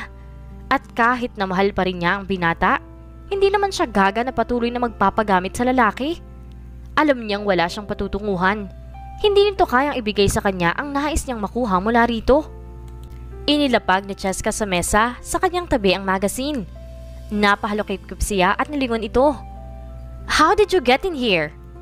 Nagtataka siya kung paano nakapasok doon si Leandro at nakalapit sa kanya. Pinagsabihan niya ang mga kasamahan sa trabaho na huwag-huwag papalapitin sa kanya ang lalaki. Subalit naroon ito ngayon at hindi niya maalis ang pagkainis dahil doon. They let me in. Naawa ng mga katrabaho mo sa akin. Kagipag pa ako dito pero hindi mo ko pinapansin. Bumuntong hininga ito. You've been avoiding my calls and you refuse to see me. Nakatitig na sabi ni Leandro sa kanya. His eyes looked tired, but he still looked gorgeous. And there it was again, her heart beating crazily just at the sight of him. Mag-move on ka na! Ano ka ba, Cheska? Paalala sa kanya ng isip. Tumayo si Cheska mula sa kinauupuan, saka tumawa na mapakla. And you think that I should keep seeing you and talking to you? Okay ka lang? Nandidilat na tanong niya. Hindi nga ako okay, kaya nga gusto kitang makausap. Sagot ni Leandro sa kanya. Hinablot ni Cheska ang braso ni Leandro at hinila sa sulok kung saan silang dalawa lang ang makakarinig ng pag-uusapan nila. Paano ay kanina pa sila pinagtitinginan ng mga tao na nasa paligid. Wala na tayong pag-uusapan. I made it clear to you on that day. Paalala niya sa binata. And I want you to stop following me around. If you think you can get me in your bed again, think again. Hindi mo na ako mabubol mauuto. Didn't I tell you, I won't be your slut anymore? Sinalubong niya ang mga tingin nito. Why do you keep on saying that you're just my slut? To tell you frankly, ang sakit sa tenga ng sinabi mo. Hinawakan pa ni Leandro ang isang tenga nito na tila nakakulili sa kanya. Huwag ka nang magpaka-conservative pa dyan. Alam mo naman kung anong totoo. You are a fake. Your feelings for me were all fake. Hindi napigilan ni Cheska ang pagtaas ng kanyang boses. Dinuro-duro pa niya ang dibdib ni Leandro sa pag-ahon ng inis, galit at sama ng loob niya sa binata. Hey! Hinagip ni Leandro ang kanyang kamay. Kumalma ka nga. Hindi pa siya nakontento ang libreng kamay ay pinanghahampas niya sa braso nito. Niyakap naman siya at hinapit ng husto ni Leandro. Nagpumigla siya, subalit hindi naman ito nagpatinag sa kanya. Bitiwan mo nga ako! And then, Cheska suddenly gasped when she felt something hard poking at her lower part. Naalarma siya. Buong lakas na itinulak niya si Leandro upang makawala sa mga bisig nito. Napagtagumpayan niya iyon. Umatras siya ng ilang hakbang palayo sa binata. Bastos ka talaga! Hinihingal na wika ni Cheska. Did you feel it? Anas ni Leandro. I told you, you always had that effect on me. His eyes were burning with desire. Now, it was very clear to her that he only wanted one thing from her, and that thing was the one poking between her legs. At nasaktan na naman si Cheska dahil doon. Ang kapal na mukha nitong puntahan siya roon na ganun ang pakay sa kanya. Nakakainsulto ito. Go away! Kung gusto mo ng kasex, maghanap ka ng ibang babae. Hindi ako available. Asar na sabi ni Cheska. I'm sorry. I didn't mean to say that, but That's the truth. Napabugan ng hangin si Leandro nang tignan niya ito ng masama. Nailamos nito ang kamay sa mukha. You're a jerk! Inis na wika ni Cheska. Nahuli pa niya ang tila frustrated na mukha ni Leandro bago niya ito tuluyang tinilikuran at iniwan. Nagpapasalamat naman si Cheska at hindi na siya nito sinundan. Natutulog ka pa ba, kuya? Tanong ni Diana kay Leandro nang ilapag nito ang tasa ng kape sa coffee table sa harap niya. He knew he looked restless because he had never sleepless nights lately. Nasaan si Carlos? Tanong ni Leandro sa kapatid. Nagpunta siya sa bahay ni Diana at ng asawa nitong si Carlos kahit dis oras na ng gabi. Upstairs, pinatutulog lang ang mga bata. Ano bang problema at bigla ka napasugo dito? Hindi siya ganon kadalas bumisita sa mga ito kaya ngayon ay nagtataka si Diana kung bakit naroon siya. Kinuha ni Leandro ang tasa at humigop ng kape. She left me and I don't know where she is. Who? Salubong ang mga kilay na tanong ni Diana. Umupo ito sa sofa sa kanyang tabi. Cheska! Leandro did not know what to do anymore at nais niyang may makausap dahil hindi niya talaga alam ang kanyang gagawin. Cheska had been consistent in avoiding his calls and ignoring him. Sandali lang siyang umalis ng Maynila dahil may pinuntahan siyang importanteng trabaho sa Zambales. Pagkatapos ay hindi na niya alam kung saan na nagpunta si Cheska at bigla na lamang itong nawala. Ang mga katrabaho nito ay hindi rin alam kung nasaan ang dalaga. Nagpunta rin si Leandro sa bahay ng ninong Alex niya, sabalit wala rin ang mga ito doon. Nasa medical mission ng ninong Alex niya Kasama ang asawa nito ang si Auntie Bernice. Gustuhin man niyang bulubugin ang mga ito, hindi naman niya magawa. Busy ang mag-asawa sa medical mission sa Tacloban. He missed Cheska so damn much and he felt miserable. I thought you two were okay. She left you? Why? Naguguluhang sunod-sunod na tanong ni Diana. Napabuntong hininga siya. May hindi kami napagkaunawaan. Ayaw naman niya akong kausapin para maayos namin sana. Eh baka naman kasi sinawaan ka na kasi pinapaasa mo yata siya sa wala. Tell me frankly, Kuya Leandro, are you in love with someone else and you're not telling me about it? Kung ganun ba naman, eh talagang iiwan ka ni Cheska? Tinitigan ni Leandro si Diana. As he stared at her, it felt weird that he did not feel anything like the way he felt for her before. Iyon ang isa sa mga rason kung bakit siya naguguluhan nang huling magkita sila ni Diana ng birthday ng kanyang ina. Dati, kapag tinitingnan niya si Diana at kasama ito, ay naroon ang pagkabog ng mabilis ng kanyang dibdib. Ngunit ngayon, habang kasama niya si Diana, kausap at habang nakatingin siya sa kapatid, wala na ang mga pamilyar na pakiramdam na kanyang nararamdaman para dito. Isang pakiramdam na alam niyang hindi tama dahil stepsister niya ito. Niyugyog ni Diana ang braso niya upang kunin ang kanyang atensyon. Kuya! Well, Leandro straightened up in his seat. Once upon a time, I did. And then, I met this girl whom my mother wanted me to marry. She rocked my world and everything changed. The realization hit him. Ang anumang nararamdaman niya para kay Diana ay nabura mula nang dumating si Cheska sa buhay niya. He knew the process did not happen overnight, but he was sure in his heart that Cheska replaced whatever feelings he had for her stepsister, Diana. He had never missed anyone the way he missed Cheska, not even his stepsister.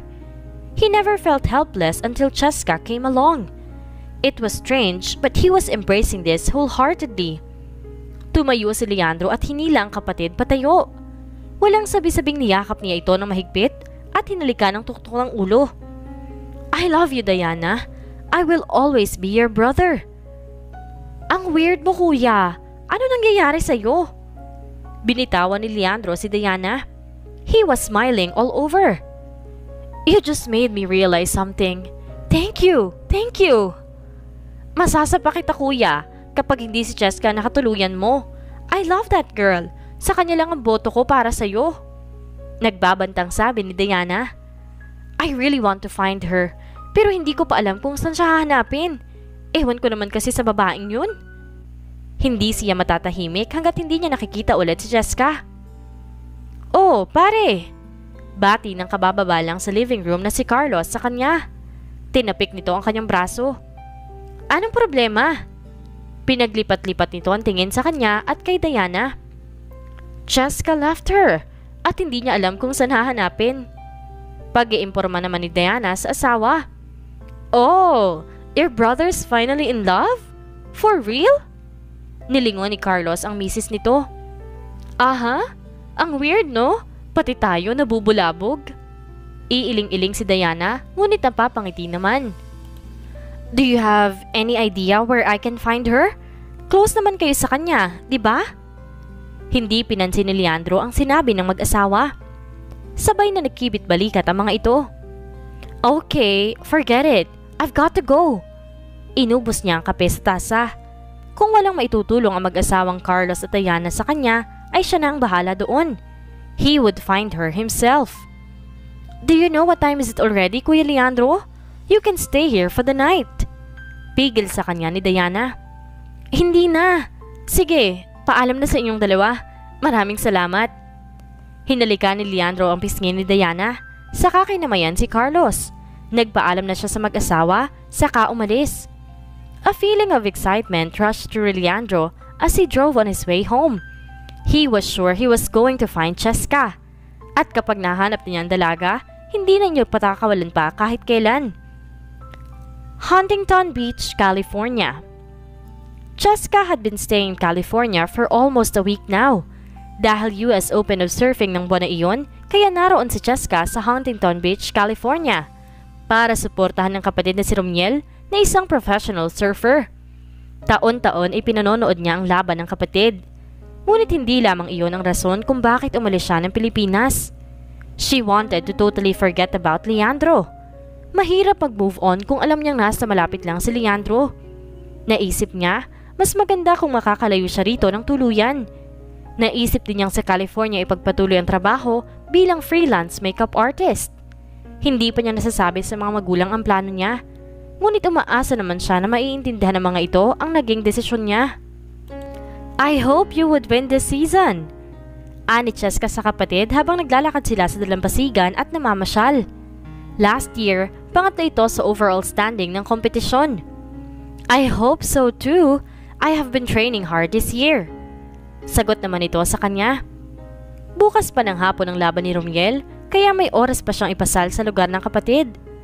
Kahit ilang beses na siyang nakarating sa lugar na yon, hindi pa rin siya nagsasawa. Bawat taon, punong-puno ng tao ang lugar. Beach volleyball, motocross, fashion shows ang ilang sa events doon. Umupo si Cheska sa buhanginan nang mapagod siya sa paglalakad. I'm tired. Those chicks are ogling you. Hindi mo ba napapansin? Tanong niya kay Romiel. Inginuso niya ang mga babaeng nakatingin sa gawin nila ni Romiel. Alam niyang malakas ang apil ng kapatid sa kababaihan. Why? He was good looking and really had a nice body. Idagdag pang isa ito sa mga sumisikat na professional surfer ngayon. Umupo si Romiel sa kanyang tabi. Hayaan mo sila? Kung hindi kita kasama ngayon, malamang kanina pa nagsilapitan ng mga yan sa akin. Madalas na ginagawa siyang front ng kapatid para itaboy ang mga babaeng nagbibigay ng motibo dito. Nagagawa nito iyon sa mga taong hindi sila personal na kilala. Hindi kasi agad makikita ang similarity nilang dalawa maliban kung tititigan sila. At mas mukhang Amerikana si Romiel kesa sa kanya. Even that blonde babe? Pasimpleng itinuro ni Cheska ang babaeng beach blonde ang buhok at super tan ang balat. Kanina pa ito nakatingin kay Romiel. Na, I don't have time for them.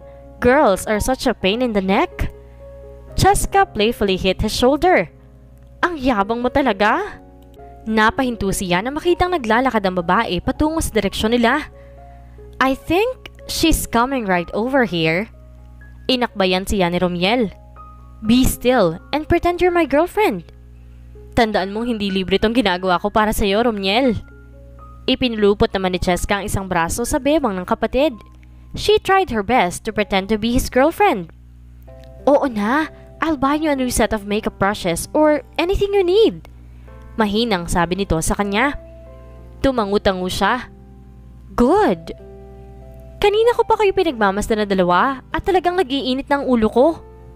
Mula sa kung saan ay dumagundong ang tinig na iyon. Kasabay ang mabigat na kamay na pinaghiwalay sila ng kapatid niyang si Romiel sa isa't isa. Napalingon si Cheska sa gumawa nun. She was surprised to see Leandro with a stern look on his face. Kunot na kunot ang noon nito at halos magsalubong na makakapal na kilay. Who the fuck are you? Naniningkit ang mga matang sita ni Romiel kay Leandro. Tumayo si Romiel sa buhanginan at pinagpag ang mga buhangin na dumikit sa board shorts na suot. And who the fuck are you too? That's my girl and I hate that you're touching her. Sagot naman ni Leandro. Halatang galit ito base sa tinig nito. Napatayo na rin si Cheska. Why are you here? Naguguluhan niyang tanong kay Leandro. Hindi niya alam kung paano nito nalaman na naroon siya sa California. And in Huntington Beach for that matter. Hindi niya inaasahan na makikita ito roon. She missed him so much and she wanted to throw her arms around him. Ngunit pinigilan niya ang kanyang sarili. Do you know him? Galit na tanong sa kanya ni Romiel. Umiling si Cheska. Alam niyang uminit na ang ulo ng kapatid. Kapag nagtagal pa sila roon at nag-usisa ito, natitiyak niyang hindi maganda ang kalalabasan. Pahapyaw na naikwento ni Cheska sa kapatid ang tungkol kay Leandro at hindi ito natuwa sa lalaki. Alam ni Romiel na heartbroken siya kay Leandro. No, let's go Romiel. Hinila niya ang kamay nito. Ngunit bago sila makalayo ni Romiel ay nagip ni Leandro ang kanyang kamay. You're not going anywhere with that man, Cheska. Get off me! Babala niya kay Leandro. No! Matigas namang sabi ni Leandro. Will you stop doing this? Naiinis na sabi ni Cheska kay Leandro. Hindi pa rin ito binibitawan ng kanyang kamay. I don't know who you are, but will you stop harassing her, man? Pamamagitan ni Romiel sa kanilang dalawa ni Leandro. Shut up! I'm not talking to you! Asik ni Leandro kay Romiel.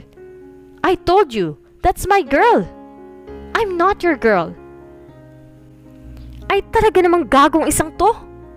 Hindi na napigilan ni Romiel ang sarili at bigla nitong sinuntok si Leandro. Napatali siya. Dahil nagpakawala ng suntok ang kapatid, nakabawi naman si Leandro at inundayan ng suntok si Romiel. Bigla na lamang nagsapakan ng dalawang lalaki. Oh my God! Tumigil nga kayong dalawa! Awat ni Cheska ngunit hindi naman nakinig ang mga ito sa kanya. Wala namang tumutulong sa kanya para patigilan ang dalawang lalaking nagrarambulan sa kanyang harapan. Halos lahat ng nasa paligid nila ay nakamasid lamang. Tila nasisihan pa nga ang mga ito na pinapanood ang dalawang nag-aaway. Hinila ni Cheska sa balikat si Romiel. Stop it! Step back, Cheska! Huwag ka makialam dito! Sagot ni Romiel sa kanya. Pinatamaan ito ng suntok si Leandro. Tumama iyon sa gilid ng labi ng lalaki. You heard him, Cheska? Sagot ni Leandro sa kanya. Pinunasan ni Leandro ang dugo sa gilid ng labi nito. Baliw talaga kayong dalawa! Tigilan niyo na nga yan! Nabubwisit na sigaw ni Cheska sa dalawang lalaki. Sa inis niya ay pumagitna na talaga siya sa dalawa para patigilin ang mga ito sa pagsusuntukan. Agad namang nagbaba ng kamay si Romiel. Hinarap siya ni Leandro. Mas agrabyado ito kaysa kay Romiel. Nakarami ng sapak ang kapatid niya sa binata. Bigla siyang naawa kay Leandro. Nang huminto ang dalawa sa pagpapalitan ng mga suntok, agad namang nagsipula sa namang osisero.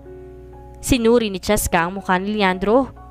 Duguan ang bibig nito at sigurado siyang puro pasa ang mukha ng binata. Inilabas niya ang panyo mula sa beach bag na dila. Pinunasan niya ang mga dugo sa gilid ng labi ni Leandro. Kung hindi ka ba naman sira ulo eh. Ang kulit mo talaga, Cheska. Inis na sabi ni Romiel sa kanya. Nilingon niya ang kapatid. Tingnan mo nga yung sarili mo. Mamaya ma-disqualify ka pa sa competition mo bukas. Naaasar na wika niya kay Romiel.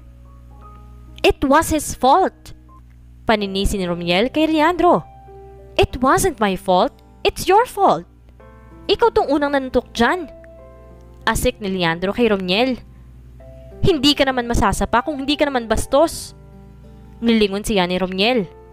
Sino bang lalaking yan? Hindi agad nakapagsalita si Cheska. Bumuntong hininga siya. Si Leandro. What? He's the guy that dad wants you to marry?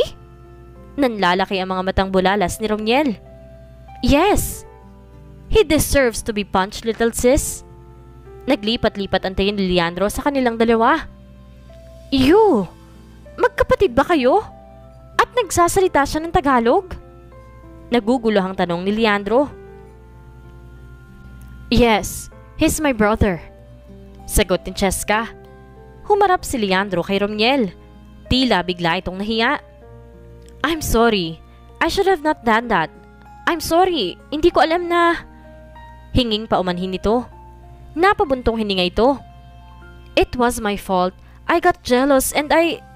Nagtaas ng kamay si Romiel upang patahimikin sa pagsasalita si Leandro. Yeah, whatever. Bahala na nga kayo kung anong problema niyong dalawa. Tiningnan siya ni Romiel. Good luck, sis. And by the way, tend to his bruises. He might never get his handsome face back again.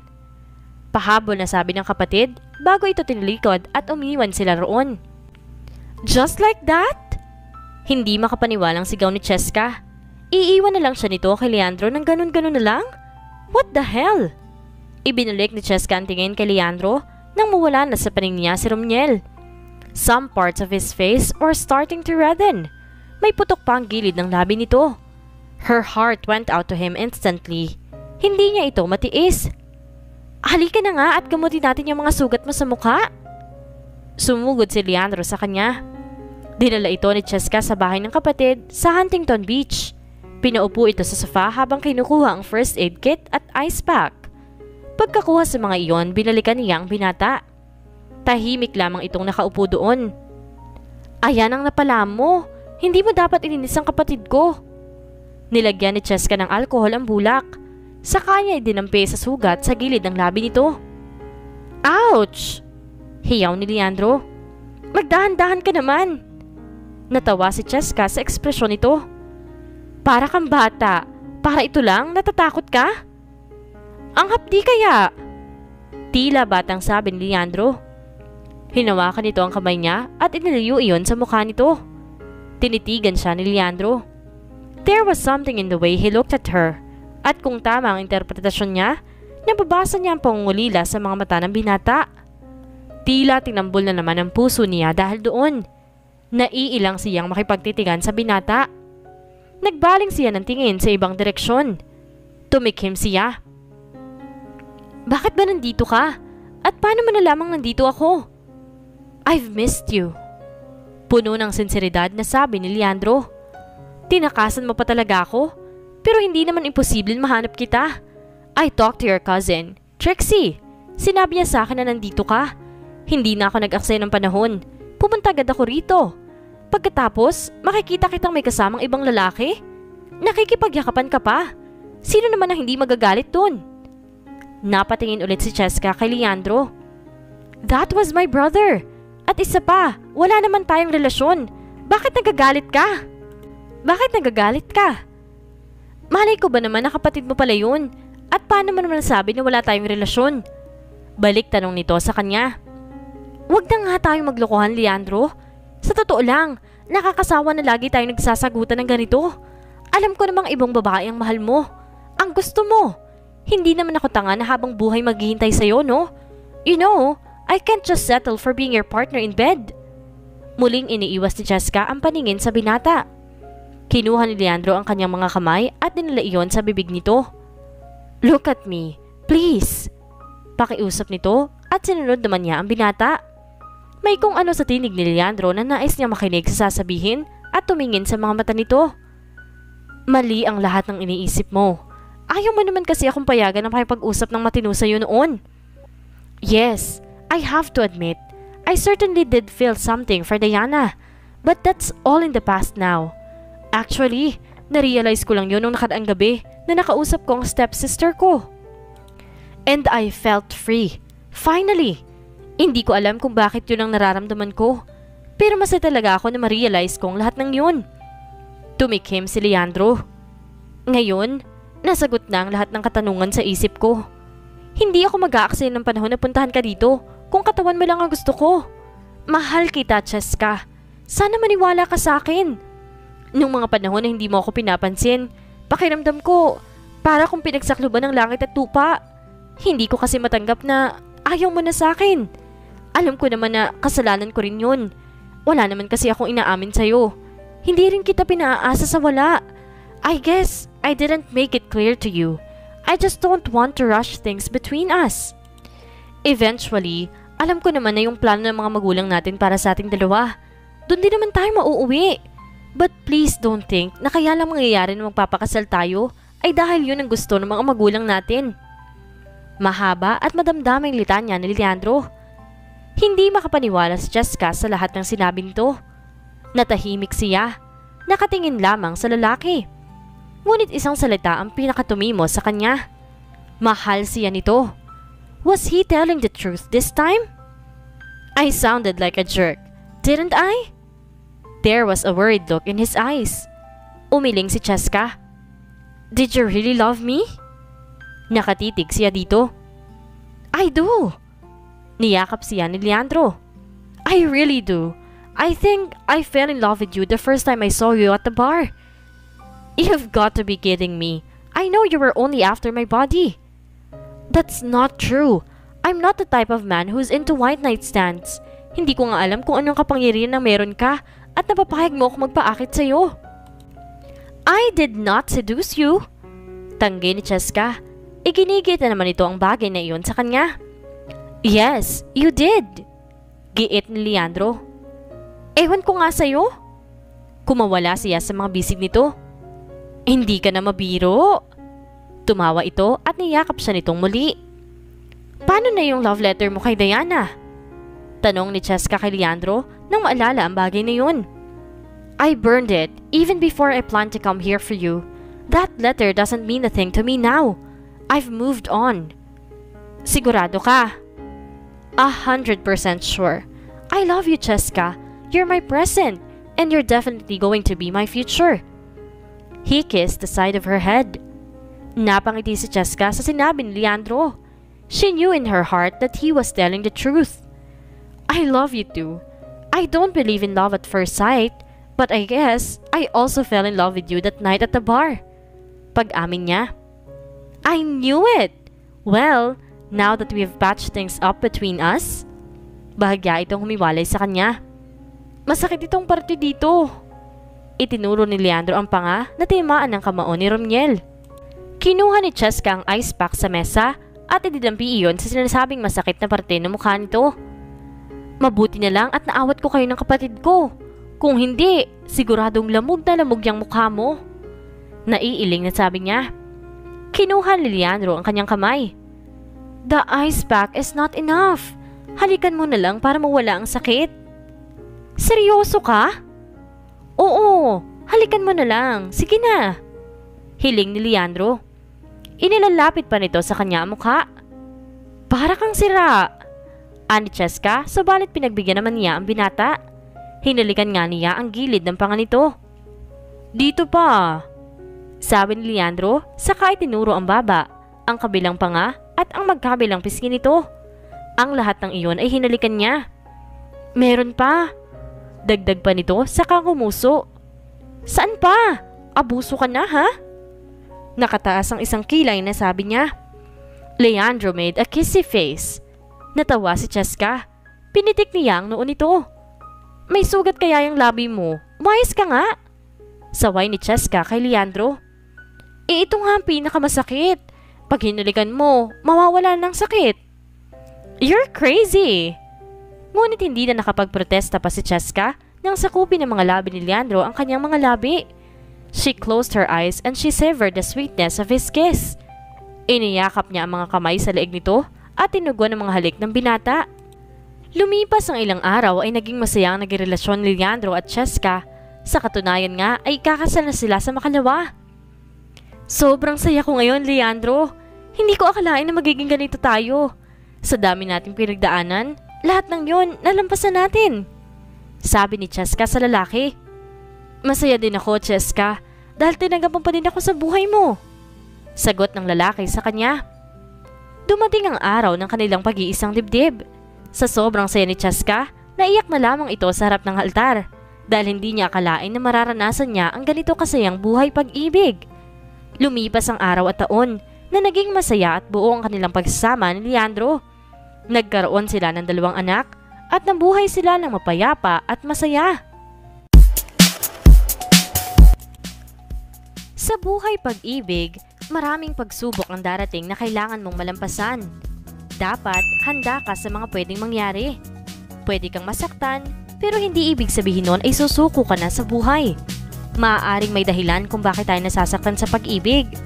Maaaring ito'y pagsubok lamang upang sukatin kung hanggang saan ang ating kakayahang magmahal o kaya naman ito'y daan para makakilala tayo ng tamang pagmamahal. Lahat tayo pwedeng magmahal. Ang salitang pagmamahal ay hindi lang nakukuha sa isang tao lang. Maaari tayong makaramdam ng pagmamahal sa mga taong nakapaligid sa atin. Lalong-lalo na ang pagmamahal ng pamilya na kailanman ay hindi mawawala at hindi mapapalitan ni numan. Maraming salamat mga ka-Ashlon sa inyong pakikinig. Sana'y inyong nagustuhan at nakapulutan ng aral ang ating kwentong pag-ibig.